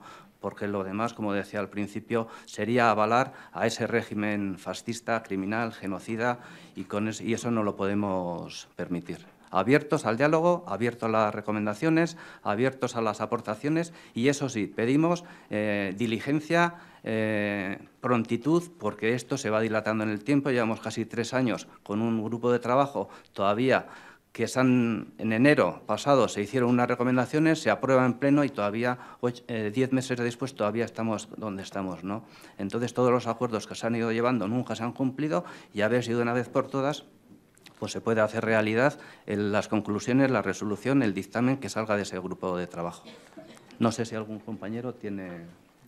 Gracias, señor Chasco.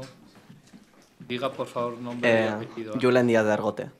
Bueno, lehenik eta behin eskerrak ematea guztioi eh, memoria historikoa lantzeagatik udaletxean. Y voy a empezar diciendo que estoy bastante de acuerdo con el relato que ha hecho el señor Coscubiela, creo que. sí, el señor de Podemos. Y responder que, como ha dicho el señor García Calvo, yo no viví el, fran- el franquismo, eh, pero los, los señores que tengo atrás sí. Y ellos no tienen una calle. Ellos fueron los que lucharon contra el franquismo y no tienen una calle. Los que tienen una calle todavía son los que ampararon, los que ampararon ese régimen desde pequeñas ciudades.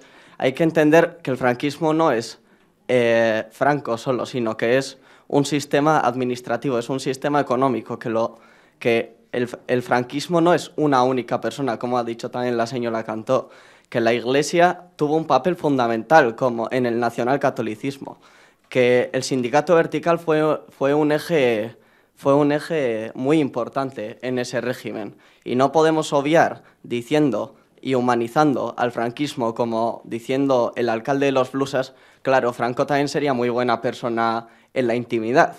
No podemos humanizar eh, a esas personas diciendo, sí, porque en su, en su casa hacía algo. En su... Hay que tener en cuenta la labor política de esa gente, lo que hicieron. Esa gente no pasó a, eh, a ser alcalde de Vitoria por, porque sí. Ellos eran militantes del movimiento, del movimiento falangista. Eso hay que tenerlo en cuenta. No podemos obviar todas esas cosas.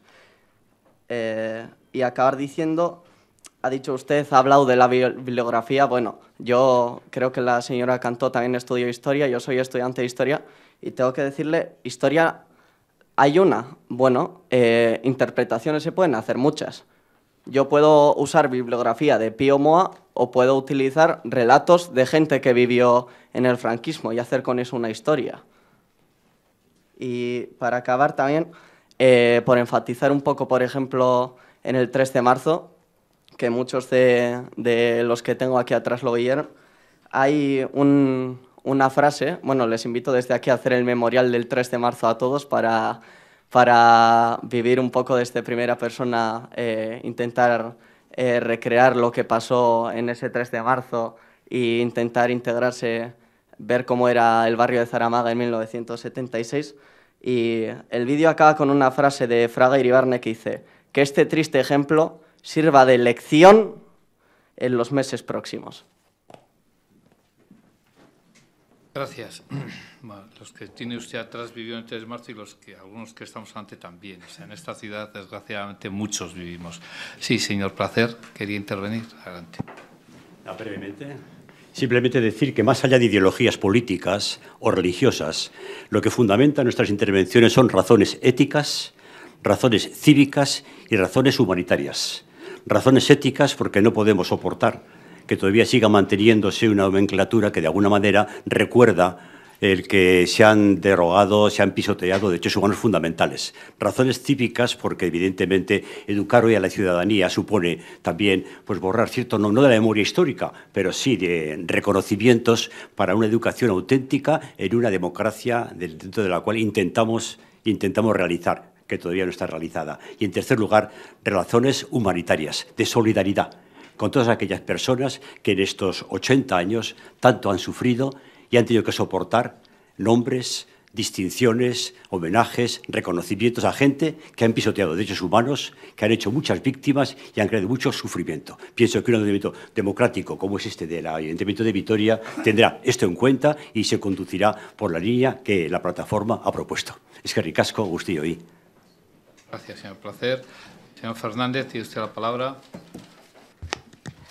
Sí, mira, es que, bueno, obviamente después de la intervención de la plataforma, pues poco más se, puede comentar, ¿no? Simplemente, en primer lugar, por, alusiones más personales, que se ha referido la, señora Melgosa, que, bueno, no sé, entiendo que, estará nerviosa con este tema, pero es que realmente eh, es curioso que, se, se, acuse a este concejal de intentar ganar titulares cuando ya en la primera intervención quien ha ganado titulares sobre este respecto con una decisión unilateral fue el propio alcalde. Y lo ha enseñado en los titulares. No ha sido este, este concejal, ¿no? Y también es curioso porque mientras estábamos eh, debatiendo en el grupo de memoria histórica, o debatiendo entre comillas, esas eh, propuestas del gobierno municipal, se estaba lanzando una nota de prensa se estaba lanzando una nota de prensa y tengo aquí el resultado del titular de prensa del, del 9 de octubre de este, de este año que ponía Vitoria Gasteiz contextualizará los símbolos y de calles de origen franquista. Esto que se le acuse a una, una persona de, de, ganar titulares cuando es, es viceversa, creo que poner a, a, las caras de la deriva este, de, de cómo se ha venido cómo se ha trabajado desde la aprobación en el pleno este plan de, de memoria histórica. Nosotros compartimos la visión de que ha llegado tarde. Ha llegado tarde, se puede haber avanzado algunos temas mucho antes, había un consenso incluso antes de esa aprobación, pero desde la aprobación creo que no solo este grupo, otros grupos también lo han manifestado en, en ese sentido.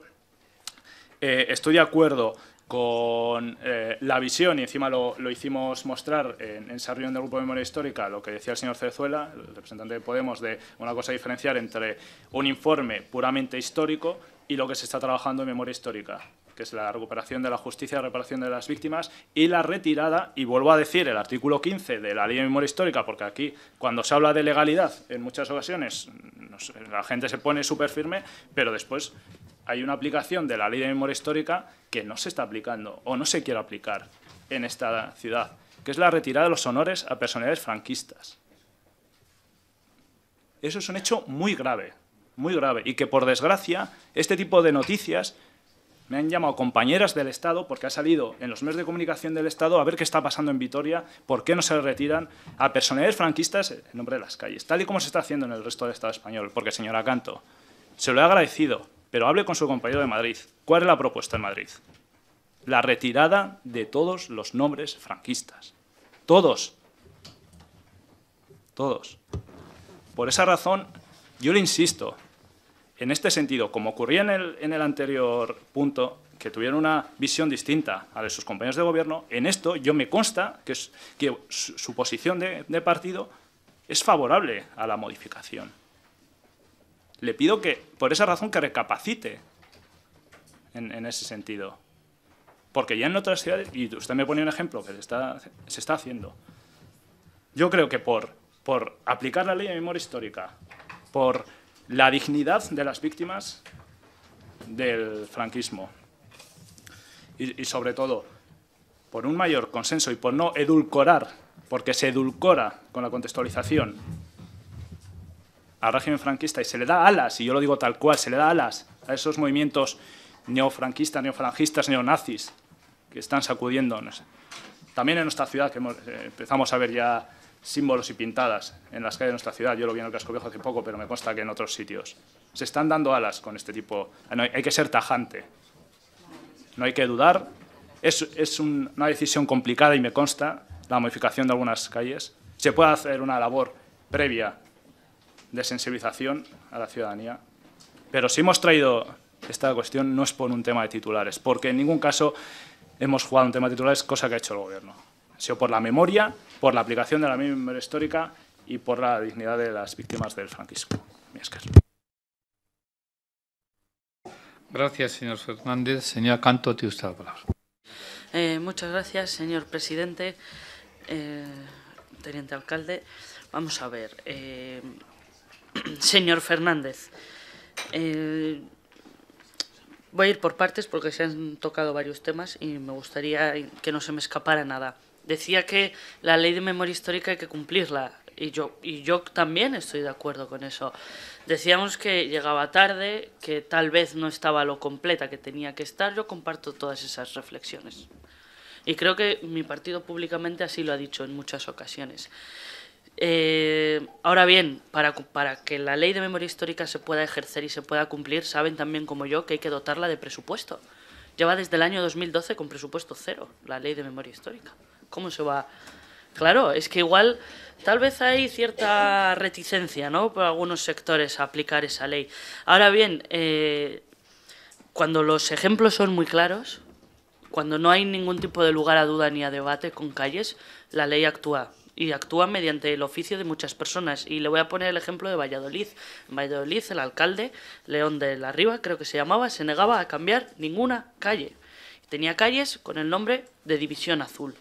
Calles que ni, ni pensaríamos, ¿no? Estamos debatiendo sobre otros nombres. Pues mediante denuncia se le requirió por parte de un juzgado que cambiara esas calles. Y las cambió. Las tuvo que cambiar a, rechinadientes, pero las tuvo que cambiar. Es decir, que eh, la ley, con lo imperfecta que es, que probablemente, no, no probablemente no, si tienen razón, a veces también funciona. Y yo, señor Fernández, eh, la posición de mi partido con este tema creo que es muy clara.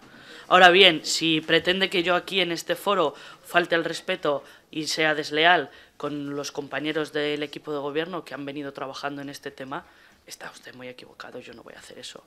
Yo respeto el trabajo que han hecho en el grupo de trabajo. Y la enmienda, que no se ha mencionado en el turno anterior, pero bueno, eh, lo menciono yo en este turno, dice que se hagan las aportaciones en el foro que se tienen que hacer aportaciones. Y ya está, y se harán. Y yo agradezco mucho las aportaciones que traen desde la plataforma, porque creo que van un poco más en la línea de lo que, de lo que nosotros queremos eh, en la contextualización pero mm, nada más. Y me han citado, yo siempre que me dicen canto, ojo, yo es que no soy familiar de Tony Cantó, es canto. Pero bueno, no pasa nada, es una batalla que seguiré dando. Y no, no, yo historia, la carrera de historia no he estudiado, yo he estudiado eh, historia más, más vieja, más antigua, filología clásica. Eh, pero también había historia y profesores de historia que nos enseñaron que hay que leer mucho para intentar sacar una versión de la historia, porque el mismo historiador incluso en periodos diferentes de su vida puede pensar diferente. Entonces es, un tema muy complicado y hacer ciencia de algo que no lo es es como pretender hacer una falacia. Y tenía usted razón con las fuentes que, que citaba y con en general eh, todo lo que ha dicho también con la, el colaboracionismo de la Iglesia, que en algún momento entiendo que harán examen de conciencia porque les llegará, imagino, poco a poco, ¿no? Hace unos años eh, absolvieron a Galileo por, y a Copérnico, ¿no? Pues eh, dentro de 300 años igual eh, harán examen de conciencia de lo que ha pasado en el siglo XX con su connivencia. E insisto, aquí a veces se hace, el debate se pervierte. Dices, Iglesia, estás faltando al respeto a los sentimientos religiosos de la gente, no tiene nada que ver. Una cosa es la institución como tal, otra cosa es lo que los fieles, los laicos, consideren que, creen y la fe que sienten que es eh, muy respetable. Muy respetable como las ideologías, como decía el señor Cerezuela, que se ha eh, descrito como anarquista, que también es muy respetable. Incluso, También, ¿no? Porque lo dice como si alguien pudiera parecerle mal. ¿A quién le va a parecer mal que alguien se defina ideológicamente? No sé yo creo que en, democracia se puede hablar de todo y uno puede manifestar sus sentimientos y sus posiciones políticas sin miedo a que nadie le mire mal, que esas épocas ya pasaron, ya se quedaron atrás. Así que muchísimas gracias por sus intervenciones, por su tono propositivo y eh, termino ya, me han sobrado 30 segundos. Gracias, señora Cantó. señora Canto. Bueno, sin más. A ver, yo sí que quiero aclarar unas cosas. tiene usted la palabra. Gracias. Gracias.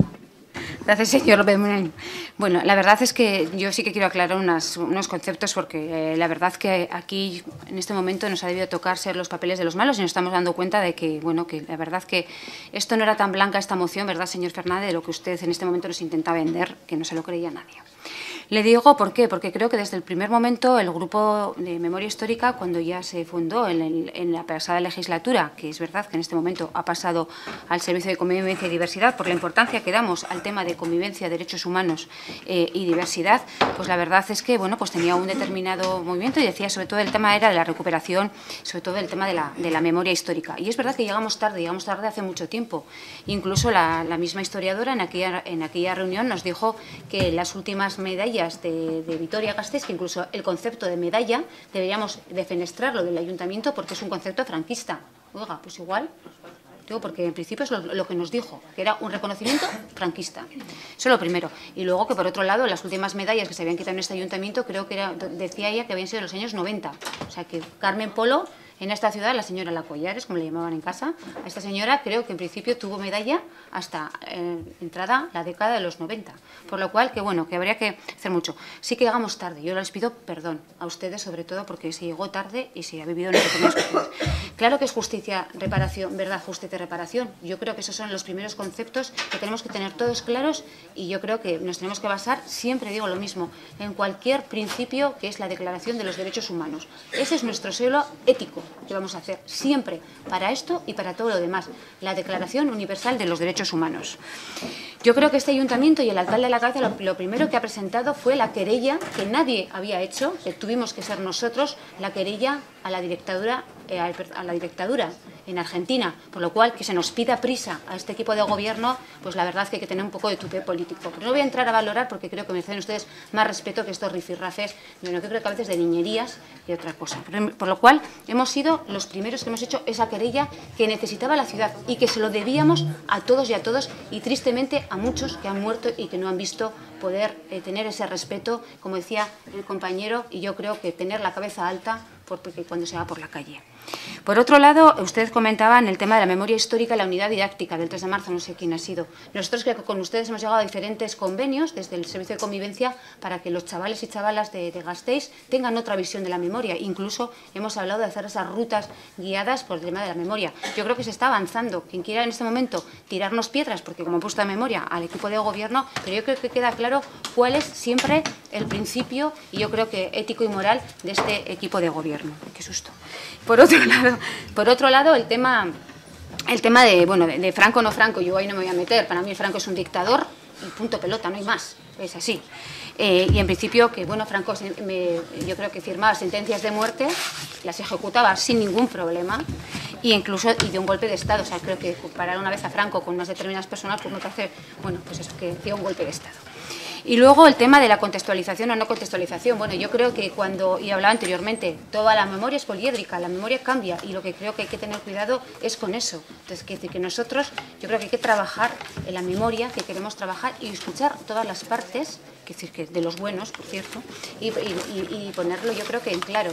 Y sí que sobre todo lo decía porque, porque muchas veces podemos tener bueno, pues determinados también formas de poder caer en lo que a otros les echamos en cara. Entonces yo sí que creo que bueno que hemos dicho y hemos dejado durante estos días, porque sí que se dijo, bueno, es igual fue cuando salimos y con ese debate de unos y de otros, sí que se dijo que se dejaba abierto para hacerlas, y dijo el alcalde, si ustedes tienen en algún momento algún otro papel o algún expediente, como comentaba el señor Placer, que demuestre que estos hombres no ejecutaban, eh, ejecutaban más allá de esos cargos, o sea, que no por esos cargos, y creo que estuvimos hablando sobre todo del señor, del, del señor Peralta, pues bueno, hablemos, hablemos y, lo, y, se, y, se, y se verá y se dirá exactamente el qué. Incluso, es más, hubo una medalla, que en este momento una medalla de plata, que yo esto no estoy que esto en las Olimpiadas, una medalla de plata que tiene una determinada persona, que se le va a quitar, que en este momento nunca se había puesto encima de la mesa. Entonces, bueno, yo creo que ha habido un estudio, eh, yo creo que intenso, que se necesitaba y que así lo dijimos a los grupos que lo íbamos a hacer, porque echábamos en falta esa visión por parte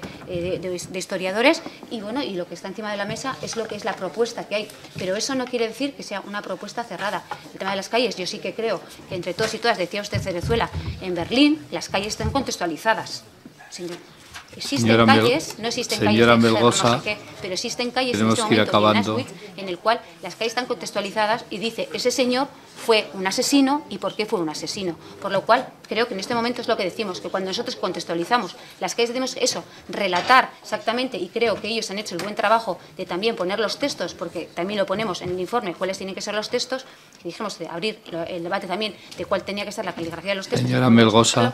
Y creo que está abierto. Es que ricasco y perdón. Porque... Bien, tiene la palabra señor Cerezuela. Bien, eh, empezando por el final, señora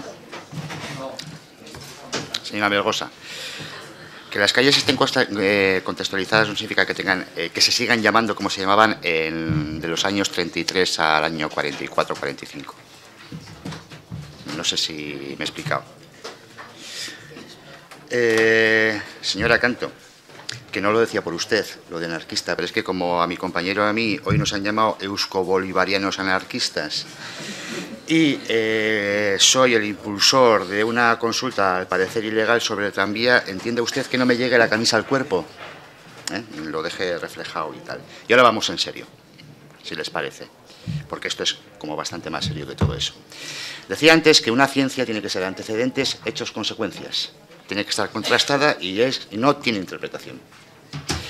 Eh, de lo que nos han leído, parece ser que la persona que ha hecho esta contextualización interpreta unos hechos, según su criterio, su sapiencia y su ciencia, pero resulta que eso sí que es una interpretación.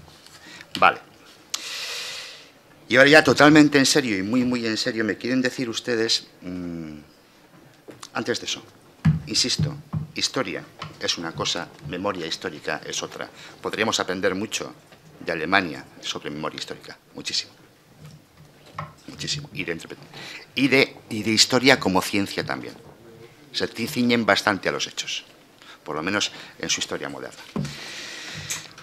Yo les lanzo cuatro cuestiones. Insistí al principio sobre el matiz de lo que son los colaboradores voluntarios y conscientes de un régimen dictatorial. Y eso, y eso sí es constatable. Absolutamente constatable. Y hablamos de las interpretaciones. ¿Qué interpretación se puede hacer del 3 de marzo? Decía el señor Iñaki García Carbo que claro que la historia a veces se interpreta, bueno, en función de, no se le ha entendido muy bien, pero en función de tu ideología, de tu momento de nacimiento, de tu posición social o de que llueve y hay flores. Me da igual. Pues eso, ¿qué interpretación se puede hacer del 3 de marzo? Porque creo que se pueden hacer muy escasas interpretaciones. ¿Qué interpretación se puede hacer de que la ley de memoria histórica se japte el señor Marino Rajoy de no haber metido un duro? Con 150.000 muertos, asesinados en las cunetas. ¿Cuál? ¿Cómo se interpreta eso? ¿Me quieren ustedes decir qué interpretación tiene que Federico García Lorca fuese asesinado por anarquista rojo y maricón, tal como consta en el acta. ¿Cómo se interpreta eso? Eso es memoria histórica. Insisto, que hay aquí unas cuantas calles de colaboradores voluntarios y conscientes de muchos 3 de marzos, muchos 3 de marzos, de conscientes colaboradores de una dictadura con un millón de muertos y 150.000 personas enterradas, conscientes y sabedores, ¿cómo siguen, por el amor de Dios, con una calle en esta ciudad? Conscientes y sabedores ¿eh? de que el mayor poeta del siglo XX siga enterrado no se sabe dónde. ¿Cómo siguen con una calle? Esa Interprétenme eso, por favor. Señores del PP, ¿me lo interpretan? Gracias, señor Cerezuela. Bien, el señor Larrión. Bai, eskerrik asko. Bueno, Fran Frankoren altzamendutik larogei urtetara. Eta Frankoren eriotzatik larogei urtetara, frankismoaren biktimen oroimena, justizia eta erreparazioan aurrera egin behar dugu eta gazteizko orezko dominetan eta kalen izenetan ezin dugu frankismoa babestu zuten horien izenak edukitzen jarraitu. Hori zuek proposatu duzue, eta guk hori ere argi eta garbi dugu. Porque además, decíamos que 80 años del alzamiento y 40 años también de la muerte de Franco, se sigue protegiendo a los criminales de aquella época. Y se sigue protegiendo también a criminales de la época del 3 de marzo, si no recordamos que todavía cuando se solicita por parte de la jueza Serveti la extradición de Martín Villa, la respuesta sigue siendo la protección a los criminales, que no a las víctimas. Y aquí, aquí, cuando se plantea que la historia, cómo tiene que ser, creo que también hay un cierto planteamiento revisionista, porque desde luego, lo decía bien claro Walter Benjamin, no Richard Evans, la historia es objeto de una construcción cuyo lugar no lo configura ese tiempo vacío y homogéneo, sino el cargado por el tiempo y ahora. Y hablar de que no se puede hacer juicios morales en la historia es muy raro, porque sobre todo cualquier crítica y cualquier revisión es un asunto moral, por base. Además, porque tampoco podemos hacer abstracción ni de dónde vivimos ni en qué época estamos. Con lo cual, y además creo que hasta hay una solicitud en ese sentido, porque hay una frase de Franco que decía, yo soy responsable solo ante Dios y la historia. No tengo ninguna duda de que si existe un Dios en el que yo no creo, ¿dónde estará? Y es, nos toca a la historia, desde luego, también ponerle en su lugar.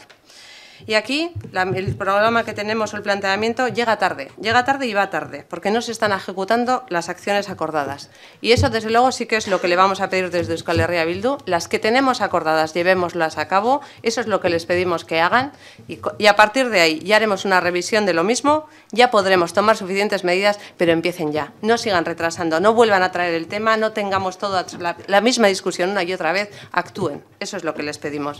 Y muy rápido. Gracias, señora Larrión. A mí sí me gusta, de verdad, y claridad. Señor García, a ver si consigue ganarle. Gracias, señor López de Munain. Bien, eh, señor Cerezuela, yo no tengo nada que interpretar, porque lo he dejado claro. Nosotros no interpretamos la historia. Eh, señor Fernández, hacía referencia a la ley. Claro que la ley está para cumplirla, pero vayamos a la literalidad de ese artículo 15.1 habla de eliminar aquellas condecoraciones, calles, cuando haya exaltación. Evidentemente luego la ley es interpretable y ni usted ni yo podemos interpretarla de forma, pues no sé, informal, pero no somos los más acordes para interpretarla. En esta ciudad se han revocado eh, distinciones en, en, en, en décadas pasadas por parte de gobiernos anteriores han eliminado calles que efectivamente hacían exaltación, porque nosotros consideramos que aquello que hace directamente exaltación a una dictadura no puede estar ni en nuestro callejero ni puede estar eh, en forma de, de, mención de honor en, en, bueno, pues en la historia de nuestra ciudad. Evidentemente aquí tenemos criterios distintos y me parece que son criterios distintos que no vamos a poder salvar. Entonces, mmm, insisto, la responsabilidad está en el tejado del gobierno, la pelota está en el tejado del gobierno. El gobierno tiene que actuar ya y tiene que decidir, porque si no con este debate podemos eternizarnos sin edie. Por eso le pido a la señora Melgosa, en este caso, que es la responsable, que actúe en, en consecuencia. Eh, mire, la señora Melgosa además mencionaba, no, es que la creación de la medalla de la ciudad es una creación franquista, pues efectivamente esa distinción se crea en el año 48. Quizás igual nos tenemos que eh, replantear muchas cosas, o diferentes hechos y diferentes cuestiones que se recogen además en el informe de la doctora López de Maturana. El hermanamiento que recientemente celebramos su cincuentenario, el hermanamiento con Angulema. ¿Saben de qué año es? Efectivamente, del año 67. Claro, bajo un alcalde de Franco. O el alcalde Pedro Orbea, candidato más votado, dice la historiadora, por el tercio de cabezas de familia, y ella misma especifica, no democráticas. ¿eh? ¿Cuántos concejales fueron elegidos por este tercio y por otros tercios? Y que después en democracia han tenido responsabilidades y que además esos mismos concejales que fueron elegidos por esos tercios, luego en el año 77 votaron ponerle la calle a diversos pintores, entre ellos el pintor Vicente Abreu. Por cierto, de esos concejales, miembros de esta corporación en el pasado, a los que recibimos con los brazos abiertos, como no podía ser de otra forma, el pasado 25 de julio, cuando conmemorábamos el 40 aniversario de la izada por primera vez de Lecurriña después de la muerte de Franco. O Día de Mendíbil, al que también se proponen que se le quite su condecoración, donde se decía que en el año 36, en las legislativas del año 36, el Partido Nacionalista Vasco en Álava tenía la intención de presentarlo como católico, independiente y vasquista. O Amadeo García de Salazar, cuya calle eh, se establece en 1961 y que no creo que fuera sospechoso de ser precisamente eh, miembro eh, de la derecha conservadora ni de Franco, puesto que militó en la época anterior a la Guerra Civil en un partido que todos conocemos que es Acción Nacionalista Vasca. Es decir, si nos planteamos muchas cosas, las vamos a plantear todas, no vamos a seleccionar unas sí y otras no. Nosotros lo que reclamamos es que la historia se conozca y es una historia, eh, una historia con mayúsculas. De verdad que me reitero en lo que he dicho en mi primera intervención. Eh, soy consciente de que es una parte de nuestra historia todavía muy reciente, donde todavía hay muchas heridas abiertas. Pero, eh, de verdad, termino con las palabras de la eh, de la doctora López de Maturana que refleja muy bien en este, en, este, en este informe. Borrar la exaltación, sí, efectivamente, pero borrar la historia que ha dejado sus huellas podría hacer pensar que las generaciones podría hacer pensar a las generaciones futuras que la, que la dictadura no ha existido. Y eso no queremos. Muchas gracias.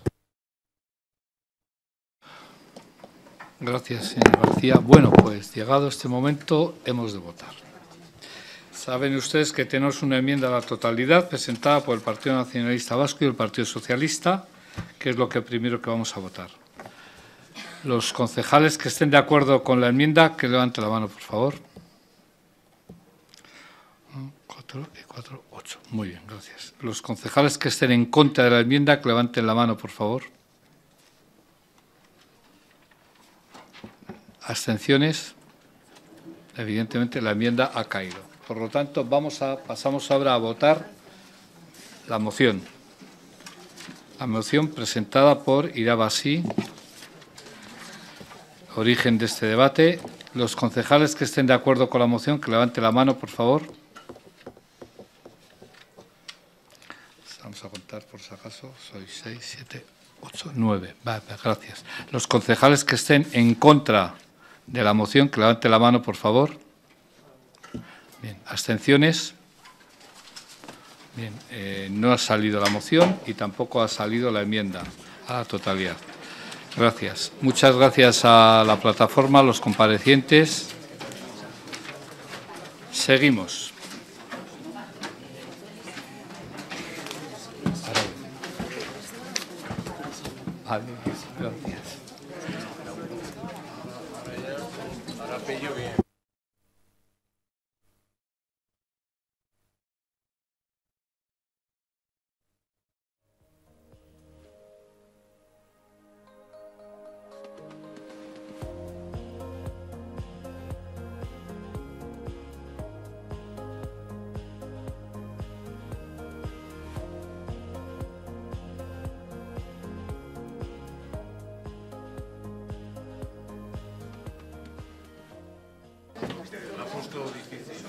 Ya.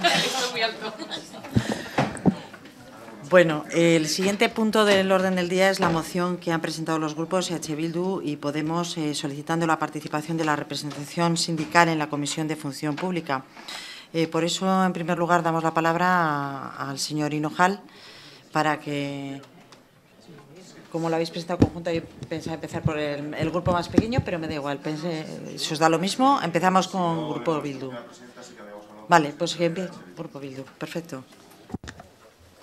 Ba, mi azker alkate orde Andrea, e, nik uste dut oso azkara ingo dugala. Bueno, lehenengo eta behin eh, esan behar da, e, gaur e, udal batzanetara ekarri dugun mozio hau, azken finean badela e, e, udal langileen ordezkariak diren sindikatuen eta batzorde, batzorde edo komitearen e, pues, aspalditik e, egiten ari diren e, aldarrikapen bat. E, Ezaten dut gaina aspalditik egiten ari direla, esen aspaldin, e, bai batzordea eta bai sindikatuek parte hart- parte hartzen zuten e, funtzio publikoko batzordean, ezta? Eta okerez banago, e, gutxi gora bera, 2000 eta, eta bostean garai hartan, okerez banago Alfonso Alonso alkatea zela, e, pues, e, talde hauek e, kanporatuak izan ziren e, e, funtzio publikoko batzorde honetatik, eta geroztik, e, pues, hau izan da beti beraien e, aldarrikapen bat e, iraunduena eta gauzatu ez dena. E, pasaden e, mandatuan, pasaden e, legintzaldian, gure taldeak EH Bilduk e, nolabait e, gabezi hau erreparatzeko e, bultzatu zuen eta sortu zen e, gaur egun e, e, komisio horrekoa edo, edo funtzio publikoko lantaldea bezala ezagutzen duguna, e, non beraiek parte hartzen duten, baina e, hau esaten dudan bezala, pues, azken finean bada pues, nolabait e, gabezi hori erreparatzeko e, modua. Eta e, momentu honetan e, funtzio publikoko lantalde horretan e, hain zuzen e, zea, funtzionamentua hobetzeko e, proposamena jasotzen ari direla eta saiatzen ari garela nolabait ba, beste bizitasun bat emateko e, emateko e, pues, e, berriro azaleratu da aldarrikapen hori. Eta e, hain zuzen azkenengo e, zea lantaldeko sesioan pues pentsat e, Podemosek eta gure taldeak e, argi, argi eta garbe argiki eman genion e, gure babesa. Eta beste taldeek pues, ez zuten e, horren argia dierazi eta horregatik ekartzen dugu mozio hau udalbatzanetara, beste udalbatzanetako beste udaltalde politikoek e, beraien e, posizioa pues, e, adieraz dezaten. E, jakina, e, azken finean, e, bai batzordea, bai lantaldea e, e, arautzen dira e, udalbatzaren araudi organikoan, e, hor jasoten diren hainbat artikulu batean, eta e, rob delakoa, Eta horregatik gure emozionetako petitumean e, eskatzen duguna zuzen hori da. Udal e, gobernuak eskak, e, eskakizun hori jaso desan rob delakoa aldatzeko tramitazioa egin dezan. Eta besterik ez, nire partetik. Ni esker. Gracias, señor González. Tiene la palabra el señor Hinojal. Eh, muchas gracias, señora presidenta. Eh, bueno, creo que los motivos expuestos ya por el señor González eh, resumen el porqué de la, de la, moción, pero bueno, no voy a resistirme incluso a repetir algunos. Eh, y echando la vista hacia atrás, a veces se nos se acusa o cuando las mociones dicen que están poco pensadas, que están poco trabajadas, que no tienen que ver con el municipio, que, que son poco más que eh, postureo, como se dice ahora, delante de la prensa. Y, la verdad es que esta moción eh, surge de la reflexión profunda y larga por parte del comité de empresa, donde tienen una situación eh, en la que quieren modificar porque ven cómo sus demandas eh, no son escuchadas, no son respondidas de la mejor manera, no porque se haga mal el trabajo en, el grupo de trabajo, sino porque entienden que el foro tiene que ser otro. Ante ese malestar que es transmitido a los grupos y en el grupo de trabajo de función pública, previo a la comisión, eh, se les pide también que hagan una, un, bueno, un intento de modificación o que hagan sus propuestas para eh, ver cómo podríamos encajar de alguna manera su deseo de, eh, de trabajar de, de, mejor, de mejor manera.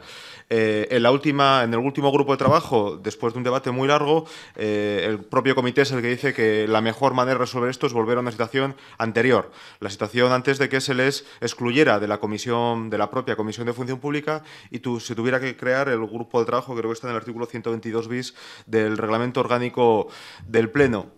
Eh, y los que asistimos, tanto al grupo de trabajo como a la comisión, eh, vemos que sus demandas pueden ser, eh, no, no pueden ser, sino que son, que son reales, porque nos encontramos muchas veces ante situaciones surrealistas, donde preguntas se responden con un periodo de diferencia de una hora, hora y media, exactamente igual en dos foros diferentes para que las mismas personas escuchen las, las mismas respuestas. Y al final lo que hacemos es, es perder y emplear el tiempo no de la mejor, no de la mejor manera. Eh, por eso, ante la petición por parte del comité de modificar el reglamento y vimos que en esa precomisión, perdón, en ese grupo de trabajo, eh, varios grupos, ahora no está el señor Fernández, pero seguro, no sé si tengo que alargar para que pueda llegar. Eh, no sé, eh, seguro que Kirabasi también estaba, estaba de acuerdo en el peticionario. Eh, dimos el visto bueno hasta, a esta moción, que sobre todo es para iniciar los trámites de la manera más ágil y más fácil, que muchas veces es de gobierno en contacto con, el, eh, con la representación sindical, modificar este, este, este artículo del reglamento, que consideramos que es sencillo. Si se modificó para excluirles de la comisión, es volver a modificarlo para que se les, se les incluya, iniciar un calendario de trámites y en un, el periodo que sea pertinentes según las diferentes leyes que puedan volver a la situación que desean, que es la previa a la salida de la cuando se les expulsó de la Comisión de Función Pública. Muchas gracias. Gracias, señor Hinojal. Tiene la palabra el señor Zapatero. Gracias. Muchas gracias, señora presidenta. Yo entiendo el razonamiento de, de, de compañeros, de, de, los dos compañeros, el señor González y el señor Hinojal. Eh, puedo entender también las razones del comité evidentemente, las puedo compartir. Eh, lo que pasa es que ayer estuve un rato largo mirando la legislación y no es posible, créame, no es posible. Miembros natos eh, jurídicamente de pleno derecho solo, deben de ser los cargos electos, de acuerdo con la ley de base, reglamentos de desarrollo e incluso sentencias. Por tanto, yo entiendo que mmm, adoptar una decisión en este sentido eh, es una decisión, desde mi punto de vista, jurídicamente incorrecta. Por tanto, eh, aun entendiendo las razones del comité de empresa y, y compartiendo su, sus inquietudes, desde luego. Ahora, yo entiendo que, no, que sería un acuerdo, un, un acuerdo que jurídicamente no estaría bien sustentado. Gracias. Gracias, señor Zapatero. Tiene la palabra la señora Aguirre. Asco, señora Gonzalo. Eh, bueno, efectivamente, en el grupo de trabajo del 11 de octubre eh, pasado eh, se planteó por las secciones sindicales su deseo de participar en la Comisión de Función Pública y también su deseo de hacer desaparecer la denominada Precomisión de Función Pública. En esa sesión, los representantes del equipo de gobierno de manera oral dijimos que no íbamos a impulsar el cambio que los sindicatos estaban proponiendo. ¿no? Sin embargo, sí que comentamos que si algún concejal o concejales o grupos de concejales querían hacer o empezar a hacer una modificación del reglamento eh, orgánico del Pleno, bueno, pues eh, nosotros lo que haríamos era, sería, sería estudiar la propuesta y eh, nos pronunciaríamos sobre la concreta propuesta planteada. ¿no? Por razones que no llegamos a entender por lo que dijimos eh, la posición de los representantes del equipo de gobierno, bueno, pues hoy tenemos esta moción del grupo de H. Bildu y de Podemos, en lugar de que sean estos grupos los que hagan realmente la modificación del reglamento que consideren oportuno, ¿no? Y nos instan a los miembros del equipo de gobierno a realizar pues una modificación del, del, reglamento orgánico del Pleno que como está diciendo el señor eh, Zapatero, en estos momentos incluso puede ser ilegal y que lo hagamos nosotros. Entonces, bueno, la verdad es que nos resulta un poco kafkiano el dejar en las manos pues algo que nosotros ya dijimos que no lo íbamos a impulsar, que había posibilidades o no, porque se tendrían que estudiar y ahora el señor Zapatero pues está diciendo que, bueno, pues que puede ser hasta ilegal, ¿no? Eh, sí que el artículo 168 eh, del artículo orgánico del Pleno, que lo habremos leído o lo hemos leído, desde luego, para, para establecer un criterio de cómo tendríamos que funcionar, dice claramente que la tramitación en comisión del reglamento orgánico del Pleno se entenderá iniciada con la presentación por algún concejal o concejala, por alguno o varios de los grupos municipales o todos ellos, de una proposición que contenga una exposición de motivos justificando la necesidad de elaborar un nuevo reglamento orgánico o de modificar el vigente y el texto articulado que se desea someter al Pleno. Esto, bueno, pues es eh, los grupos eh, que, lo quieren hacer lo tendrían que proponer y los demás tendríamos que posicionarnos si legalmente además se pudiera hacer, entiendo. Eh, así pues, realmente teniendo esta posibilidad, según este artículo del reglamento orgánico del Pleno, y teniendo este apoyo, los concejales de tanto el Grupo Podemos como el Grupo de H. Bildu, eh, yo desde luego sí que les pediría que asumieran eh, la labor de la redacción y de la tramitación de, su propuesta. ¿no? Y también quiero decir que en mi calidad de concejala delegada de Función Pública, eh, yo no veo una ventaja de participación en la Comisión de Función Pública de la representación sindical por dos motivos. Uno es porque considero que el control eh, político de la acción política, eh, el control político hacia la acción política que ejecutan los miembros de un equipo de gobierno tienen que ser, eh, corresponde a los grupos políticos y a la Comisión de Función Pública que tiene esta labor que es importante y que las organizaciones sindicales en el Ayuntamiento de Vitoria-Gasteiz, en el Departamento de Función Pública, eh, señor Hinojal, y se lo digo porque es así, tiene multitud de foros para estar en contacto y llegar a hacer al equipo de gobierno cualquier inquietud queja, sugerencia, está la mesa, de función pública, está el Comité de Seguridad Laboral, los grupos eh, de trabajo eh, sectoriales del Departamento de Función Pública, la Precomisión de Función Pública y me atrevo a decir que los correos y la disposición de todo el horario laboral del Departamento de Función Pública. Entonces, francamente, yo creo que la labor política corresponde a los representantes políticos, concejales y grupos políticos y no deberíamos renunciar a esta función exclusiva. Es que el caso. Señora Aguirre, tiene la palabra el señor Uriarte. Muchas gracias, señora Gonzalo. Eh, yo la verdad es que en, este punto, visto la, propuesta que han, que han, traído ustedes, y además que ustedes mismos reconocen que es una propuesta que no es suya, ¿no? que es fruto del trabajo de los, del, Comité de Trabajadores o de los representantes de los trabajadores, yo creo que hay que reconocer que los representantes de los trabajadores esta petición llevan mucho tiempo haciéndola, lleva mucho tiempo haciéndola, no es nueva. Ha venido aquí en varias legislaturas y es verdad que viene, como ha dicho usted, eh, el señor González, viene desde que se modificó, la, se creó la ley de grandes ciudades y en aquel momento dejaron de formar parte de la comisión. No es que se les expulsasen y hubo una especie de conspiración para echarles, como ha parecido entender de su primera intervención, sino que simplemente una modificación legal por la cual no podían seguir participando en la, en la, Comisión de Función Pública en las condiciones en las que lo estaban haciendo. Vienen siempre de oyentes. Pero yo creo que aquí hay un punto muy claro y es que eh, el, los, los, representantes de los trabajadores tienen multitud de órganos, como bien ha dicho la señora Aguirre, multitud de órganos y multitud de espacio, o muchísimos espacios dentro de la Administración para participar en el día a día. Tienen para, hay, hay, es más, hay determinadas modificaciones, determinadas actividades del Departamento de Función Pública que están legalmente obligados a tramitarlo con ellos pre, pre, previamente a llevarlo a cualquier tipo de órgano. Por lo tanto, ellos tienen acceso a muchísima información y a muchísimos espacios de debate, pre, incluso antes de que lo tengan ustedes, los representantes de los, de los partidos políticos. Lo que pasa es que no confundamos los espacios. Ellos tienen su propio espacio y la comisión de pleno, la comisión, la, las comisiones que son comisiones de pleno, corresponden a los órganos electos. Por lo tanto, yo no me opongo a que, los, por supuesto, los representantes de los trabajadores puedan en cosas puntuales participar a través de una asociación o a través de como, como, como pudieras, eh, como, como vienen haciéndolo, porque siempre encuentran el, el espacio y el, el, momento en el que ellos, el que ellos les interesa. Cuando a ellos les interesa, siempre encuentran el espacio para participar. Pero yo creo que crear eh, dentro de la comisión, el darles un, la representatividad que ustedes están proponiendo, a mí me parece que es confundir, la, confundir las cosas y por lo tanto nosotros en este caso no vamos a apoyar su, su propuesta pero agradeciendo al que la traiga. Gracias, señor Uriarte. Iniciamos un segundo turno de intervenciones. Tiene la palabra el señor González.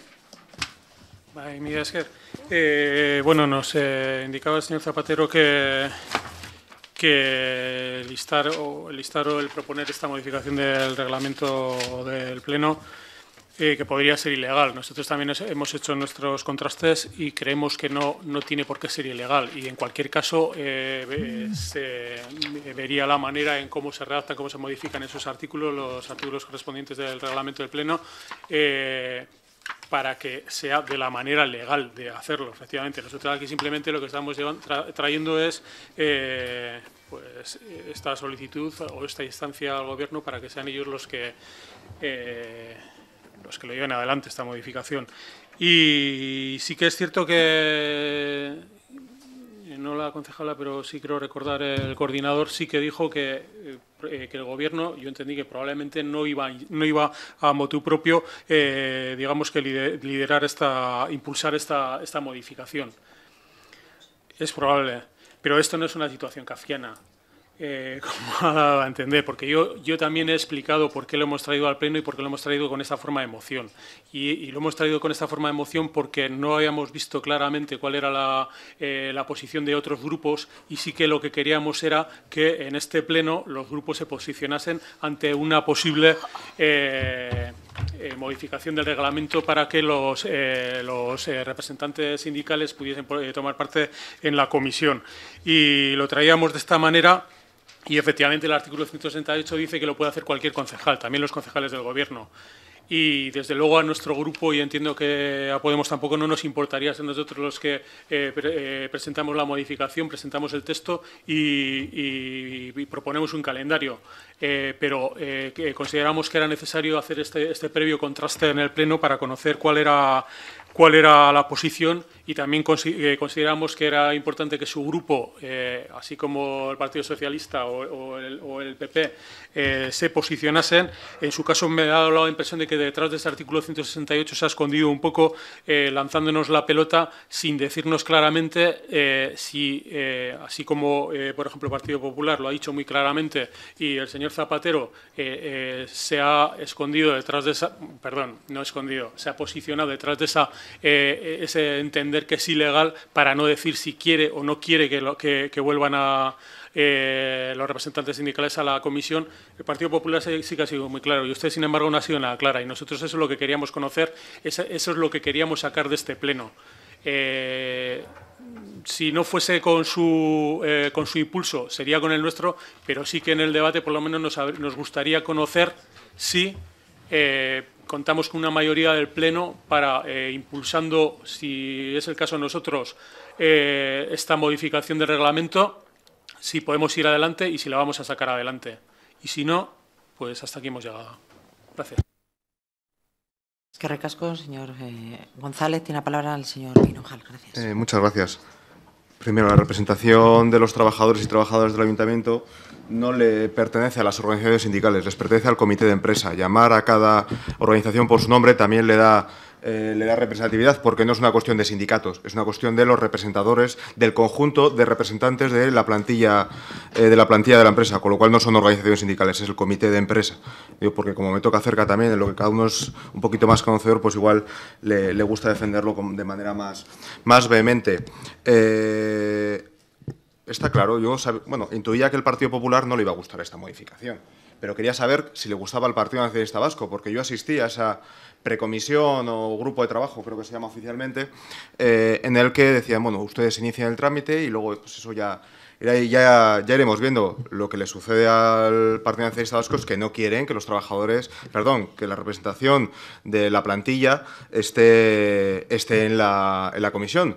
Eh, y evidentemente no me gusta, pero lo podía haber dicho libre- eh, eh, anteriormente, porque cuando los sindicatos, eh, la representación sindical hizo su trabajo de traer las propuestas, ustedes decidieron levantar las manos y no decirles absolutamente nada, porque si esto es un problema legal, bien raudos y veloces están para buscar informes jurídicos para otros temas. Si esto es un tema legal y no se puede hacer, podrían haber traído otro informe jurídico también que hubiera dicho en esa en ese grupo de trabajo que era que es legalmente imposible y que, por ejemplo, la seguridad jurídica no lo ve, pero no lo trajeron. Decidieron levantar, levantar las manos y dejar pasar el problema porque no querían eh, que se conociera su posición real, que es que no quieren que los trabajadores y trabajadoras de este ayuntamiento, la representación de los trabajadores y trabajadoras de este ayuntamiento, tenga voz en la comisión. Porque si hemos conseguido dar voz a la ciudadanía mediante las mociones no vinculadas a otros partidos, ¿por qué no buscamos otra fórmula para que tengan voz los trabajadores y trabajadoras del ayuntamiento en la comisión? Eso no elimina el control político por parte de los grupos, que es como usted, señor Aguirre, ha intentado hacernos ver. No, no, no lo sustituye, únicamente lo complementa. Es a más, no es a menos. No dejamos de hacer nuestra labor para que lo, hagan, lo haga el comité de empresa, sino que el comité de empresa va a hacer también esa, queríamos que hiciera también esa, esa labor, con lo cual es complementario, es a más, pero ya usted ha dejado ver que hay otros foros y que no le gusta que estén en la comisión eh, de, función, de función pública. Eh, a mí me apena, me apena porque me hubiera gustado que nos hubieran dado la posibilidad a poder buscar un camino común, de po- poder buscar una redacción común. Y ustedes dicen, inicie los trámites, que para nosotros pues ya hay otros, hay otros foros. Nos hubiera gustado que nos hubieran lanzado la mano a decir, eh, vamos a buscar un texto transado, vamos a buscar algo para dar eh, salida a una petición que hace el comité de empresa. Pero parece que lo, que les da miedo no es que nosotros traigamos esta moción, lo que les da miedo es que los trabajadores y trabajadoras de este ayuntamiento tengan voz pública delante de los medios de comunicación. Muchas gracias. Gracias, señor Hinojal. Tiene la palabra la señora Aguirre. Perdón, Barcatú, el señor Zapatero. Bueno, pues entonces tiene la Es que palabra. señora Sí, bueno, primero, señor, señor González, igual es porque no me he posicionado claramente a, a decir si apoyo o no la moción, creo entender, eh, porque en cuanto a claridad de lo que he dicho y se dijo en la precomisión eh, que estuvimos, es lo mismo, o sea, lo que dijimos eh, los representantes que estábamos allá, y en concreto ha mencionado el coordinador, y a mí es que no íbamos a impulsar el cambio que los, bueno, que el comité, los sindicatos en ese momento del comité estaban, estaban proponiendo. Es, que es lo que he dicho yo, que no íbamos a impulsar el cambio. Y dijimos también lo que he dicho antes, que eh, si algún concejal o concejales o grupos, lo- es que fueron las palabras exactas, lo querían impulsar, veríamos la, la- la propuesta que se hiciera y luego, bueno, pues ya tomaríamos la decisión. Eso es lo que dijimos, lo que he comentado y aquí yo creo que es claro porque no voy a decir lo contrario. Esa es la, la cuestión. No es que no, es una, esta es una moción en la que se formula en los términos en los que se dice eh, inicie los trámites necesarios para la modificación del reglamento orgánico del Pleno. Eh, yo no tengo ningún interés en que no oír a los sindicatos, todo lo contrario. Y de hecho está la precomisión, tenemos la precomisión y hay otras maneras, como ha dicho el señor eh, Uriarte, de participación. Es más, estuvo un representante, estuvo el comité en este pleno aquí y en las comisiones bueno, pues habrá maneras, está el reglamento, otros reglamentos en los que pueden tener voz. Yo para nada voy a decir que no quiero oír todo lo contrario. Estamos oyendo a los sindicatos que eh, forman parte de nuestro trabajo todos los días y pueden participar. Lo que no estoy de acuerdo es confundir la función en una comisión de función pública del papel de los representantes sindicales o del comité con la función y la labor que tenemos que hacer los cargos electos. Es que yo no, eso desde luego no lo puedo compartir, no sé ustedes, pero yo creo que son dos cuestiones que no veo ventaja porque realmente son, eh, son distintas eh, funciones y distintos cargos. Entonces, hay espacios, y vuelvo a repetir, hay múltiples espacios que se pueden hacer y que se puede respetar. Y que puedan participar, pues por supuesto que se puede participar, pero esta moción se dice se inicien los trámites necesarios para la modificación del reglamento orgánico del Pleno para que en la comisión tomen parte las secciones sindicales. Yo eh, entiendo y me ratifico en que realmente es una, una cuestión de tener claro lo que eh, los eh, concejales y grupos políticos tenemos que realizar en la Comisión de Función Pública y el espacio de los representantes y del comité de empresa a los cuales estamos diariamente unidos y realmente tomando parte de sus consideraciones, este equipo de gobierno lo plantea así. No obstante, lo he dicho y lo vuelvo a repetir, aquí cualquier concejal, concejal o grupo, como ustedes acaban de decir, se puede plantear esto. Lo único, si estamos diciendo que se plantee, no nos insten al equipo de gobierno a hacer la tarea que ustedes quieren hacer, la hagan y luego nosotros nos posicionaremos. Es que casco. Señora Aguirre, eh, tiene la palabra el señor Uriarte. Gracias. Gracias. Gracias, eh, señora presidenta. Bueno, yo eh, a ver, voy a ser muy breve, pero me gustaría matizarle una cosa, señor Hinojal. ¿eh? Yo, yo no estoy en contra de darle voz a los representantes de los trabajadores de este ayuntamiento. No se confunda. Una cosa es no estar a favor, estar en contra de darles la voz en el órgano que corresponde a los representantes de todos los ciudadanos. Porque yo he sido concejal de función pública y le puedo decir que me he reunido en múltiples ocasiones con los, con los representantes de los trabajadores. Es más, he llegado a tener la sensación de que les veía mucho más que a mi mujer. Pero eso no quiere decir nada y estoy encantado de reunirme con ellos, pero lo que no, no, no confundamos las cosas. Cada uno tiene su papel. Ellos representan a los trabajadores. Ellos representan a los trabajadores y los trabajadores exclusivamente de este ayuntamiento.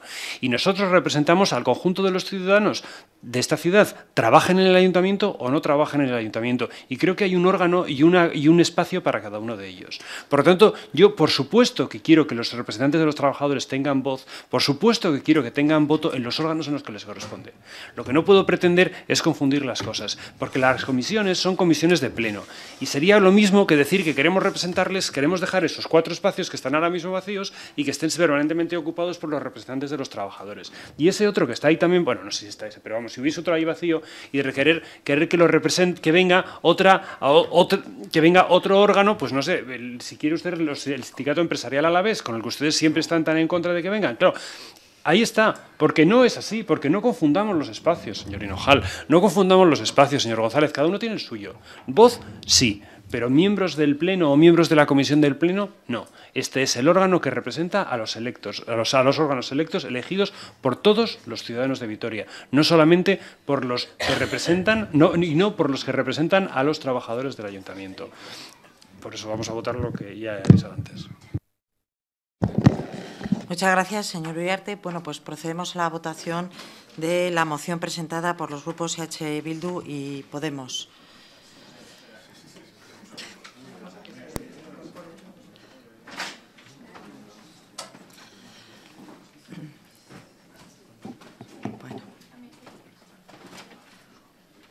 Ya colocados, eh, procedemos a la votación. ¿Votos a favor?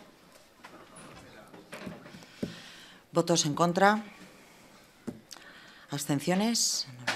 Bueno, pues queda rechazada con los votos a favor del, eh, de H. Bildu, del eh, Grupo Podemos y del Grupo Irabasi y eh, con el rechazo del resto de formaciones políticas de la corporación.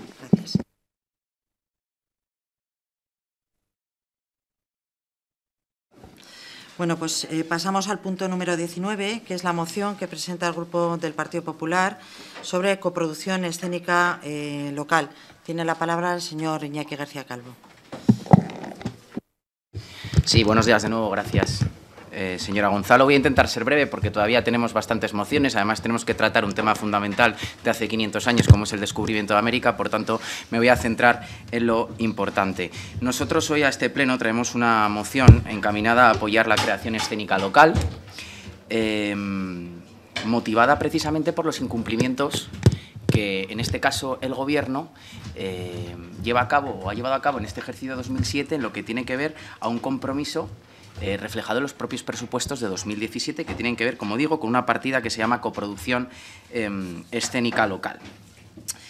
El, em, eh, Gobierno municipal, en concreto la responsable del Departamento de Cultura, se comprometió, así lo ha hecho bueno, lo ha hecho público en diversos foros, em, a crear con los presupuestos de 2017 una partida que fuera destinada a apoyar un proyecto de coproducción local y que tuviera su reflejo posteriormente pues en alguno en el marco bien del Festival Internacional de Teatro donde bueno pues pudiera tener lugar en función de cómo se desarrollaran esos trabajos y es verdad en algo mm, no mintió, o algo sí cumplió, que fue crear la partida. Una partida con una cuantía de 40.000 euros, eh, que si uno va al SICAP a mirar cómo se ha ejecutado este, esta partida, puede ver cómo este dinero se ha gastado efectivamente en, apoyar, evidentemente, la red municipal de teatros, pero desde luego no se ha gastado o no se ha invertido en crear, mejor dicho, una convocatoria para apoyar la coproducción escénica.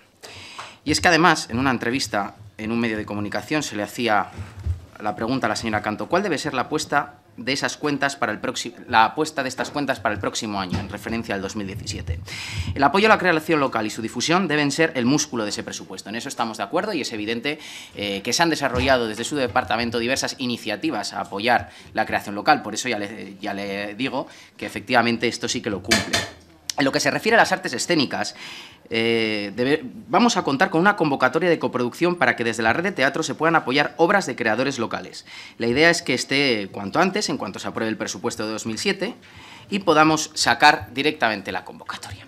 Bien, pues este año no ha habido esta convocatoria. Y mm, por contextualizar eh, esta moción, nosotros eh, registramos esta moción antes de este debate presupuestario, evidentemente, que estamos eh, llevando a cabo y quiero que eso también eh, lo tengan en cuenta. Y es cierto que, como diría el señor Zapatero en el título de la moción, nosotros em, lo que instamos al Gobierno es a cumplir con este compromiso ya de cara a 2018, porque en 2017 ha incumplido. Eh, nosotros señalábamos una cuantía mayor, una cuantía em, de 60.000 euros y qué casualidad que cuando esta semana nos presenta la señora Canto el presupuesto para su departamento, esa cuantía no solo es de 60.000, sino que es de 70.000 euros. Por tanto, para evitar que... Em, no se apruebe esta moción, nos gustaría presentar una enmienda transaccional donde cambiamos esa cifra, ponemos la cifra que establece el Gobierno para este 2018, porque nosotros, si traemos esta moción a cabo eh, a este Pleno, es para que se debata, para que se ponga de manifiesto que ha incumplido con su palabra de sacar una convocatoria, porque creo que se ha incumplido, o se ha sacado una convocatoria eh, dirigida a la coproducción local por cuantía de 40.000 euros, que es lo que comportaba la partida económica. Y sí que nos gustaría eh, debatir sobre ello y, por tanto, yo eh, entrego una enmienda transaccional para que, evidentemente, esa cifra de 60.000 se vea incrementada en 70.000, que es la cantidad que el Gobierno esta semana ha presentado en presupuesto. Muchas gracias.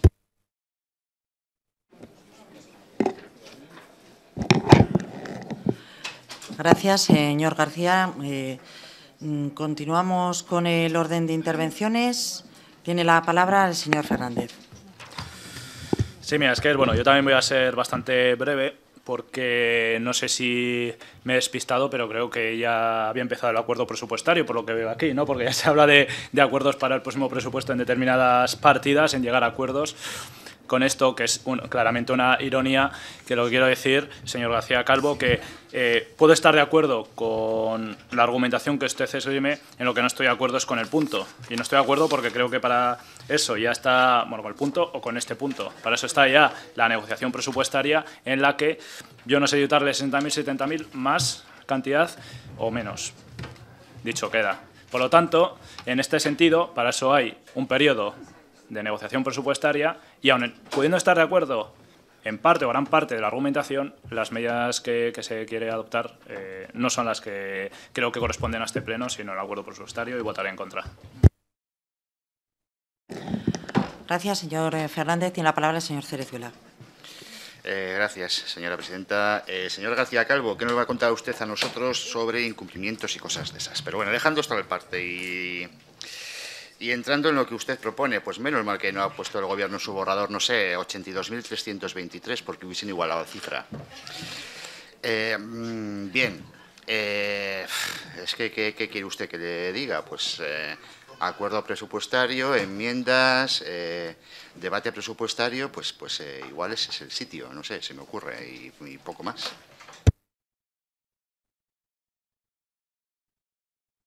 Cerezuela tiene la palabra la señora Canto. Gracias, señora Gonzalo. Vamos a ver, yo creo que eh, voy a interpretar, voy a interpretar eh, su, es- su espíritu, señor García Calvo. Yo creo que usted lo que quería era eh, poder venir a este pleno y decir que yo mm, incumplo, que yo no apoyo a los creadores locales y la única forma que se le ha ocurrido es de registrar esta moción, cosa que en parte dice un poco ya de- del trabajo que estamos haciendo si lo único que tiene que criticar es esto. Mire, yo eh, le voy a decir, desde el departamento, desde el servicio, perdón, de cultura, estamos haciendo eh, muchos esfuerzos por reconstruir el tejido cultural eh, local que tan dañado quedó. Y decía, usted decía incumplimiento. Mire, yo entiendo que no ha tenido tiempo para registrar preguntas en comisión. Podría haberme preguntado ese dinero que usted dice que nos hemos gastado en otras cosas, en qué nos lo hemos gastado, y vería que han sido para coproducciones escénicas de creadores locales. Sí que es verdad que la convocatoria no es, o sea, la convocatoria que yo anuncié sobre una obra no es el- lo mismo, pero el sentido era apoyar coproducciones escénicas de creadores locales.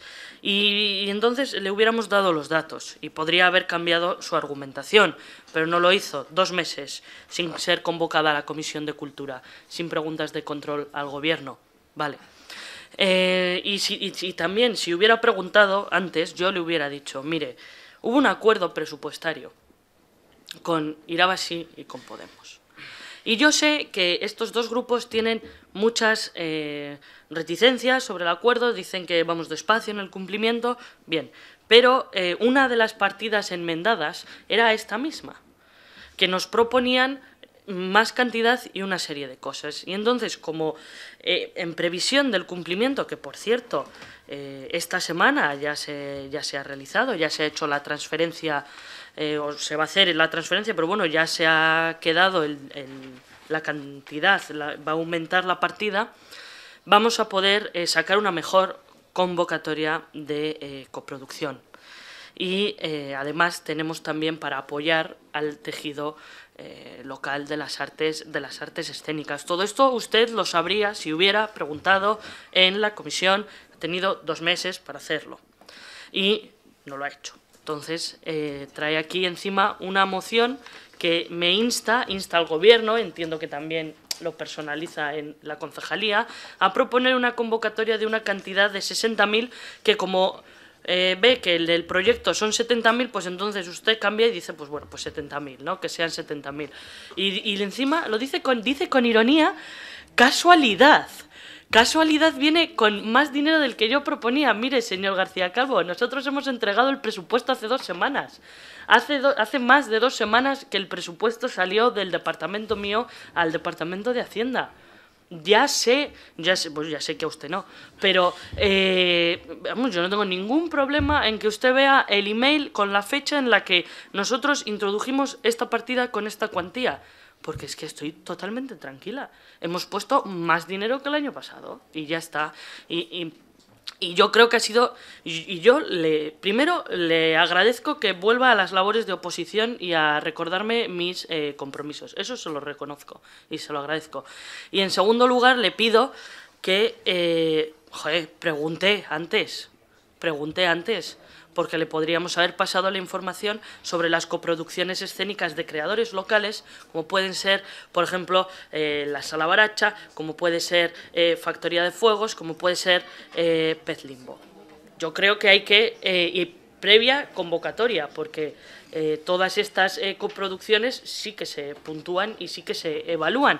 Sí que es verdad que no es la coproducción eh, grande que anuncié, pero le digo que esto se debe a que preveíamos un incremento en la partida que ya va a llegar y entonces hemos, hemos cambiado nuestros planes, pero vamos, que yo mm, siempre he defendido que cuando se hace un acuerdo, primero una tiene que revisar sus propias convicciones, porque un acuerdo es ceder, y segundo, y segundo, eh, creo que no pasa nada por decir, bueno, pues eh, vamos a ir trabajando en estas coproducciones más pequeñas que para los creadores locales son importantes y la grande la sacamos cuando eh, tengamos disponible el crédito.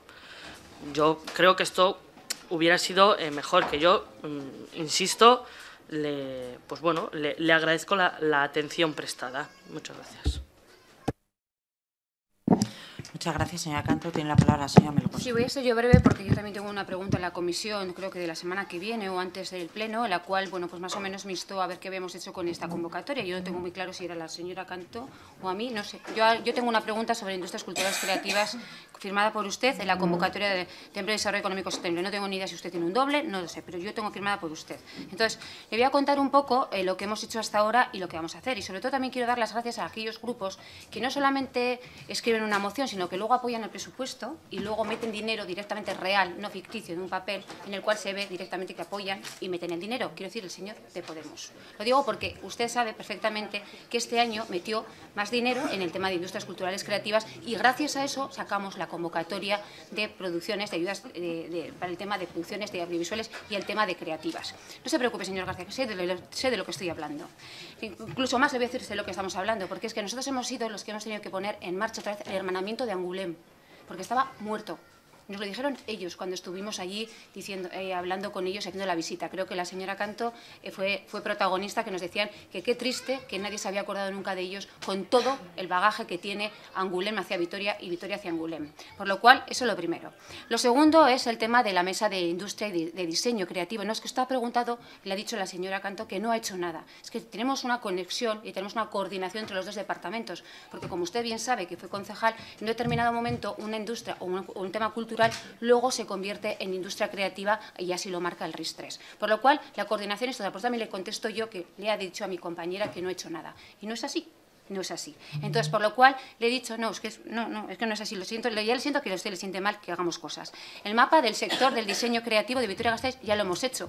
Hemos hecho el mapeo, incluso más. Tenemos un convenio, bueno, en este momento un contrato con Orquestra, en el cual ha hablado de las potenciaciones que existen en este momento en Vitoria de los agentes locales de este sector. Es más, tenemos un proyecto europeo que se llama CREADIS, en este momento, en el cual Vitoria-Gasteiz va a ser un banco de experimentos piloto para poder hacer este, eh, este tema de las industrias culturales creativas. Es más, hemos potenciado la Film Office con una página que le voy a decir a usted lo que hizo en su equipo de gobierno. Nada, no estaba, estaba cerrada. Era, estamos en construcción, tan en construcción que no sabemos cuándo terminaba de construirse. Sería una construcción sostenible, no tengo ni idea, porque como no se ve una ficha. Por otro lado, está también el tema del trabajo y el convenio con la Escuela de Diseño. Estamos potenciando que la Escuela de Diseño pasen más cosas. Es más, la Escuela de Diseño tiene retos de ciudad que en ese momento nadie les había propuesto poder hacer. Que los chavales y chavalas puedan trabajar. Hemos hecho los HAF con ellos y seguimos haciendo eh, y vamos a seguir haciendo más retos. Es más, tenemos el CityLab de Deusto, que también ese convenio trabaja el tema de las industrias culturales creativas porque así lo marca. Es más, existe en este momento un emprendimiento especializado en el tema videojuegos dentro del Bicaraba y por lo cual también tenemos más posición. Le podría aburrir de todas las acciones que hemos hecho. Si quiere, hablamos en serio, pero lo que no me parece lógico es que usted haga un brindis al sol, diga que este equipo de gobierno no ha hecho absolutamente nada en industrias culturales creativas, porque la verdad que el sector, lo primero que hablamos de en nada más entrar en el equipo de gobierno fue reunirnos con ellos y dijeron, ya era hora de que alguien nos pregunte a nosotros, al sector, qué es lo que nos pasa, qué es lo que queremos y cómo podemos desarrollarnos como empresa. Por lo cual, y no voy a hablar de Masoca y de otro tema de congresos internacionales de Irudica que va a haber el próximo mes en Vitoria. Por lo cual, bueno, pues me parece muy bien. Esto es una moción brindis al sol, echar en cara algo a alguien que creo que ha hecho mucho y bueno, y sin más, la coordinación entre los departamentos es perfecta. Gracias por preguntar.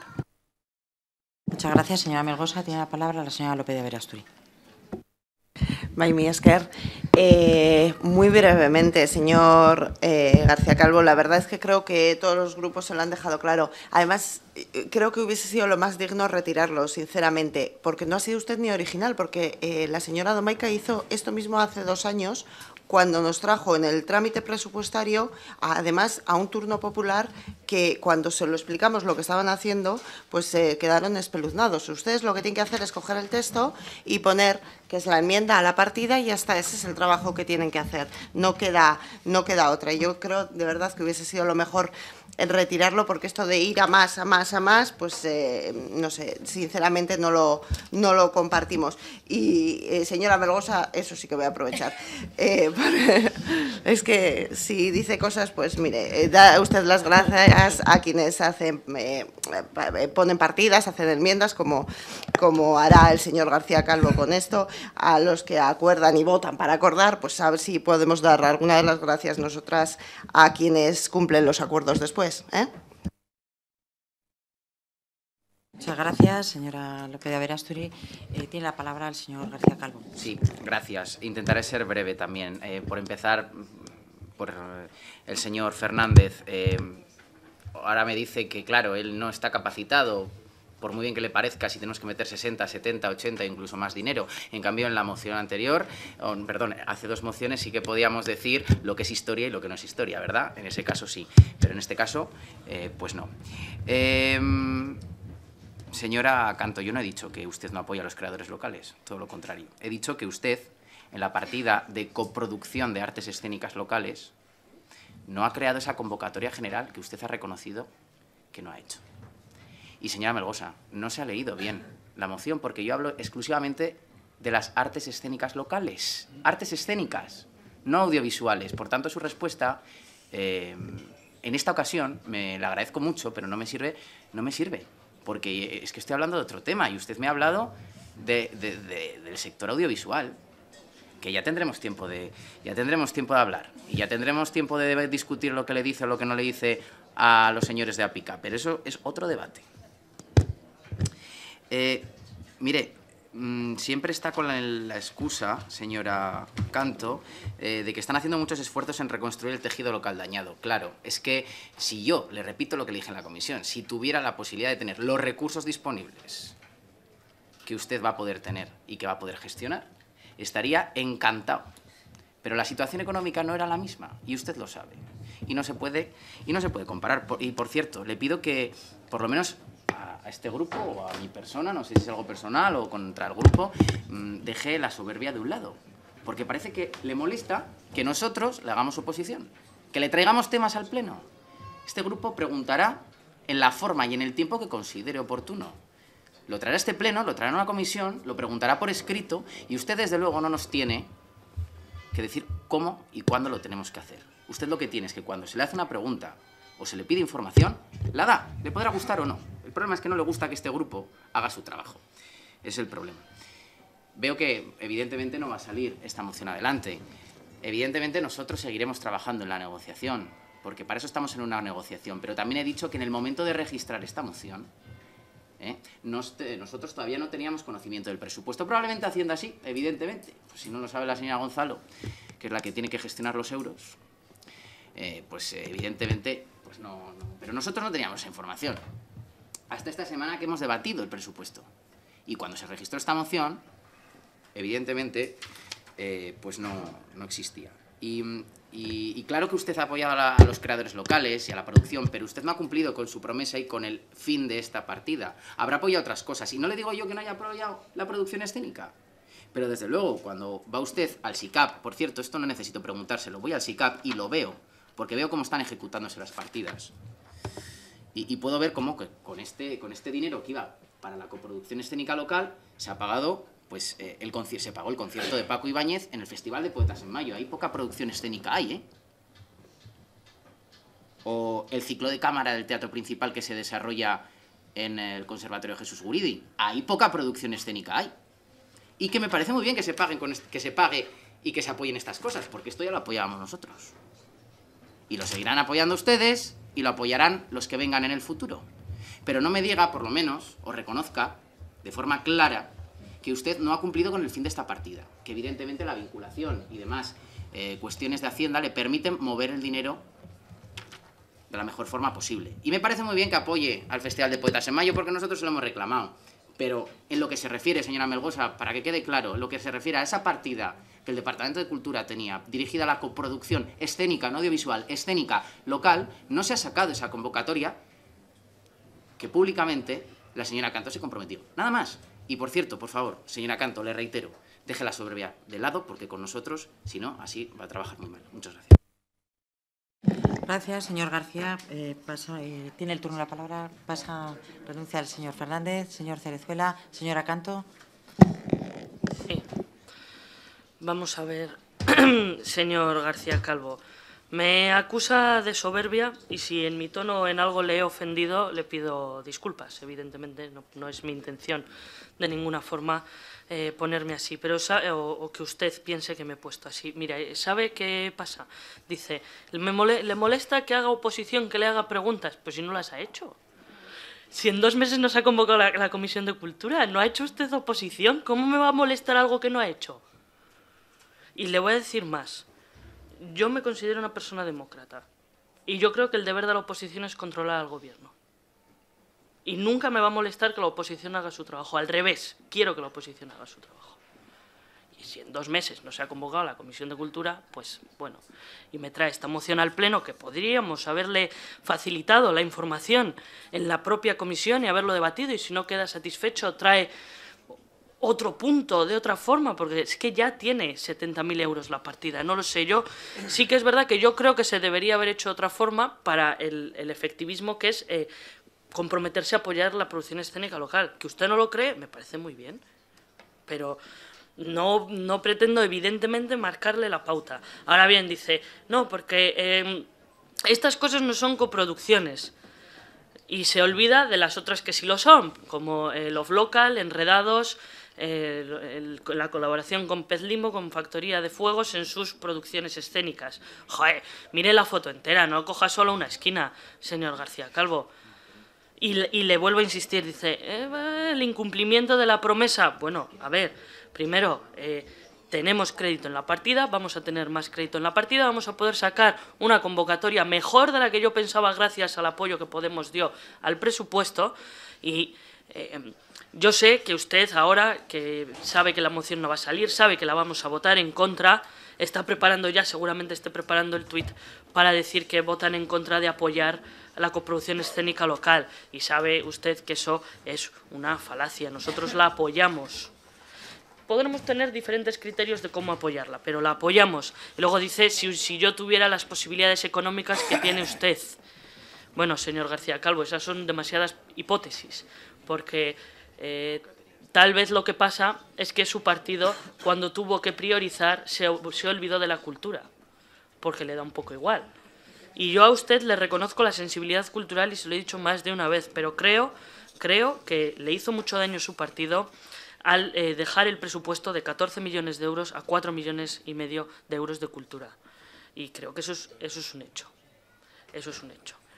Y bueno, sigamos debatiendo, sigamos trabajando, siga haciendo oposición y a ver si el mes que viene se convoca la Comisión de Cultura. Muchas gracias.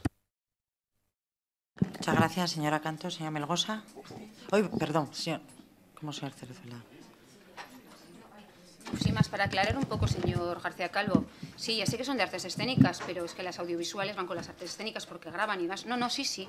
Lo que pasa es que usted, es lo de siempre, usted ha pegado, no, no, usted ha hecho un estanco, una pregunta muy estanco, se lo ha dicho la señora Canto, que es lo que tiene un problema, porque solamente ven la escultura de vez en cuando en determinadas partidas, y nosotros es más, vamos a apoyar la industria cultural creativa entera, y solo he dicho, solamente eso en sí, sí, los 15 sectores de la industria cultural creativa, los 15, señor señor García Calvo. Por eso hemos hecho el tema del mapeo. Y le he dicho directamente el tema del mapeo. En principio, no, los 17 depende. Depende si usted eh, considera la endogastronomía o eh, eh, industria cultural creativa o no, dependiendo. Eso es un debate que sería, cuando quiera lo podemos hablar.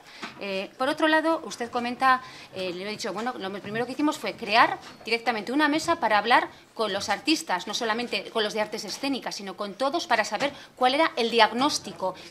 No, no, es que usted quiere terminar, nosotros decimos que no, es que no nos queremos solamente que las cosas que hacía estanco, sino nos queremos la cultura, las industrias culturales creativas con mayúsculas, no solamente una cosa estanco. Y hablar con APICA, claro, con APICA y con Maya hablamos directamente, bastante, y con DIGA también hablamos, no se preocupe. Entonces, bueno, no sé, si usted lo llama recluta social, yo lo llamo deber institucional, por lo cual, bueno, pues la verdad es que nos está, nos está dando, sí, lugar a que lleguemos a unas convocatorias que ustedes ni por asomo sacaban. La verdad que es que, bueno, pues el sector en este momento necesita un determinado impulso, porque la verdad que fue bastante recortes los que hubo, hubo dinero para otras cosas, pero para cultura no, señor García, y no voy a empezar aquí a sacar diferentes recetas que sacaban ustedes de romper huevos y demás, ¿verdad? Para sacar dinero, para eso sí que había dinero, pero para la cultura no había. Pero no se preocupe que estamos nosotros gobernando y el sector está más feliz. Gracias. Muchas gracias. Bueno, pues eh, terminados los turnos de intervenciones, pasemos a la... Ay, Barcatu, Barcatu. Ah, que es que me ha comentado antes. Vale. Pues entonces sí que procedemos ahora a la votación de, de esta moción. Eh, ¿Votos a favor? ¿Votos en contra? Bueno, pues queda abstenciones, abstenciones, no ha habido, eran votos todos en contra. Pues queda rechazada con los votos a favor del Partido Popular y el voto en contra del resto de formaciones de, de la corporación.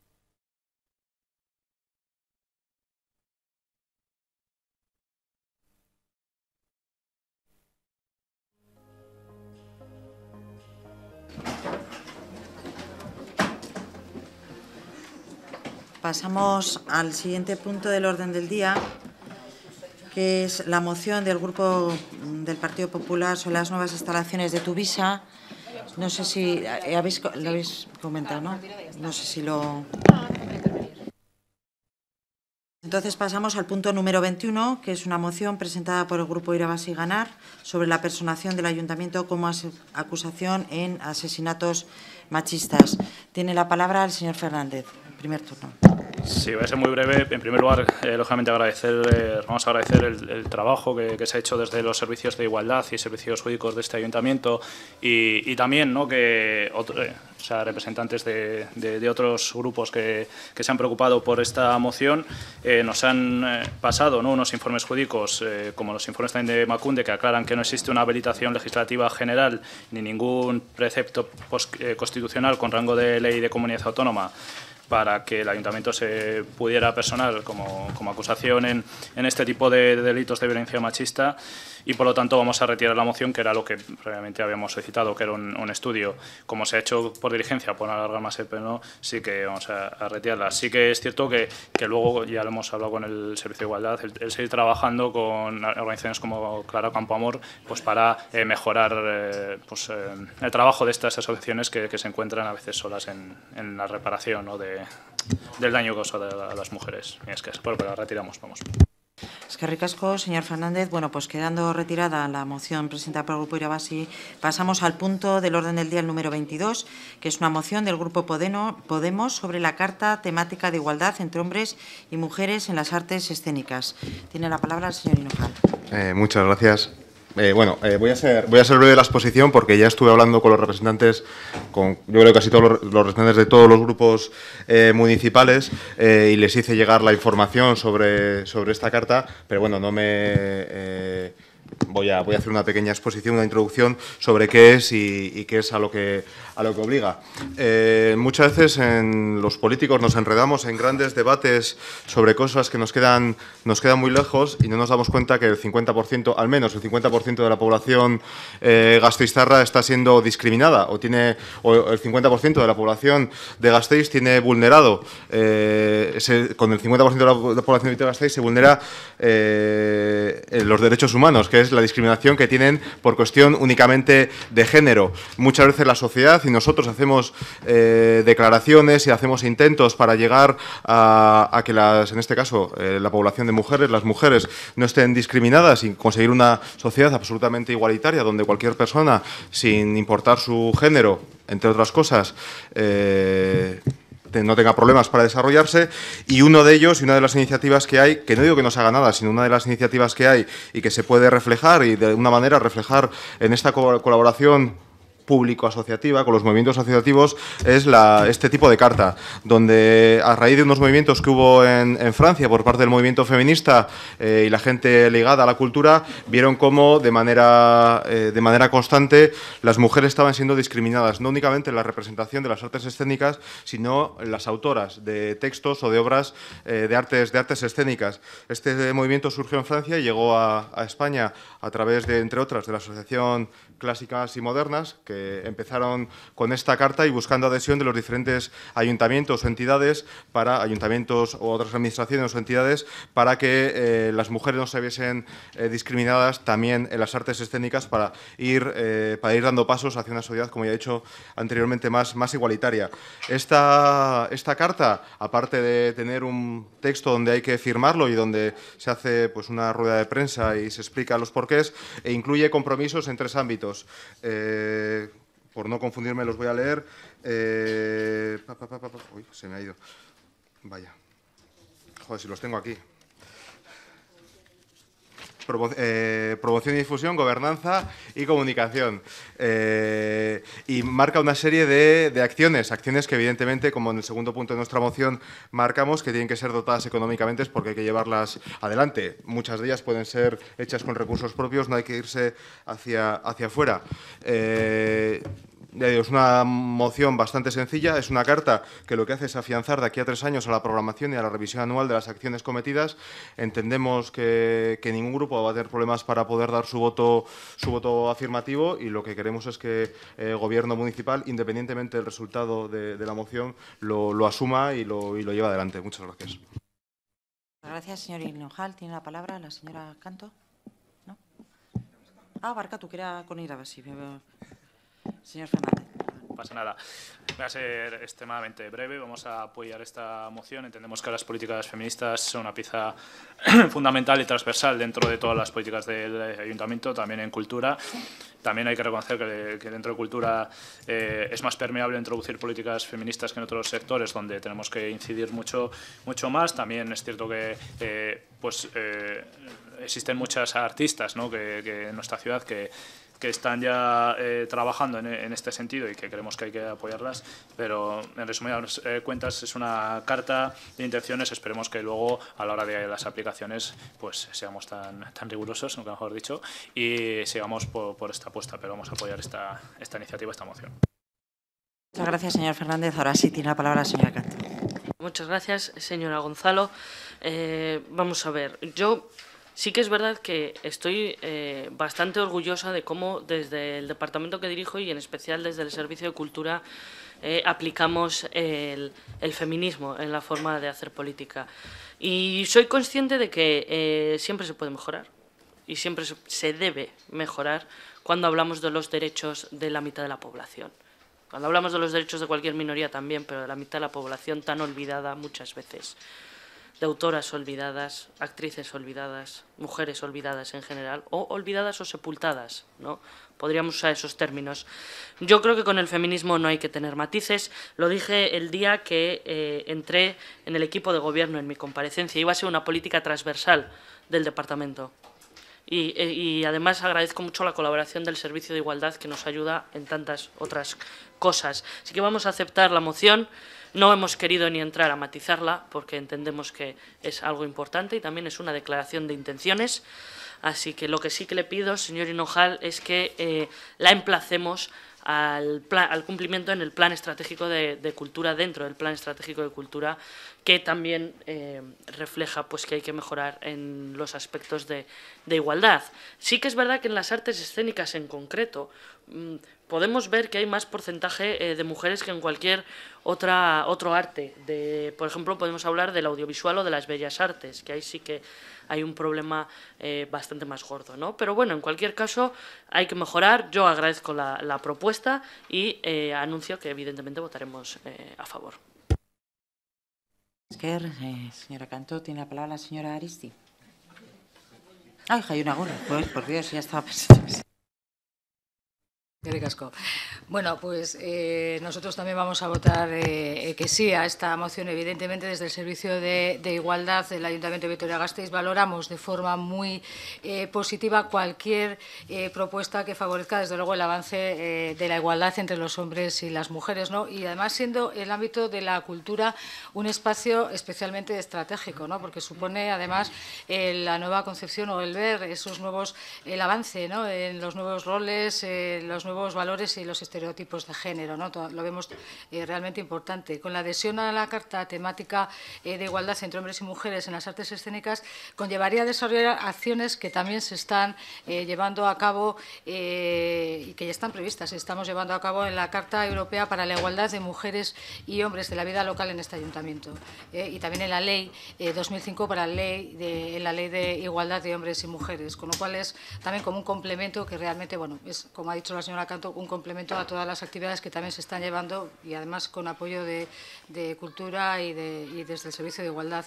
También señalar que desde el, servicio, desde el eh, cuarto plan, eh, en la elaboración del cuarto plan de, igualdad para eh, Vitoria-Gasteiz del 2018-2021, en este proceso de, transversalidad con los departamentos, el Servicio de Igualdad también se están poniendo en contacto evidentemente con todos los departamentos municipales y con el de Cultura y porque lo que se quiere es también priorizar ciertas acciones, ¿no? desde cada departamento que eso enriquece a, todo el plan eh, que vamos a llevar a cabo. Y en concreto con el Departamento de Cultura ya ha habido espacios en común, ya ha habido contactos, ya se está hablando hasta de prioridades. ¿no?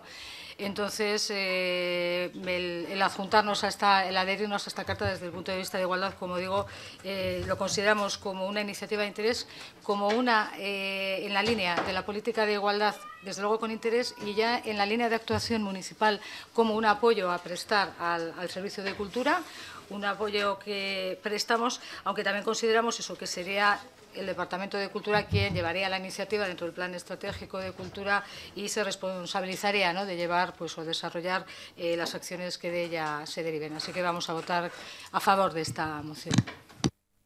Gracias, señora Aguirre. Señora Aristi.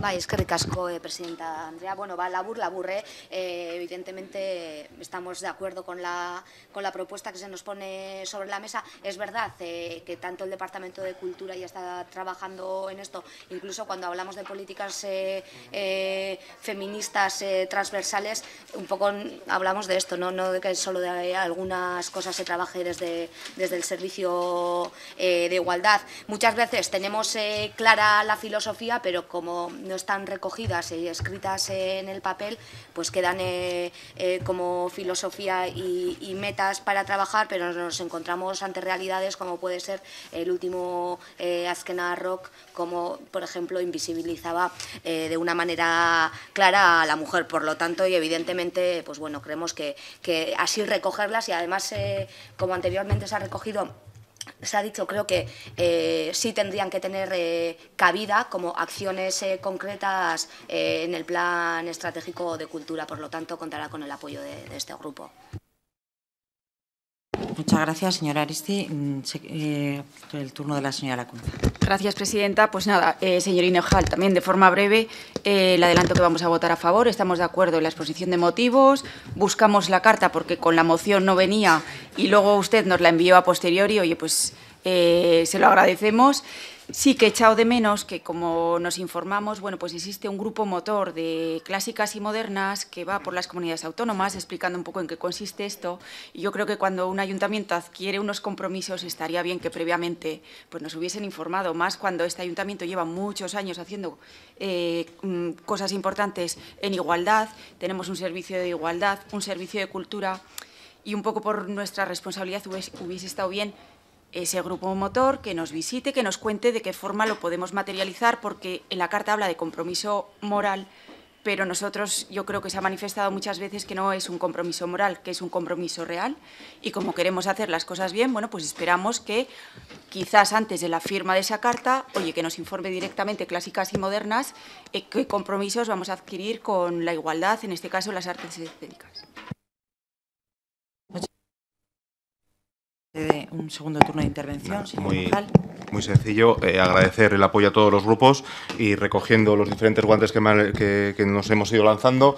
eh, yo hablé con la, bueno, metí la moción, iba, no llegó con la carta porque estaba esperando que me la enviaran y por eso es de las últimas, porque hasta no quería, eh, no quería meter la moción sin la carta, pero bueno, les costó un poquito más enviármela y por eso en cuanto la tuve se la hice, se la hice llegar y ese es, ese es el motivo. Eh, he hablado con la asociación en varias ocasiones, eh, me tiene el permiso, me han dado su permiso para que desde el Departamento de Cultura se ponga en contacto con, con ellas para que puedan venir a explicarlo sin ningún, sin ningún problema. En Vitoria en sí no tienen organización, tienen en Bilbao, sí que lo conozco, pero bueno, sin ningún problema yo creo que están agradecidas porque además así lo, me lo hicieron ver y poder venir aquí a explicarlo y también recojo el guante de la señora, de la señora Canto, que no cantó, eh, y si se engloba dentro de la... Bueno, igual cantó, pero todo apellido. Eh, y se engloba, si se engloba dentro del plan estratégico, perfecto. Lo que nos interesa es que se, lleve, que se lleve a cabo y también es una buena medida que las políticas feministas vayan contagiando el resto de departamentos y no se quede únicamente en el departamento de, igualdad. Y yo lo que no sé es que seguro que en las artes escénicas, en la representación, tenemos pues una más o menos equilibrado, pero sí que hay que hablar muchas veces en la redacción de los textos, en las obras que se ponen, de quiénes son los que lo han redactado o de dónde vienen y seguro que ahí encontramos mayores, mayores diferencias únicamente. Muchas gracias. Muchas gracias, señor Ojal. Señor Fernández no quiere hacer uso. Señora Canto, tampoco. Señora Aguirre, señora Aristi, señora Lacunce tampoco. Pues pasamos a, procedemos a la votación. ¿Votos a favor de la moción presentada por el Grupo Municipal de Podemos? Bueno, pues eh, queda aprobada por unanimidad. Eh, pasamos a continuación al punto número 23, es la moción del grupo que presenta el grupo EH Bildu en favor de la proclamación del día 12 de octubre como Día de los Pueblos Indígenas y de respeto a la diversidad cultural. Hay una enmienda presentada por los grupos Podemos e Irabasí. Empezamos con los grupos enmendantes. Eh, tiene la palabra el señor Fernández. Primero el de la moción. Pues entonces tiene la palabra el señor, eh, hemos dicho que lo presentaba Miguel, perdón, el señor Héctor Miguel. Vale, eskerrik asko guztioi. Pues voy a empezar eh, con una anécdota familiar, que todas y todos tenemos anécdotas familiares. Y en mi casa, eh, todos los 12 de octubre, eh, me recuerdan mis aitas, como yo de pequeño, cuando tenía 8 o 9 años, en otro 12 de octubre, de- debía ser aquello el 88, el 89, eh, yo preguntaba que por qué si era la fiesta de España lo celebraban con tanques en la calle y no con bailes. Debía ser lo que apareciese en el telediario esa comida del 12 de octubre. Y mis aitas me dijeron que con el tiempo lo entendería, que era muy, muy pequeñito para, para entenderlo. Con el tiempo llegó la, llegó la EGB y en la Icastola, una Icastola pública en la que yo eh, me formé, eh, tocó la asignatura de historia. Y en mi, libro de texto, que lo acabo de, lo he, cogi- lo he recogido estos días, de historia de EGB, nos enseñaban cosas como los siguientes extractos que voy a leer, ¿no? Decía, por ejemplo, como el 12 de octubre de 1492 los españoles descubrieron a los habitantes de tierras hasta entonces desconocidas para ellos. Pero al mismo tiempo que los españoles descubrieron a los indígenas, los indígenas descubrieron a los españoles. Qué bonito. Como en todo encuentro con personas desconocidas, indígenas y españoles estaban asombrados. Estaban asombrados. Para los indígenas era muy raro ver a hombres barbudos y vestidos de pies a cabeza. Para los españoles era increíble ver a hombres de piel más oscura que se paseaban casi desnudos. Esos primeros momentos seguramente no debieron ser fáciles, porque entre otras diferencias, indígenas y españoles no hablaban la misma lengua. Sin embargo, el encuentro fue pacífico. Qué bonito, ¿no? Cómo se encuentran dos culturas y se enriquecen mutuamente. Eso nos, escucha, eso nos enseñaba en la Castola eh, allá por el 88, 80, no, o sea, no, perdón, más tarde, por en el 90, 92. Después, en el mismo texto, decían una especie de comentario de texto en el que se leía un texto de- del mismo Colón que decía, porque nos tuviesen mucha amistad, porque me di cuenta que eran gente que mejor se convertiría a nuestra santa fe católica con amor y no por la fuerza, les di a algunos de ellos unos, unos bonetes colorados y unas cuantas de vidrio que se ponían en el pescuezo, y otras muchas cosas de poco valor, con que se pusieron contentos los indios. Después venían nadando a las barcas donde estábamos y traían papagayos e hilos de algodón que entregaban a cambio de cualquier cosa que les diera. En fin, todo tomaban y daban de aquello que tenían de buena voluntad. Más me pareció que era gente muy pobre de todo. Yo estaba atento y trataba de averiguar si traían oro. todo, como veis, mucha cordialidad, mucho pacifismo. Con el tiempo, eh, superada ya el instituto y todo esto, eh, uno ya le va entrando un poco la inquietud por la historia y empieza a contrastar y a leer de otras fuentes que no son las oficiales, que no son las de la Icastola, una Icastola que adoctrina a vascos. Y, entre otros, pues leí algunos textos, como, el, eh, como uno que dice muy breve, y con esto voy acabando, Bartolomé Colón, hermano y lugarteniente de Cristóbal, asiste al incendio de carne humana. Seis hombres estrenan el quemadero de Haití. Humo hace toser. Los seis están ardiendo por castigo y, escarmiento. Han hundido bajo tierra las imágenes de Cristo y la Virgen que, Fray Ramón Pané les había dejado para su protección y consuelo. Fray Ramón les había enseñado a orar de rodillas, a decir Ave María y Paternoster y a invocar el nombre de Jesús ante la tentación, la lastimadura y la muerte. Nadie les ha preguntado por qué enterraron las imágenes. Ellos esperaban que los nuevos dioses fecundaran las siembras de maíz, yuca, boniatos y frijoles. El fuego agrega calor al, eh, el fuego agrega calor al calor húmedo, pegajoso, anunciador de lluvia y fuerte. ¿Por qué traemos esta moción aquí? Y encima creemos que es un día muy señalado, porque es precisamente hoy cuando el imperio español y el imperialismo español está perdiendo en estos momentos, en estos instantes, la penúltima colonia, la colonia catalana, en estos instantes en el Parlamento catalán, viene muy al cuento y traemos, y traemos esta moción, traemos esta, esta moción sí, porque, eh, disculpen, no, no me puedo concentrar si no... Traemos esta moción porque simboliza el principio del imperialismo español, del, imperialismo significativo español allá por el 1492, un día como hoy que está cayendo ese imperialismo español. Y porque lo que nos gustaría, volviendo al terreno local, es que a los niños y niñas gastistarras no les pase como a mí y celebrando el Día de la Asistencia Indígena tengan otro eh, foco, otra, otra perspectiva para poder eh, explicarse ellos por qué España el 12 de octubre sigue celebrando su fiesta nacional con el ejército en la calle. Y es en ese sentido que puedan llegar a la conclusión que llegamos nosotros, que es saber lo que fue España, lo que es España y lo que será España, y que no es más que un Estado imperialista y bélico. Y por eso nos parece muy importante que entre todas y todas aprobemos esta moción en este Pleno. Gracias, señor Miguel. Tiene la palabra el señor Fernández. Bueno, pues sí, hoy toca hablar un poco de, historia y hablaremos de, historia y de un poco de haciendo memoria, ¿no? Bueno, pues lógicamente en primer lugar eh, una fecha como el 12 de octubre que marcada con inconexiones históricas. En primer lugar, porque ni por aquel entonces existía una unidad en España, que era el Reino de Castilla, ni por aquel eh, entonces se descubrió nada, porque nadie descubrió nada. Ahí estaba gente, ¿no? Entonces, en ese sentido, sí que consideramos, bueno, eh, desde los grupos que componen Irabas y tanto Eco como Esqueranicha, de que, eh, bueno, pues tal y como ocurre en, algunos países de, Sudamérica y Centroamérica, el hacer eh, un reconocimiento a aquellos pueblos indígenas que a través de la fuerza, a través, a veces, de la esclavitud, a través de la asimilación y a través de la religión se asimilaron y se les obligó a, dejar su cultura y convertirse a la cultura eh, del Reino de Castilla y posteriormente del eh, Reino de, España. ¿no? Eso es un hecho histórico, es innegable, eso lo marca y no me voy a referir, decía el señor Miguel, eh, o se hacía referencia a un libro de Eduardo Galeano. ¿no? Yo me voy a referir incluso a un libro de historia de un historiador que es Juan Eslava Galán en su libro Historia de España contada para escépticos, que os lo recomiendo a todo el mundo leer.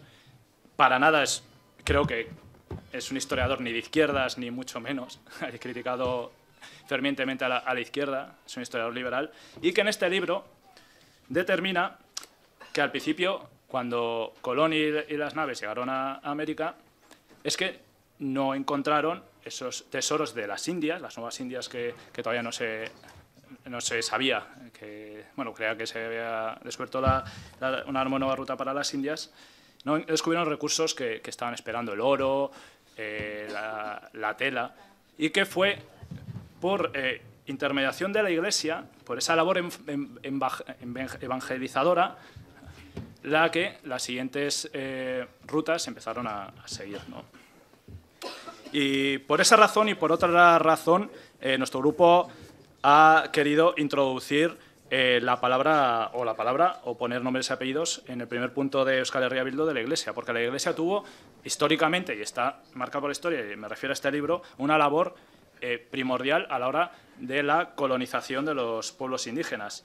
Incluso, es más, eh, para aquel entonces, el propio Papa Alejandro VI, el Papa Borgia, fue el que situó o dividió qué territorios correspondían a Castilla y a Portugal si no lo recuerdan, por aquel meridiano 46. Esto lo que propició fue que independientemente de los pueblos eh, indígenas por aquel entonces, la colonización tuviera una eh, potestad eh, religiosa y bíblica ¿no? para, esa evangelización. Por todo ello, consideramos que, que era importante. ¿no? Y ya, como se me va a caer mucho el tiempo y podíamos hablar mucho de, esto, porque eso también es un tema que me gusta, eh, nosotros queremos introducir, porque claro, hablamos de hace 500 años, antes se refería al señor García Calvo, también me refiero porque creo que va a defender esta, pero es que actualmente sigue habiendo una persecución hacia eh, los pueblos indígenas, se les sigue eh, robando sus recursos naturales. Y nosotros hemos introducido un punto, es el número 4, denunciando esa persecución y hasta a veces el asesinato de numerosos líderes indígenas por esa defensa de los recursos naturales. Incluso poniendo nombres apellidos recientemente como el de Berta Cáceres, una lideresa ecofeminista que, que luchó incesantemente contra la privatización de los eh, ríos en, en Honduras, que defendió los derechos de, un pueblo indígena como es el Lenca, un, pueblo mesoamericano y que fue asesinada a sangre fría por defender sus ideas. Por defender sus ideas. Sigue ocurriendo esto, sigue ocurriendo este, este motivo. Por lo tanto, pues bueno, está la explicación de queremos enriquecer un poco la, propuesta que hoy se ha presentado desde Euskal Herria Bildu. Muchas gracias, señor eh, Fernández. Tiene la palabra el señor Cedilla. Gracias, señora presidenta. Bueno, yo lo reconozco que cuando leí la moción de Bildu, pues me entró el tic en el ojo, eh, básicamente, porque, mm, vamos a ver, eh, puedo estar de acuerdo, y de hecho lo estoy, en que la colonización, hasta el momento de la descolonización, aquello, bueno, fue una masacre y una sangría. Una masacre y una sangría también auspiciada a cruz y a espada. A cruz y a espada. Hasta ahí todo muy bien. El problema de la moción de Bildu es que se olvida que después de la descolonización, hasta el día de hoy, las condiciones de los pueblos indígenas de América, desde el norte más norte, en Alaska, hasta el sur más sur, en Tierra de Fuego, siguen siendo, si no las mismas, sí primas hermanas. La descolonización per se no supuso un paraíso de libertades para los pueblos indígenas, sino que cambiasen ni más ni menos que de amos, de amos británicos, de amos franceses, de amos españoles a amos criollos. Así de sencillo. Se olvida también, perdón, la moción de Bildu de ese otro pueblo que siempre está olvidado, que son los esclavos negros africanos que fueron importados a, América para que hiciesen eh, funciones de mano de obra tal y como he dicho, esclava. Se olvidan también, en la moción de Bildu, pues no sé, que las condiciones siguen siendo horribles, que las tierras indígenas siguen siendo expropiadas, son expoliadas, que los pueblos indígenas son exterminados, que hay marginación, que hay racismo, hay negación de las lenguas y culturas por parte de la mayoría de los gobiernos americanos de los que sí hacen mención en su moción. Es falso de toda falsedad que los gobiernos latinoamericanos, pese a poner el 12 de octubre como el día de no sé, del orgullo indígena, por llamarlo de cualquier manera, eh, refrenden esas palabras con hechos. Las enmiendas que hemos metido van en ese sentido. A remarcar que la lucha no acaba con una descolonización, que los mismos eh, poderes fácticos, y es extrapolable a otras, cosas, otras muchas cosas si ustedes quieren, ¿no? Pero contra quien hay que luchar, aparte del amo blanco, es con el amo criollo que se lo va a quedar fresquito. Fresquito. Y que luchar por los derechos de los indígenas no solamente hay que recordarlos hasta la descolonización, sino lo que después se hizo, porque igual de la historia, de esta historia también aprendemos algo. Y creo que el doble mensaje está claro. Termino con una cosa. En la resolución 61-295 de 13 de diciembre de 2007 de la Asamblea General de las Naciones Unidas habla sobre la Declaración de los Derechos de los Pueblos Indígenas. Recomiendo a quien tenga tiempo, ganas e interés en que se la lea. Y en esa declaración verán que lo que digo está recogido en una norma de rango superior firmada por el Gobierno del Estado español. Gracias. Muchas gracias, señor Cerezuela. Señora Canto. Sí, muchas gracias, señora Gonzalo. Decía el señor Cerezuela que en la moción de Bildu se han olvidado de todo lo que vino después con los pueblos indígenas, claro, porque no lo hizo el Imperio Español, entonces les da igual. Entonces, y además voy a reconocer que me ha sorprendido, usted ha dicho la palabra España y español, pero solo en el contexto de opresión o imperialismo. Bueno, déjeme que le saque de dudas. En 1492 no existía España. No existía. No existía. Eran diferentes reinos con diferentes sensibilidades, incluso diferentes religiones, porque todavía estaba el reino de Granada. Entonces, eh, creo que eh, a mí me gusta mucho que traigan estas mociones históricas y, de hecho, estoy esperando el día que traiga la condena por la conquista romana del pueblo ibero. Y entonces debatiremos y me lo pasaré muy bien porque me gustan estos temas. Y le, animo a, traer más de estas, de estas mociones, del pueblo ibero o de los que eh, vivían aquí, en lo que hoy en día es el País Vasco.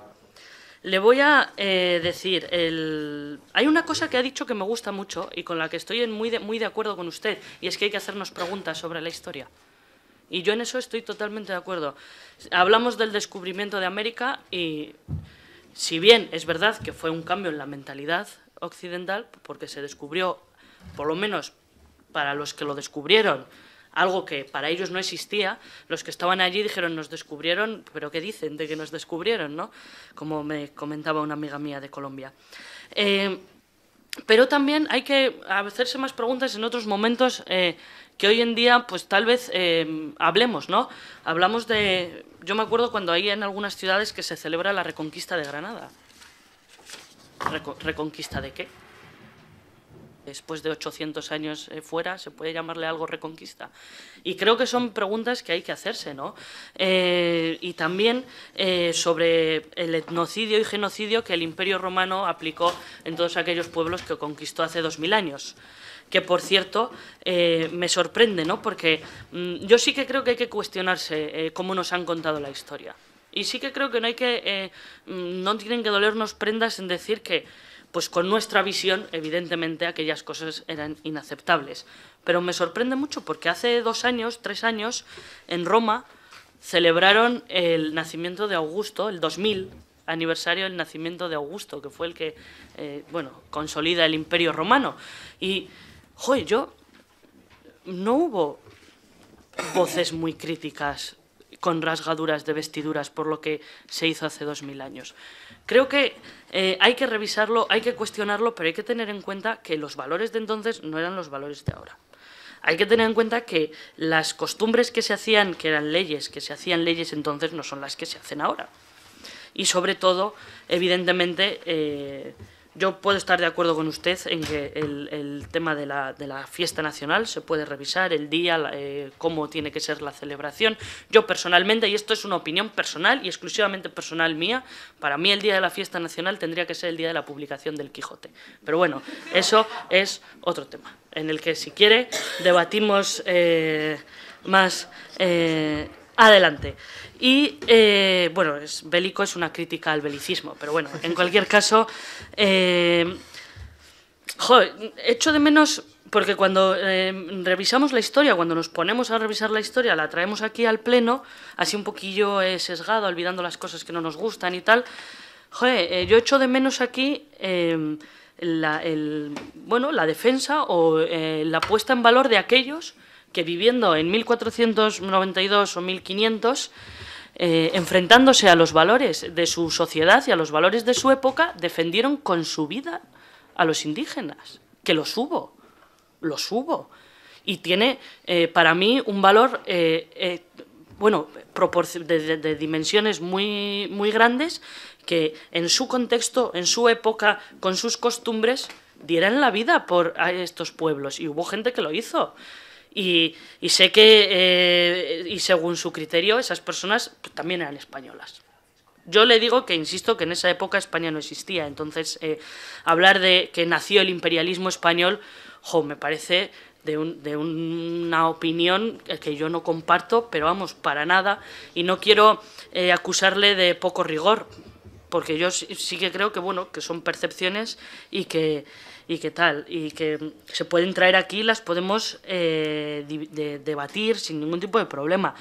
Pero, joder, Dice que trae esta moción porque le preocupan los pueblos indígenas, porque condena usted el colonialismo que, por cierto, practicó eh, toda la parte del mundo occidental, que en este caso eh, dio resultado con todo lo terrible que tuvo un mestizaje que en la India no fue, que en América del Norte no fue, con lo cual tampoco estamos ante el peor de los colonialismos, siendo muy malo.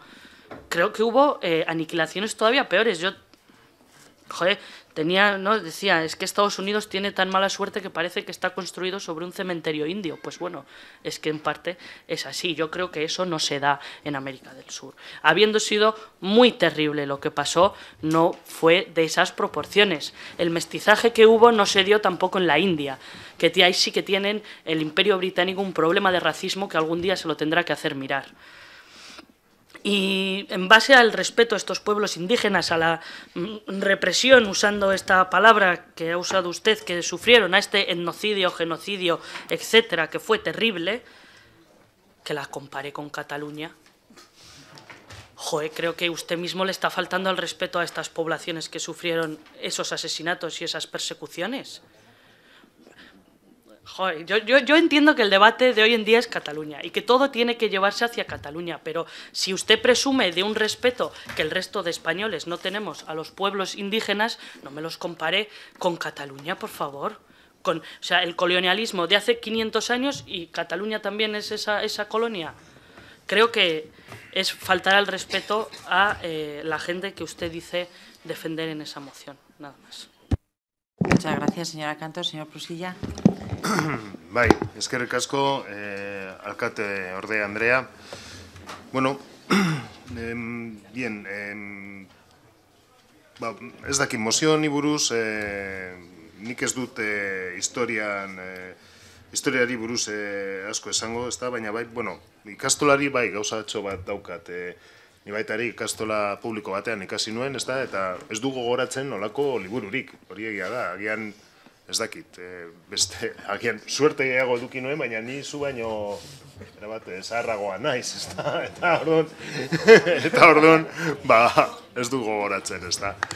E, eta, bueno, mozio horretan gauza batzuk eta gehien bat Podemosek eta irabazik aurkeztu dituen puntuei buruz, ba, gauza batzuekin ados gaude, baina ez dugu ikusten e, beste batzuk, ez da, agian, e, azkenengo bi puntuak edo azkenengo bi puntuekin ados e, gaude, ezta, edo zeren e, nola ez e, berta kazerezen e, ilketa ba, gaitzesten dugu, nola ez, eta baita ere e, e, nazio, nazio batasunen e, deklarazioa ba, baita ere babesten dugu, ezta, e, pero e, estando conforme con los dos últimos puntos de Podemos e Irabasi, Eh, el resto de puntos sí que nos, eh, eh, bueno, mm, nos crean dudas, dudas principalmente porque hay cuestiones en, el segundo punto que sí que la, enmienda de, Podemos ir así sí que respeta respecto al,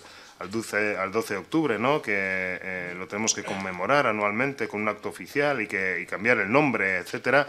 Eh, el tema de los nombres de las eh, festividades, etcétera, es eh, competencia de otro lugar, aquí, en, nuestra propia ciudad, que es el Parlamento Vasco. ¿no? Eso en lo que se refiere al segundo punto. Entonces, yo les insto a que una moción tan importante para la ciudad de Vitoria-Gasteiz como esta la puedan llevar también al Parlamento Vasco en, en, lo que se refiere a los días laborables, etcétera, y lo que ello puede suponer. Respecto al primer punto en el que eh, Podemos eh, introduce el término de la Iglesia, que cometió, mm, eh, o también participó en, eh, eh, en- en los, eh, digamos, las tropelías realizadas en América, pudiendo estar de acuerdo, también es cierto que hablan de conquistadores europeos. Y si son conquistadores europeos, no es solo la Iglesia católica la que hizo tropelías, sino también otro tipo de iglesias o de confesiones cristianas, como el protestantismo, etcétera, que en otros lugares de América pues también actuó y actuó también eh, imponiendo la fe cristiana, etcétera, ¿no? Eh, ustedes ya saben, he dicho que no iba a entrar mucho en historia, así que no quiero alargarme en esas cuestiones. Eh, eh, en lo que se refiere al tercer punto planteado por eh, Podemos, eh, hablan de, eh, de que de la mayoría de los gobiernos americanos continúan realizando expolio, exterminio, marginación, racismo y negación de las lenguas y culturas. Es cierto que eh, a la población indígena aún hoy en día se le está marginando, se le está expoliando sus tierras, se le está quitando recursos naturales, recursos naturales que eh, eh, cuyo derecho está reconocido por las Na- Naciones Unidas, que tienen derecho, ¿no? esas poblaciones indígenas como naciones indígenas, ¿verdad? Pero eh, es cierto que habla de la mayoría de los gobiernos americanos. Yo también creo que es un poco injusto esa, esa, esa mm, eh, eh, percepción ¿no? de la mayoría de los gobiernos americanos, en los que incluso en, un- los, en estados, en un mismo estado, puede haber habido gobiernos que hayan realizado esto y puede haber habido gobiernos que no lo hayan ejercitado, ¿no? Por tanto, nosotros, bueno, si se puede votar por puntos la enmienda de Podemos, bien. Eh, últimamente no se concede esas peticiones, luego, por tanto, pues bueno, creo que caerá en saco, en saco roto. ¿De acuerdo? Es que recasco. Tiene la palabra el señor Calvo. Gracias, señora, señora Gonzalo. Vamos a ver si lo he entendido bien. Eh, los mismos que han presentado hoy otras mociones, nótese la ironía, la, la ironía, que son fundamentales para el desarrollo de nuestra ciudad, los mismos que han empezado diciendo que España es un Estado fallido, nos traen ahora una moción para hablar sobre una fiesta que ellos no celebran, referente a un país del que ellos no se sienten parte, y encima en su exposición de motivos hacen referencia a una ley tan española como que viene a definir que el 12 de octubre es el día de la fiesta nacional. Muy bien, pues sí, creo que lo he entendido bien. Es así, ¿no, señor eh, Miguel? Vale. Em, pues un poco al hilo de incluso de otras intervenciones. Vamos a ver. Eh, es que la historia no es ni buena ni mala. La historia es la que es. ¿De acuerdo? Aparte de que estoy de acuerdo con la señora Canto. Eh, usted ha tenido bastante poco rigor histórico, si me lo permite, y con todos mis respetos. Yo creo que este pleno, ya que debatimos cosas que incluso pasaron hace tantos siglos, creo que los, representantes, los ciudadanos se merecen que sus representantes al menos hagamos debates serios, con fundamento y con rigor. Y existen muchos documentos históricos que permiten hacer un debate serio y con rigor. Por cierto, ¿sabe usted, señor Miguel, quiénes son los primeros que acuñan el término hispanidad? Curiosamente fueron vascos. El padre Zacarías de Vizcarra, vizcaíno, de Abadiño. Es el primero que acuña el término de hispanidad porque evidentemente considera que Día de la Raza no aglutina ese concepto que, donde pues, bueno, se pueden incluir a todos los pueblos latinoamericanos. Y luego eh, esta teoría la desarrolla Ramiro de Maeztu a la vez. Ya sé que les gusta menos. Pero, oiga, era vasco también, a la vez. Vale. Eh, la ley a la que hacen referencia, la del año 87, sí, es de un único punto, de un único artículo, y dice que el Día de la Fiesta Nacional es el 12 de octubre. Se elimina cualquier referencia a la hispanidad, al descubrimiento de América, eh, etcétera, etcétera. Eh, luego, el, el señor Fernández de Irabasí introduce ya la Iglesia. Bueno, es el término que ya que nos faltaba, también para eh, darle un poco de revuelo a este, a este asunto. Le voy a hacer una pregunta, señor Fernández. ¿Usted, sabe quién fue Bartolomé de las Casas? Seguro que le suena más Francisco de Vitoria. Ambos frailes dominicos. Este último fue al que se eh, le atribuye la creación, junto a Hugo Grocio, del derecho de gentes, el origen del derecho internacional, que además es curioso porque una de las preocupaciones de estos frailes dominicos era el desarrollo de los derechos humanos de los indios, que no le digo yo, pues evidentemente, que las cosas se hicieran mal o muy mal, pero desde luego no somos quienes, con los ojos, con, los espíritu, con el espíritu y con las formas del siglo XXI, de venir a juzgar lo que pasó en el siglo XV. Mire, hay una frase que me gusta mucho de, de Arturo Pérez Reverte, cuando preparaba esta intervención, que he leído en un artículo, que dice lo siguiente además. Dice, como decía Arturo Pérez Reverte, no podemos exigirle a una banda de aventureros hambrientos, duros, ambiciosos y desesperados que se comportaran en el siglo XX con los criterios morales de una ONG en el siglo XXI. Y eso es en lo que ustedes están enrocados, señor Miguel, al presentar esta moción, en intentar ver con ojos del siglo XXI lo que pasó en el siglo XV, que al final es parte eh, de nuestra historia. Y nosotros ni lo defendemos ni lo dejamos de defender. Es historia. Es parte de la historia pues, de este país, de la historia de la humanidad y evidentemente necesitamos conocerla, pero con rigor. La falta de rigor pues, está muy bien para traer a este pleno mociones, eh, mociones como esta. Y bueno, pues eh, todavía tengo tiempo. En principio, no voy a agotarlo, esta es mi exposición, y si no, en el turno de réplica podré responderle. Gracias. Muchas gracias, señor García Calvo. Eh, señor Miguel, iniciamos el segundo turno. Bueno, por partes, sí que reconozco que eh, tenía un pequeño desliz y ya era consciente de ello, pero con el tema de las fechas, España no existía en 1492, pero yo me quería referir a ese ADN imperialista español que estaba gestando y que se mantiene hasta hoy. Ustedes se ríen, pero hoy están perdiendo una colonia. Ustedes se ríen, pero hoy están perdiendo la antepenúltima colonia. Eh, eh, eh, me refería a ese ADN imperialista español.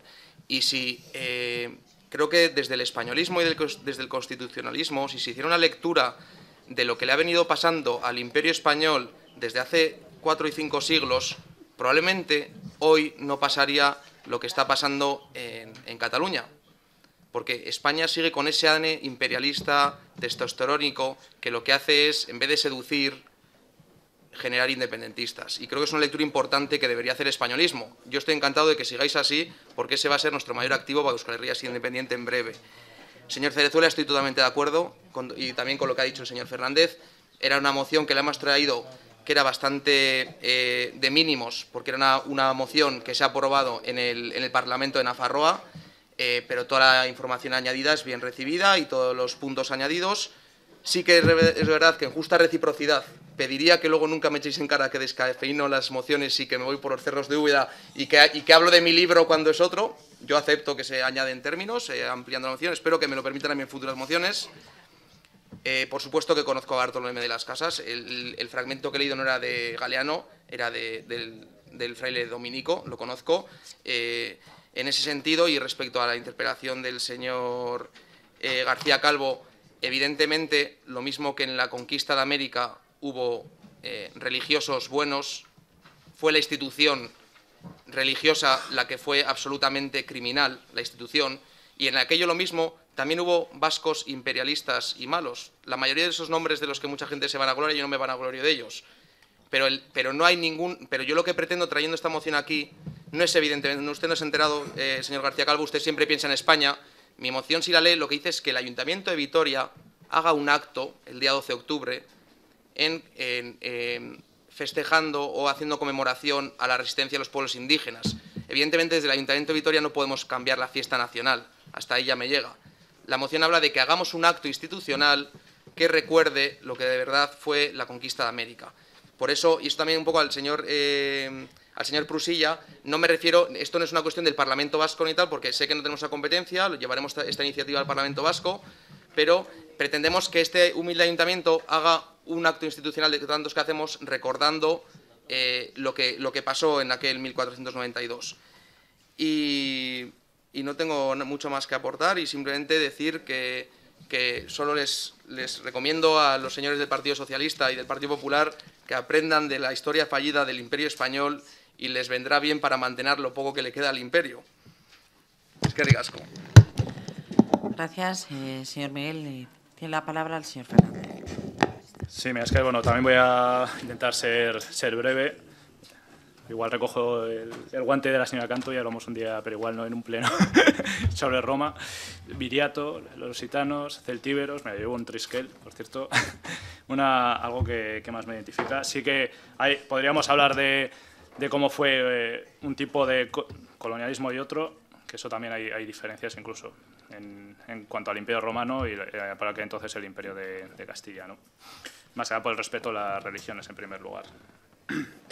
Y es que cuando yo introducía la palabra la Iglesia, que decía el señor García Calvo o el señor Posilla, es que parece que, que, hablamos de, de, las personas que, que fueron allí, que como usted ha comentado, señor Canto, hubo personas que, que defendieron tanto allá como acá en, el antiguo Imperio de Castilla eh, la defensa de, con leyes eh, a favor de, los pueblos indígenas que después, lógicamente, al otro lado del charco no se tienen en cuenta las cosas como son. Mucho papel, pero luego a la verdad no se tenían en cuenta, ¿no? Pero es que, diría aún más, porque es que hace un par de años el propio Papa, creo que es Francisco, para que entonces pedía perdón por los crímenes que se había cometido desde la Iglesia en la conquista de América. O sea, eso es que es recíproco de que la Iglesia como estamento, por aquel entonces, no pasa nada en reconocerlo, en aquel entonces, por eso lo hemos introducido, pues bueno, actuó mal. Y no es mirar, señor García Calvo, con, con, con, ojos, es revisar la historia, hacernos preguntas y decir las cosas como son. Creo que todos los, o la gran parte de historiadores, no voy a decir todos los historiadores, pero todos, casi la gran parte de historiadores de uno u otra ideología que da igual, eh, con, o sea, que se centran o tienen el mismo eh, punto de vista sobre este aspecto. Por eso lo hemos introducido. Aún así, bueno, no lo he comentado con mi compañero, pero yo no tengo ningún problema en que se vote por puntos. Eso, eso no hay ningún problema, no hay ningún problema en ese sentido. Y, y yo creo que ya vamos a finalizar, que ya el, el pleno se está viendo muy, muy largo, creo que lo ha argumentado bastante bien y nada, pues también agradecer por parte de, de los grupos que, que apoyen eh, porque todavía se sigue haciendo la persecución a algunas lideresas indígenas como Berta Cáceres, que, que fue asesinada hace eh, poco más el año pasado, por cierto, en otro 3 de marzo.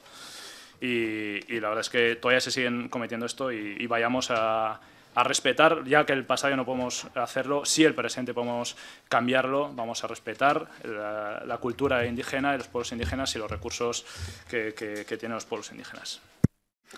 Muchas gracias, señor Fernández. Tiene la palabra el señor Cerzuela.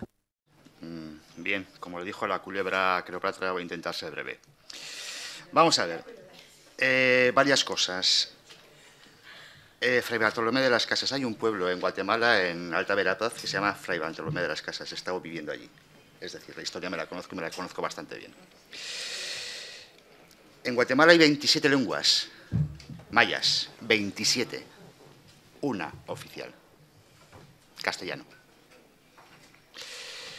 En Guatemala, ¿sabe usted, bueno, me voy a dirigir al, a, al en general. ¿Saben ustedes cómo llaman a los blancos? A los blancos, como cualquiera de ustedes. Ladinos. ¿Ladinos? Ladinos. Lo llevan haciendo desde hace 500 años. Saquen ustedes sus propias conclusiones. No tiene ahora un término peyorativo, ¿eh? pero nos llaman ladinos. Una anécdota. Se me ocurrió la genial idea en una de las veces que estuve allí, yo tenía un pantalón militar. Entonces me puse mi pantalón militar eh, no llevaba barba, llevaba el pelo muy corto, y una camiseta negra y una gorrita. Y entramos a un sitio que había sido un centro de detención en la guerra. Se me cuadraron los militares que había ahí. No por el hecho de ir así, sino porque era un blanco vestido militar. Esto que les cuento, que puede ser anécdotas y chascarrillos, da pie para pensar cuál es la realidad hoy de América Latina. Hoy. Poco más que decir. Decía la señora Canto que le gustaría que el Día Nacional fuese el día que se publicó el Quijote, ¿no? A mí me encantaría que el Día Nacional fuese el 14 de abril, porque me parece mucho más representativo y creo que incluso a lo mejor nos sentíamos todos cómodos. Gracias.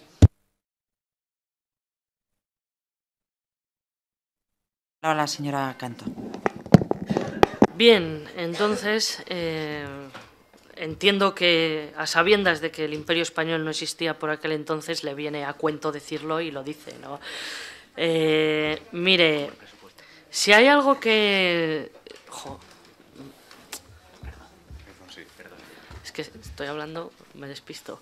Eh, vamos a ver. eh, yo creo que hay que, eh, cuando miramos la historia, yo cuando he dicho revisar la historia no me refería en sí a los hechos, sino a la transmisión que se nos hace de esos hechos. Entonces, voy a poner un ejemplo. Usted ha puesto una anécdota de pequeño, yo de hace unos pocos años. En clase, pues bueno, nosotros estudiábamos eh, el Imperio Romano, cómo se desarrolla, cómo era la relación con las provincias, con los pueblos, tal cual, no sé qué, pim, pam. Entonces, eh, nos preguntó el profesor que qué pensábamos. Pues, jo, pues no sé, pues qué vamos a pensar del Imperio Romano, no sé, que fue el imperio más grande de la época y probablemente de las que vinieron después. Y nos dijo el profesor, ¿y de Julio César qué pensáis? Decimos, jo, pues que escribió unos libros preciosos sobre la guerra de las Galias y la guerra civil. Y dijo, ¿y del millón y medio de personas que estimamos que mató? De las decenas de pueblos que estimamos que exterminó, de las decenas de lenguas de las que no sabemos nada hoy en día que estimamos que exterminó. Pues que simplemente no querían subyugarse al Imperio Romano, porque los que aceptaron la subyugación pues bueno, pudieron convivir mediante pago de tributos, mediante eh, tenían que ir a la guerra cuando los romanos no querían ir a la guerra, pero bueno, pudieron eh, convivir. Estoy hablando de Aquitania, estoy hablando de Cartago, estoy hablando de muchos pueblos, ¿no? Que fueron exterminados y eso fue aquí. No hay, no hay que cruzar el mar para ir a buscar ese tipo de atrocidades.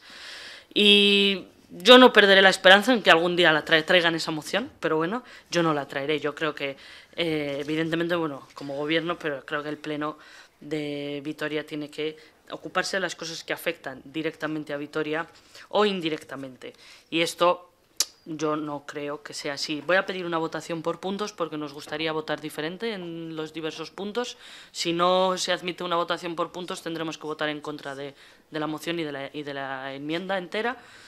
Y eh, sí que me gustaría, eh, decía el eh, señor Cerzuela el 14 de abril, que es, entiendo que se refiere al, del, a- al de la República, ¿no? en la proclamación, porque el 14 de abril ha habido muchos a lo largo de la historia.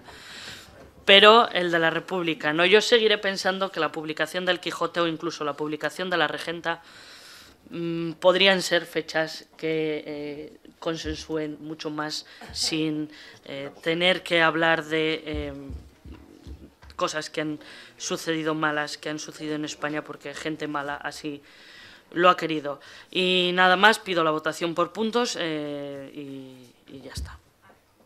Muchas gracias, señora Cantos. Señor Prusilla. Eskerrik asko, eh, alcate Orde Andrea. Eh, muy brevemente, simplemente para aclarar que en, eh, el hecho de que eh, respecto al primer punto yo ponía en cuestión que solo se pusiese a la Iglesia como Iglesia católica porque eh, el- hay otras ya, pero es que la- los protestantes no forman parte de esa Iglesia, entonces no sé, sin más, para que ustedes lo sepan también a la hora de diferentes confesiones religiosas, ¿no? Es otro tipo de iglesia, pero bueno. Eh, bien, sin más, eh, preguntar si va, si se va a votar por puntos o no, eh, porque lo ha pedido también. Vale, pues esa era la cuestión. Muchas gracias, señor Prusilla. Tiene la palabra eh, el señor García Calvo. Bien, brevemente. Mire, señor Miguel, yo no sé si viviré pensando en España. Lo que está claro es que usted vive obsesionado con España. Y ya lo hemos visto. Ya lo hemos visto aquí. Pero es que mm, eh, este ejemplo de esta moción que nos trae aquí es un ejemplo más de cómo ustedes intentan utilizar la historia de forma torticera para hacer una historia a imagen y semejanza. Porque ustedes, la única historia que comprenden y que les gusta es la historia contada a los vascos según Otegui. Eso es lo que pasa. Mire, no sé si la próxima moción será, como dice la señora Canto, para eh, condenar el genocidio de la invasión romana en España o en Hispania, o será para que quiten del salón de recepciones los cuadros al escritor de la generación del 98, Ramiro de Maestú, y al creador del derecho internacional, Francisco de Vitoria, en cuyo caso también tendremos que quitar la medalla, que otorgamos cada dos años. Por cierto, su punto 2 dice, el Pleno del Ayuntamiento de Vitoria-Gasteiz proclama el día 12 de octubre, o sea, no me diga que no quiere cambiar fechas, proclama el 12 de octubre como Día de los Pueblos Indígenas. Pues resulta que la ONU ya declara el Día de los Pueblos Indígenas el día 9 de agosto. Lo que pasa que, como es cierto que estamos en plenas fiestas de la Virgen Blanca, a usted se la había pasado. Pero lo hacemos, desde luego. Por cierto, en esa idílica Cataluña de la que ustedes hablan, voy a ponerme. voy a hacer una interpretación como la harían ustedes. ¿Sabe lo que dicen los historiadores? Los historiadores que en la época medieval el 10% de la población de Barcelona estaba formada por esclavos. Vaya, ya no es tan idílica esa Barcelona o esa Cataluña, porque la historia es esta. Y no por eso digo que Cataluña sea una eh, región genocida y explotadora, porque esta era la realidad en esa época. Pero, afortunadamente, la historia cambia. Y el problema, como decía, decía el señor Fernández, creo que era, la historia se revisa. No, no, la historia no se revisa, la historia es la que es. ¿Eh? La historia es la que es. Y esa es la realidad.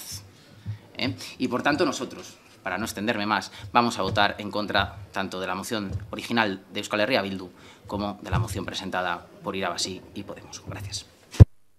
Muchas gracias, señor García Calvo. Vamos a proceder a la votación. Lo único que... Ay, sí, sí.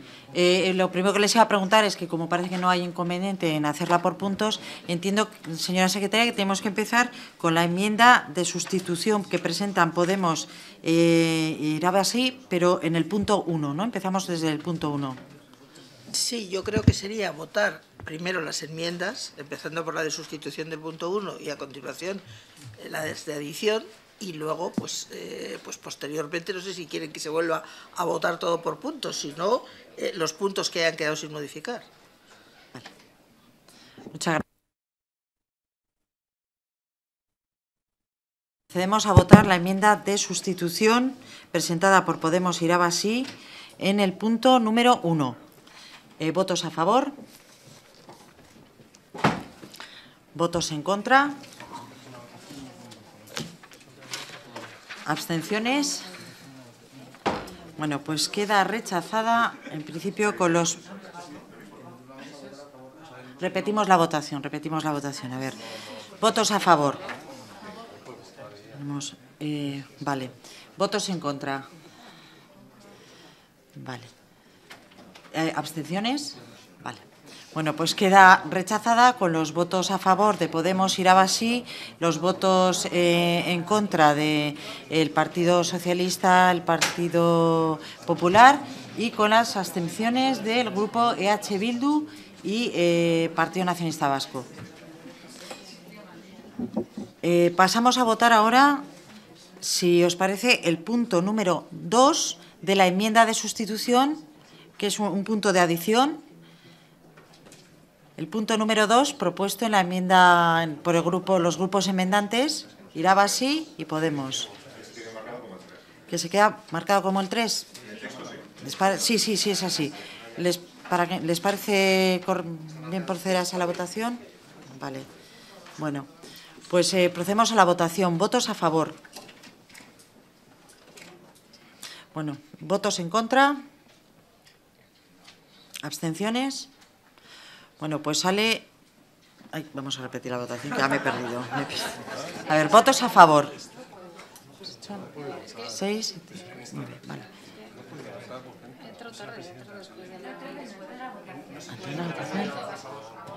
Votos, eh, a ver. Siempre se ha hecho así.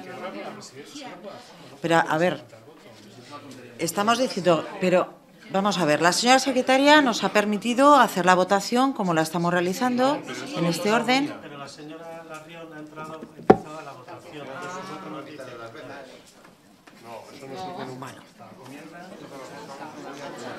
La señora Larrión no ha votado en el punto número uno, pero puede votar en el punto número dos. En el momento que se incorpora, dado que se ha admitido. A ver, que. Un momento. Dado que se ha admitido, vamos a ver, dado que se ha admitido la votación por puntos, a ver qué nos dice la señora secretaria. Puedo entender que el primer punto no ha procedido a la votación, pero en los puntos siguientes puede votar. No sé.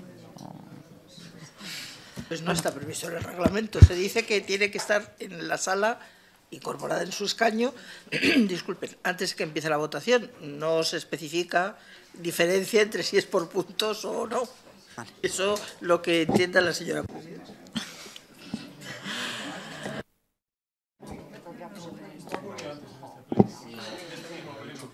Dos personas no estaban sentadas, no han han entrado cuando ya se había anunciado la votación y se ha hecho la vista ahora. Entonces yo no entiendo por qué ahora eh, se está haciendo tan sorrocha. Pero bueno, dos personas... Pues si tenemos esos precedentes y en el día de hoy... A ver, va- vamos a, por favor, un poquito de orden. Eh, yo entiendo que, vamos a ver, si ha habido precedentes en esta, en esta sala anteriormente, en este mismo pleno, como se está citando, y no se niega, no me parece que, que sea, que sea tan relevante el hecho de que se admita en la votación por puntos. Bueno, pero entonces eh, tengamos en cuenta. Pero para a ver, la señora secretaria está diciendo que efectivamente en el reglamento, en principio lo que consta es que iniciar la votación no se puede eh, a incorporarse el pleno, pero también estamos diciendo, y en ese caso eh, yo no cuestiono la interpretación, ni mucho menos lo que dice el reglamento, pero si existe una posibilidad de interpretación, dado que estamos haciendo una votación por puntos, y dado que anteriormente ha habido casos en los que lo hemos admitido en este mismo pleno, mm, y me permite, si me permite la interpretación, la señora secretaria, En- eh, naturalmente, todas las normas pues, son interpretables. Y la interpretación auténtica de la norma del reglamento pues, corresponde al Pleno. Y eh, mientras el Pleno no se pronuncie sobre la interpretación auténtica, pues en este caso es la presidenta la que dirige la sesión y la que dirige las votaciones. No sé qué más decirles. Bueno, pues procedemos y seguimos con la votación. Estábamos en el punto de adición de la enmienda presentada por Podemos Irabasí a la moción presentada por EH Bildu, pero votamos el punto 3. El punto 3. ¿Votos a favor? Seis. Vale. ¿Votos en contra? Eh, ¿Abstenciones? Eh, vamos. ya está. Pues eh, ahora no me he enterado si ha quedado rechazado o no, porque claro, no hay voto de calidad. 9, 9 y... Ya, pero si hay, hay nueve votos y nueve votos. Que- Queda rechazada con los votos a favor de H. Bildu, de Podemos y la... Sí, sí, sí. Volvemos a repetir la votación. Votos a favor, por favor. Votos en contra. Abstenciones. Vale, pues eh, ahora sí que decae con los votos a favor del partido eh, EH Bildu, Podemos, Irabasí, los votos en contra del Partido Popular, Partido... ¿Votos en contra del Partido Popular?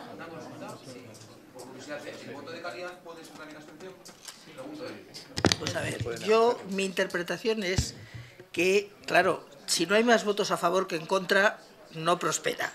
Entonces, el señor presidente, o la, la señora presidenta en este caso, puede ejercer el voto de calidad, pero el voto de calidad es su mismo voto que tiene valor doble. Entonces, la abstención, pues aunque tuviera valor doble, no rompe el empate porque no hay posibilidad. Por lo tanto, yo interpreto que no ha prosperado porque no hay más votos a favor que en contra. Luego, el punto número 3 de la enmienda de sustitución presentada por eh, los grupos Podemos Irabasí decae. Pasamos a la votación del punto número 4 de la enmienda de sustitución presentada por Podemos Irabasí. ¿Votos a favor? ¿Votos en contra? Bueno, pues queda aprobada con los votos a favor de los grupos EH Bildu, Podemos, Irabasí, Partido Socialista, Partido Nacionalista Vasco y los votos en contra del Partido Popular. Pasamos a la votación del punto número 5 de la enmienda de sustitución, nuevamente presentada por Podemos Irabasí. Eh, ¿Votos a favor? ¿Votos en contra? Pues queda aprobada con los votos a favor de... Aclarar, por aclarar, está diciendo enmienda de sustitución y es de adición estos puntos, ¿no? Por aclarar, ¿eh? Son puntos. Gracias, señor, señor Miguel. Efectivamente, son los puntos de adición de la enmienda de sustitución. Eso es. Entonces, estábamos en el punto número 5, eh, que queda aprobado, hemos dicho, con los votos a favor del Grupo H. Bildu, Podemos, Irabasí, Partido Socialista, PNV y los votos en contra del Partido Popular. Vale, gracias. Eh, bueno, y ahora a continuación lo que vamos a hacer es eh, votar la moción original como se había presentado en el, eh, por el Vamos grupo ver, eh, EH Bildu. Yo creo que la moción queda con el punto primero No, queda original, sustituido. el punto segundo, sí, sí, queda el punto primero original, el punto segundo original y la adición de los puntos 4 y 5. 4 y 5. Lo que pasa Eso que, bueno, no sé si eso, el hecho de haber votado por puntos, pero bueno, como parece que las eh, en el 4 y en el 5 las votaciones han sido idénticas, pero Sí. en los otros no sé si se podrá votar totalmente la moción completa o también quieren votar la moción por puntos.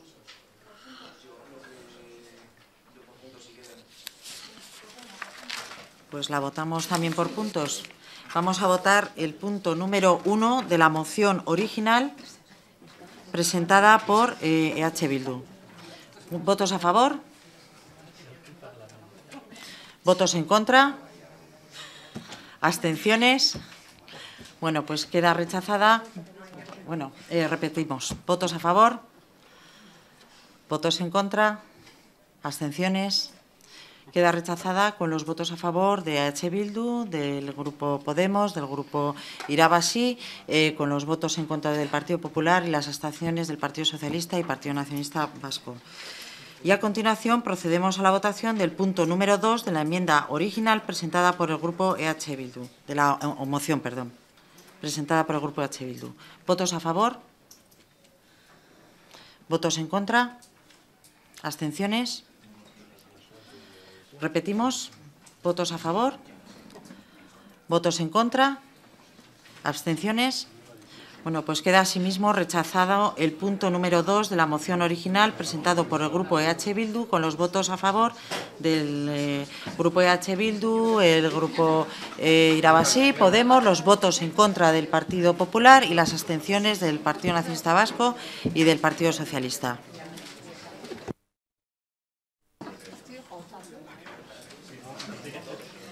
Se quieren votar los puntos 4 y 5, pero bueno, como acaban de votar hace un momento, supongo que será la misma, será la misma posición.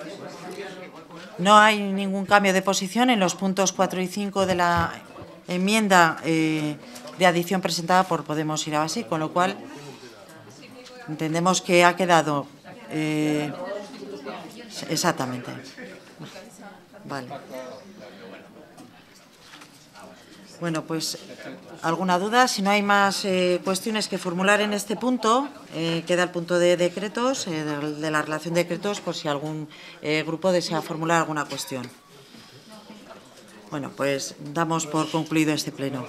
Ruegos y preguntas, perdón, el punto ruegos y preguntas. ¿Alguna cuestión? ¿No hay cuestiones? Pues damos